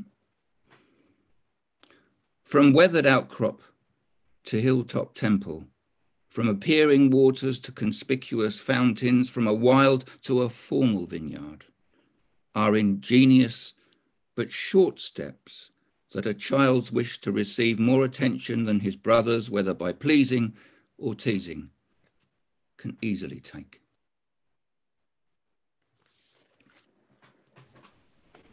Thanks for that. You read it so beautifully, and um, I've also listened to Auden reading it, and you know he reads a different version from the the book in the catalogue. So it's a firm that has a number of different versions, but you know, limestone as a geologist, you know, I have a house called Limestone. Um, it's the name of my house. In fact, my house, I'm trying to do a John Hegley here with my limestone. Uh, that's a piece of Purbeck limestone. uh, with its, uh, it's got some fossils in it. Maybe you can see some fish tooth fossils in there. So that's a piece of limestone. It's, it's pretty hard stuff. And, you know, I went on a uh, pilgrimage to Rokop. That's how you say what looks like Rookhope, but Rokop is where Auden used to go in the northern Pennines. And I went to look for this rounded hillside. And sure enough, in the pictures people have, there's a picture of a rounded hillside. But that rounded hillside is all Carboniferous sandstone. It's not limestone at all. So that was confusing. Um, he talks about limestone being soft. Well, limestone does make beautiful pebbles, round pebbles. We've all done this on a beach. Pick up the roundest pebble you can find. Um, and they, they do weather beautifully round. And it's partly because they dissolve, but they also ablate. And they're quite isotropic materials. So you'd end up with a lovely round stone. Uh, probably the, this one came from uh, somewhere in Greece, probably used in a slingshot at some point in the past, perhaps. But, you know, I did find some limestone underneath this rounded hillside. And this is the hardest, sharpest limestone you'd ever want to find, you know. And it's not rounded at all. It's from a karst. And it's, it's very, very angular. And so this was underneath. So for me, what I think Auden inspired by the limestone was the, the mines underneath this carboniferous sandstone in the uh, veins and the faults in the mine you know, came all the minerals that from that. And he talks about the water coming out. So I think it's almost like about the hiddenness of what's underneath the surface. I don't think he was talking about the surface. I think he was talking about what's underneath. And he was a, you know, at that time, I guess he had a, a male partner and he was living, uh, he was living in an island, uh, Ischia in, um, in Italy when he wrote this poem. And that island is actually volcanic. That's not limestone at all. So I, I'm interested. People say, of course, it's a love poem. It's not a poem about geology, but it's interesting how he used the geological image and he gets people uh, feeding off that. And I think um, for me, you know, having been suggested, uh, like John says, we all go away and do our homework. In fact, I found a poem called In Praise of Sandstone. Um, in Praise of Sandstone is a poem about the buildings in a city in Australia. So maybe In Praise of Limestone is, is back to St Paul's Cathedral and, and, and the fact that it's a building material. So, you know, I think it's there are so many levels you can go into, and, and that's what's been fascinating. So I think um, we may see some uh, comments coming back in um, the the. Uh, so some people think that yeah, Brian Brian Worley uh, is saying that it's a love poem, yes, uh, and and Brian Rosen is saying, um, yeah, it's got limestone and coals. The coals and the shales, uh, those are from the Carboniferous, and the limestone is underneath the, that. So it's, it's, um, it's certainly a good place to go and look at topography, and, and obviously had a big impact on Auden. So I think, uh, and what's been fascinating with John, I mean, for those that don't know, John, behind the scenes, John's been going away and doing all this geology almost from scratch. You know, we end up with a little conversation where uh, he was put in touch and he said, okay, and uh, he's, he's gone to mind his history and he's gone to mind his local area and come up with all these lovely ideas. You know, even some that he's actually discovered, you know, since he last sent me an email, because he sent a lot of emails. But uh, and, and many people have come back and said that image is just like the thin sections, you know, the thin sections that um, we had earlier on. Uh, we had some images uh, from, from Faith, uh, I think, uh, of a thin section that was just before lunch. And what's lovely is all the interweaving of all the things that have gone on, musical, artistic, and, and poetry. So I thought I would just end uh, by um, wrapping up, uh, going back to the presentation, uh, and so I can share my, my slide. Um, and, and, people have asked, what do we do with this poetry, uh, with this caption competition? Uh, so um, I had put there, and you have shown people uh, what the uh, picture is, um, and you've told people what you will get. Uh, Dr. Florence Bascom holding a, rump, a lump of rock and the rock to be determined. And people have already sent in some captions, so send that to me and I will anonymize them and send them to John and he can pick one and then we can get back in touch. And just by Sunday night. So if you could do that by Sunday night, not going to take very long on this. So uh, as closing comments, you know, I've written down a few things along the way uh, as uh, we've been going through this. Um, I think we've covered an incredible wide spectrum of geology. I think we've been through every period. We've been through most rock types. Um, and, you know, we've, we've been through a lot of geologists present. Uh, and, you know, we've seen how the next generation's been inspired by geological fathers. We've seen geologists write poems. And we've seen a whole range of poetic forms. And Scylla's haikus, Scylla haiku is a special type of haiku. Uh, so we've also seen some new forms. I think this uh, whole idea, which I thought was great coming in very early on, this whole thing about place identity, geo identity, uh, shapes all the years of things I heard. Can't can't be separated from your your place of birth. And for me, with that Purbeck poems, is absolutely true. Uh, the purpose of rocks, I rather like that. The purpose of rocks is to record time. Somebody told said that. Uh, well, what about the missing time? And I think Neil has, has, has captured many people's imagination by pointing out that most of the geological record is missing. You know, it's the missing time, and that's the bit that we have to make up often. Um, there's a very close link between appreciation of landscape and appreciation of its geology and appreciation of the people in the landscape, whether they are mining people or uh, people uh, observing the landscape, talking about the landscape. Uh, I like the point that geologists and poets share truth and imagination. Um, and uh, Alison's random synchronous complexity, I guess we are all working in that, this lovely um, complexity that came from today. Uh, you know, we, we had all these, we asked people to submit things and we got all this stuff and what are we going to do with it? So we just accepted everything and then tried to fit it all in. And I'm sorry if some people didn't have enough time, but and then people said, oh, there's far too much. But then those people have also shared the fact they've been with us all day long. So I'm very pleased about that.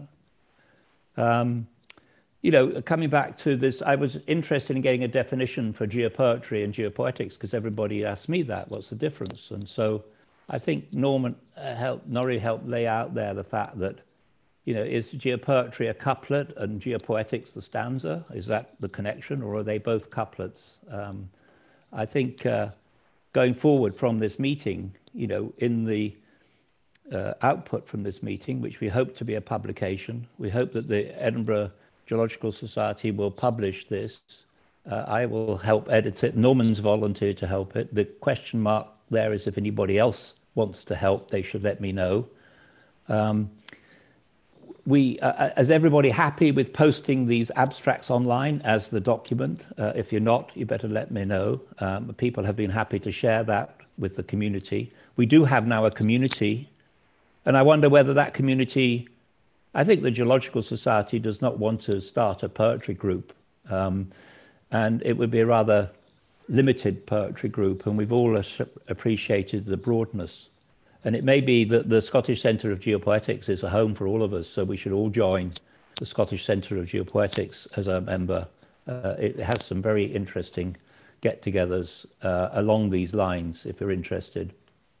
Um, so uh, the publication, yeah, uh, I don't know when it will come out, uh, but I will be in touch with all of the panelists and ask exactly what they mind or do not want uh, going into this volume, which will come out together. And I think it will be, you know, a Bible of uh, geopoetry, geopoetics going forward. And I think it's a really exciting project. And thanks everybody for submitting their work and being so patient with all this awful technology we have to work with. But in some ways, uh, the event has been so much better, bringing people from all over the world. Uh, we haven't had to be out in the rain. Um, but we've missed the interaction that we would have had, and we missed the beers that I promised. Um, I promised that we would have at the end of the day to John Hegley that we would all end up having a beer together at the end of the day. So I just have to say thanks to, to Becky because she's held, held together the whole technology part at the GeolSoc and the team there, and the Scottish Energy Forum, which meant that we could do this without charging anything because the license we need was all paid for by them. So thank you very much, everybody. And I know there's some uh, board members of the Scottish Energy Forum have been listening in today. So thanks very much to the sponsorship. And, and that's all I have to say. Uh, so I'm just going to stop sharing. Uh, I shall uh, keep talking a bit and I shall open a beer because I'm going to have a beer. It's been too much of a stressful day for me and I need to calm down. So thank you very much, everybody. Um, and, you know, safe journey home. That's what we usually say at the end of a meeting. And we look forward to seeing you again, maybe at a Scottish Centre of Geopoetics meeting. And we could also have a discussion about geopoetry 20 something else, uh, but I'm not sure uh, where that should be. So, uh, Brian, I, I, see this. Thanks for all the things that are coming through. Um, Brian has raised his hand. I'm not sure how we can answer somebody raising their hand. Oh, here we are. Uh, I tried to unmute. Uh, Brian, did you want to talk? No. Does anybody want to talk? Uh, which Brian? Uh, Brian Rosen. Yes, hello. Um, you raised your hand a few times. Thank you, just to say goodbye, because it's been such a fantastic day and you've all done so well with the organising in spite of all those numbers. And it's very sad that we couldn't all be in Edinburgh, as everybody's saying. But thanks so much. Thank you for saying that, Brian. And thanks for all the feedback through.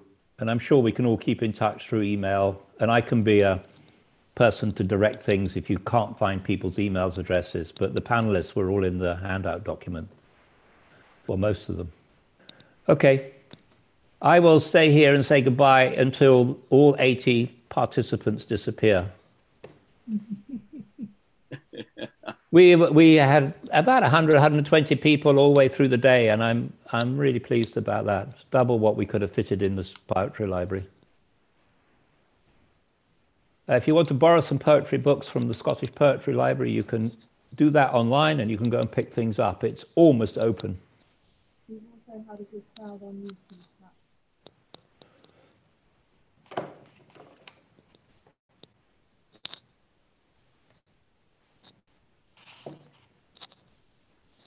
Yeah, down to 36 people disappearing. Lovely. Thank you, everybody, for the messages.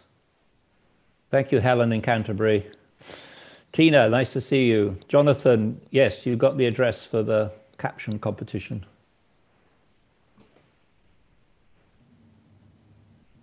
Yeah, ciao, Sula.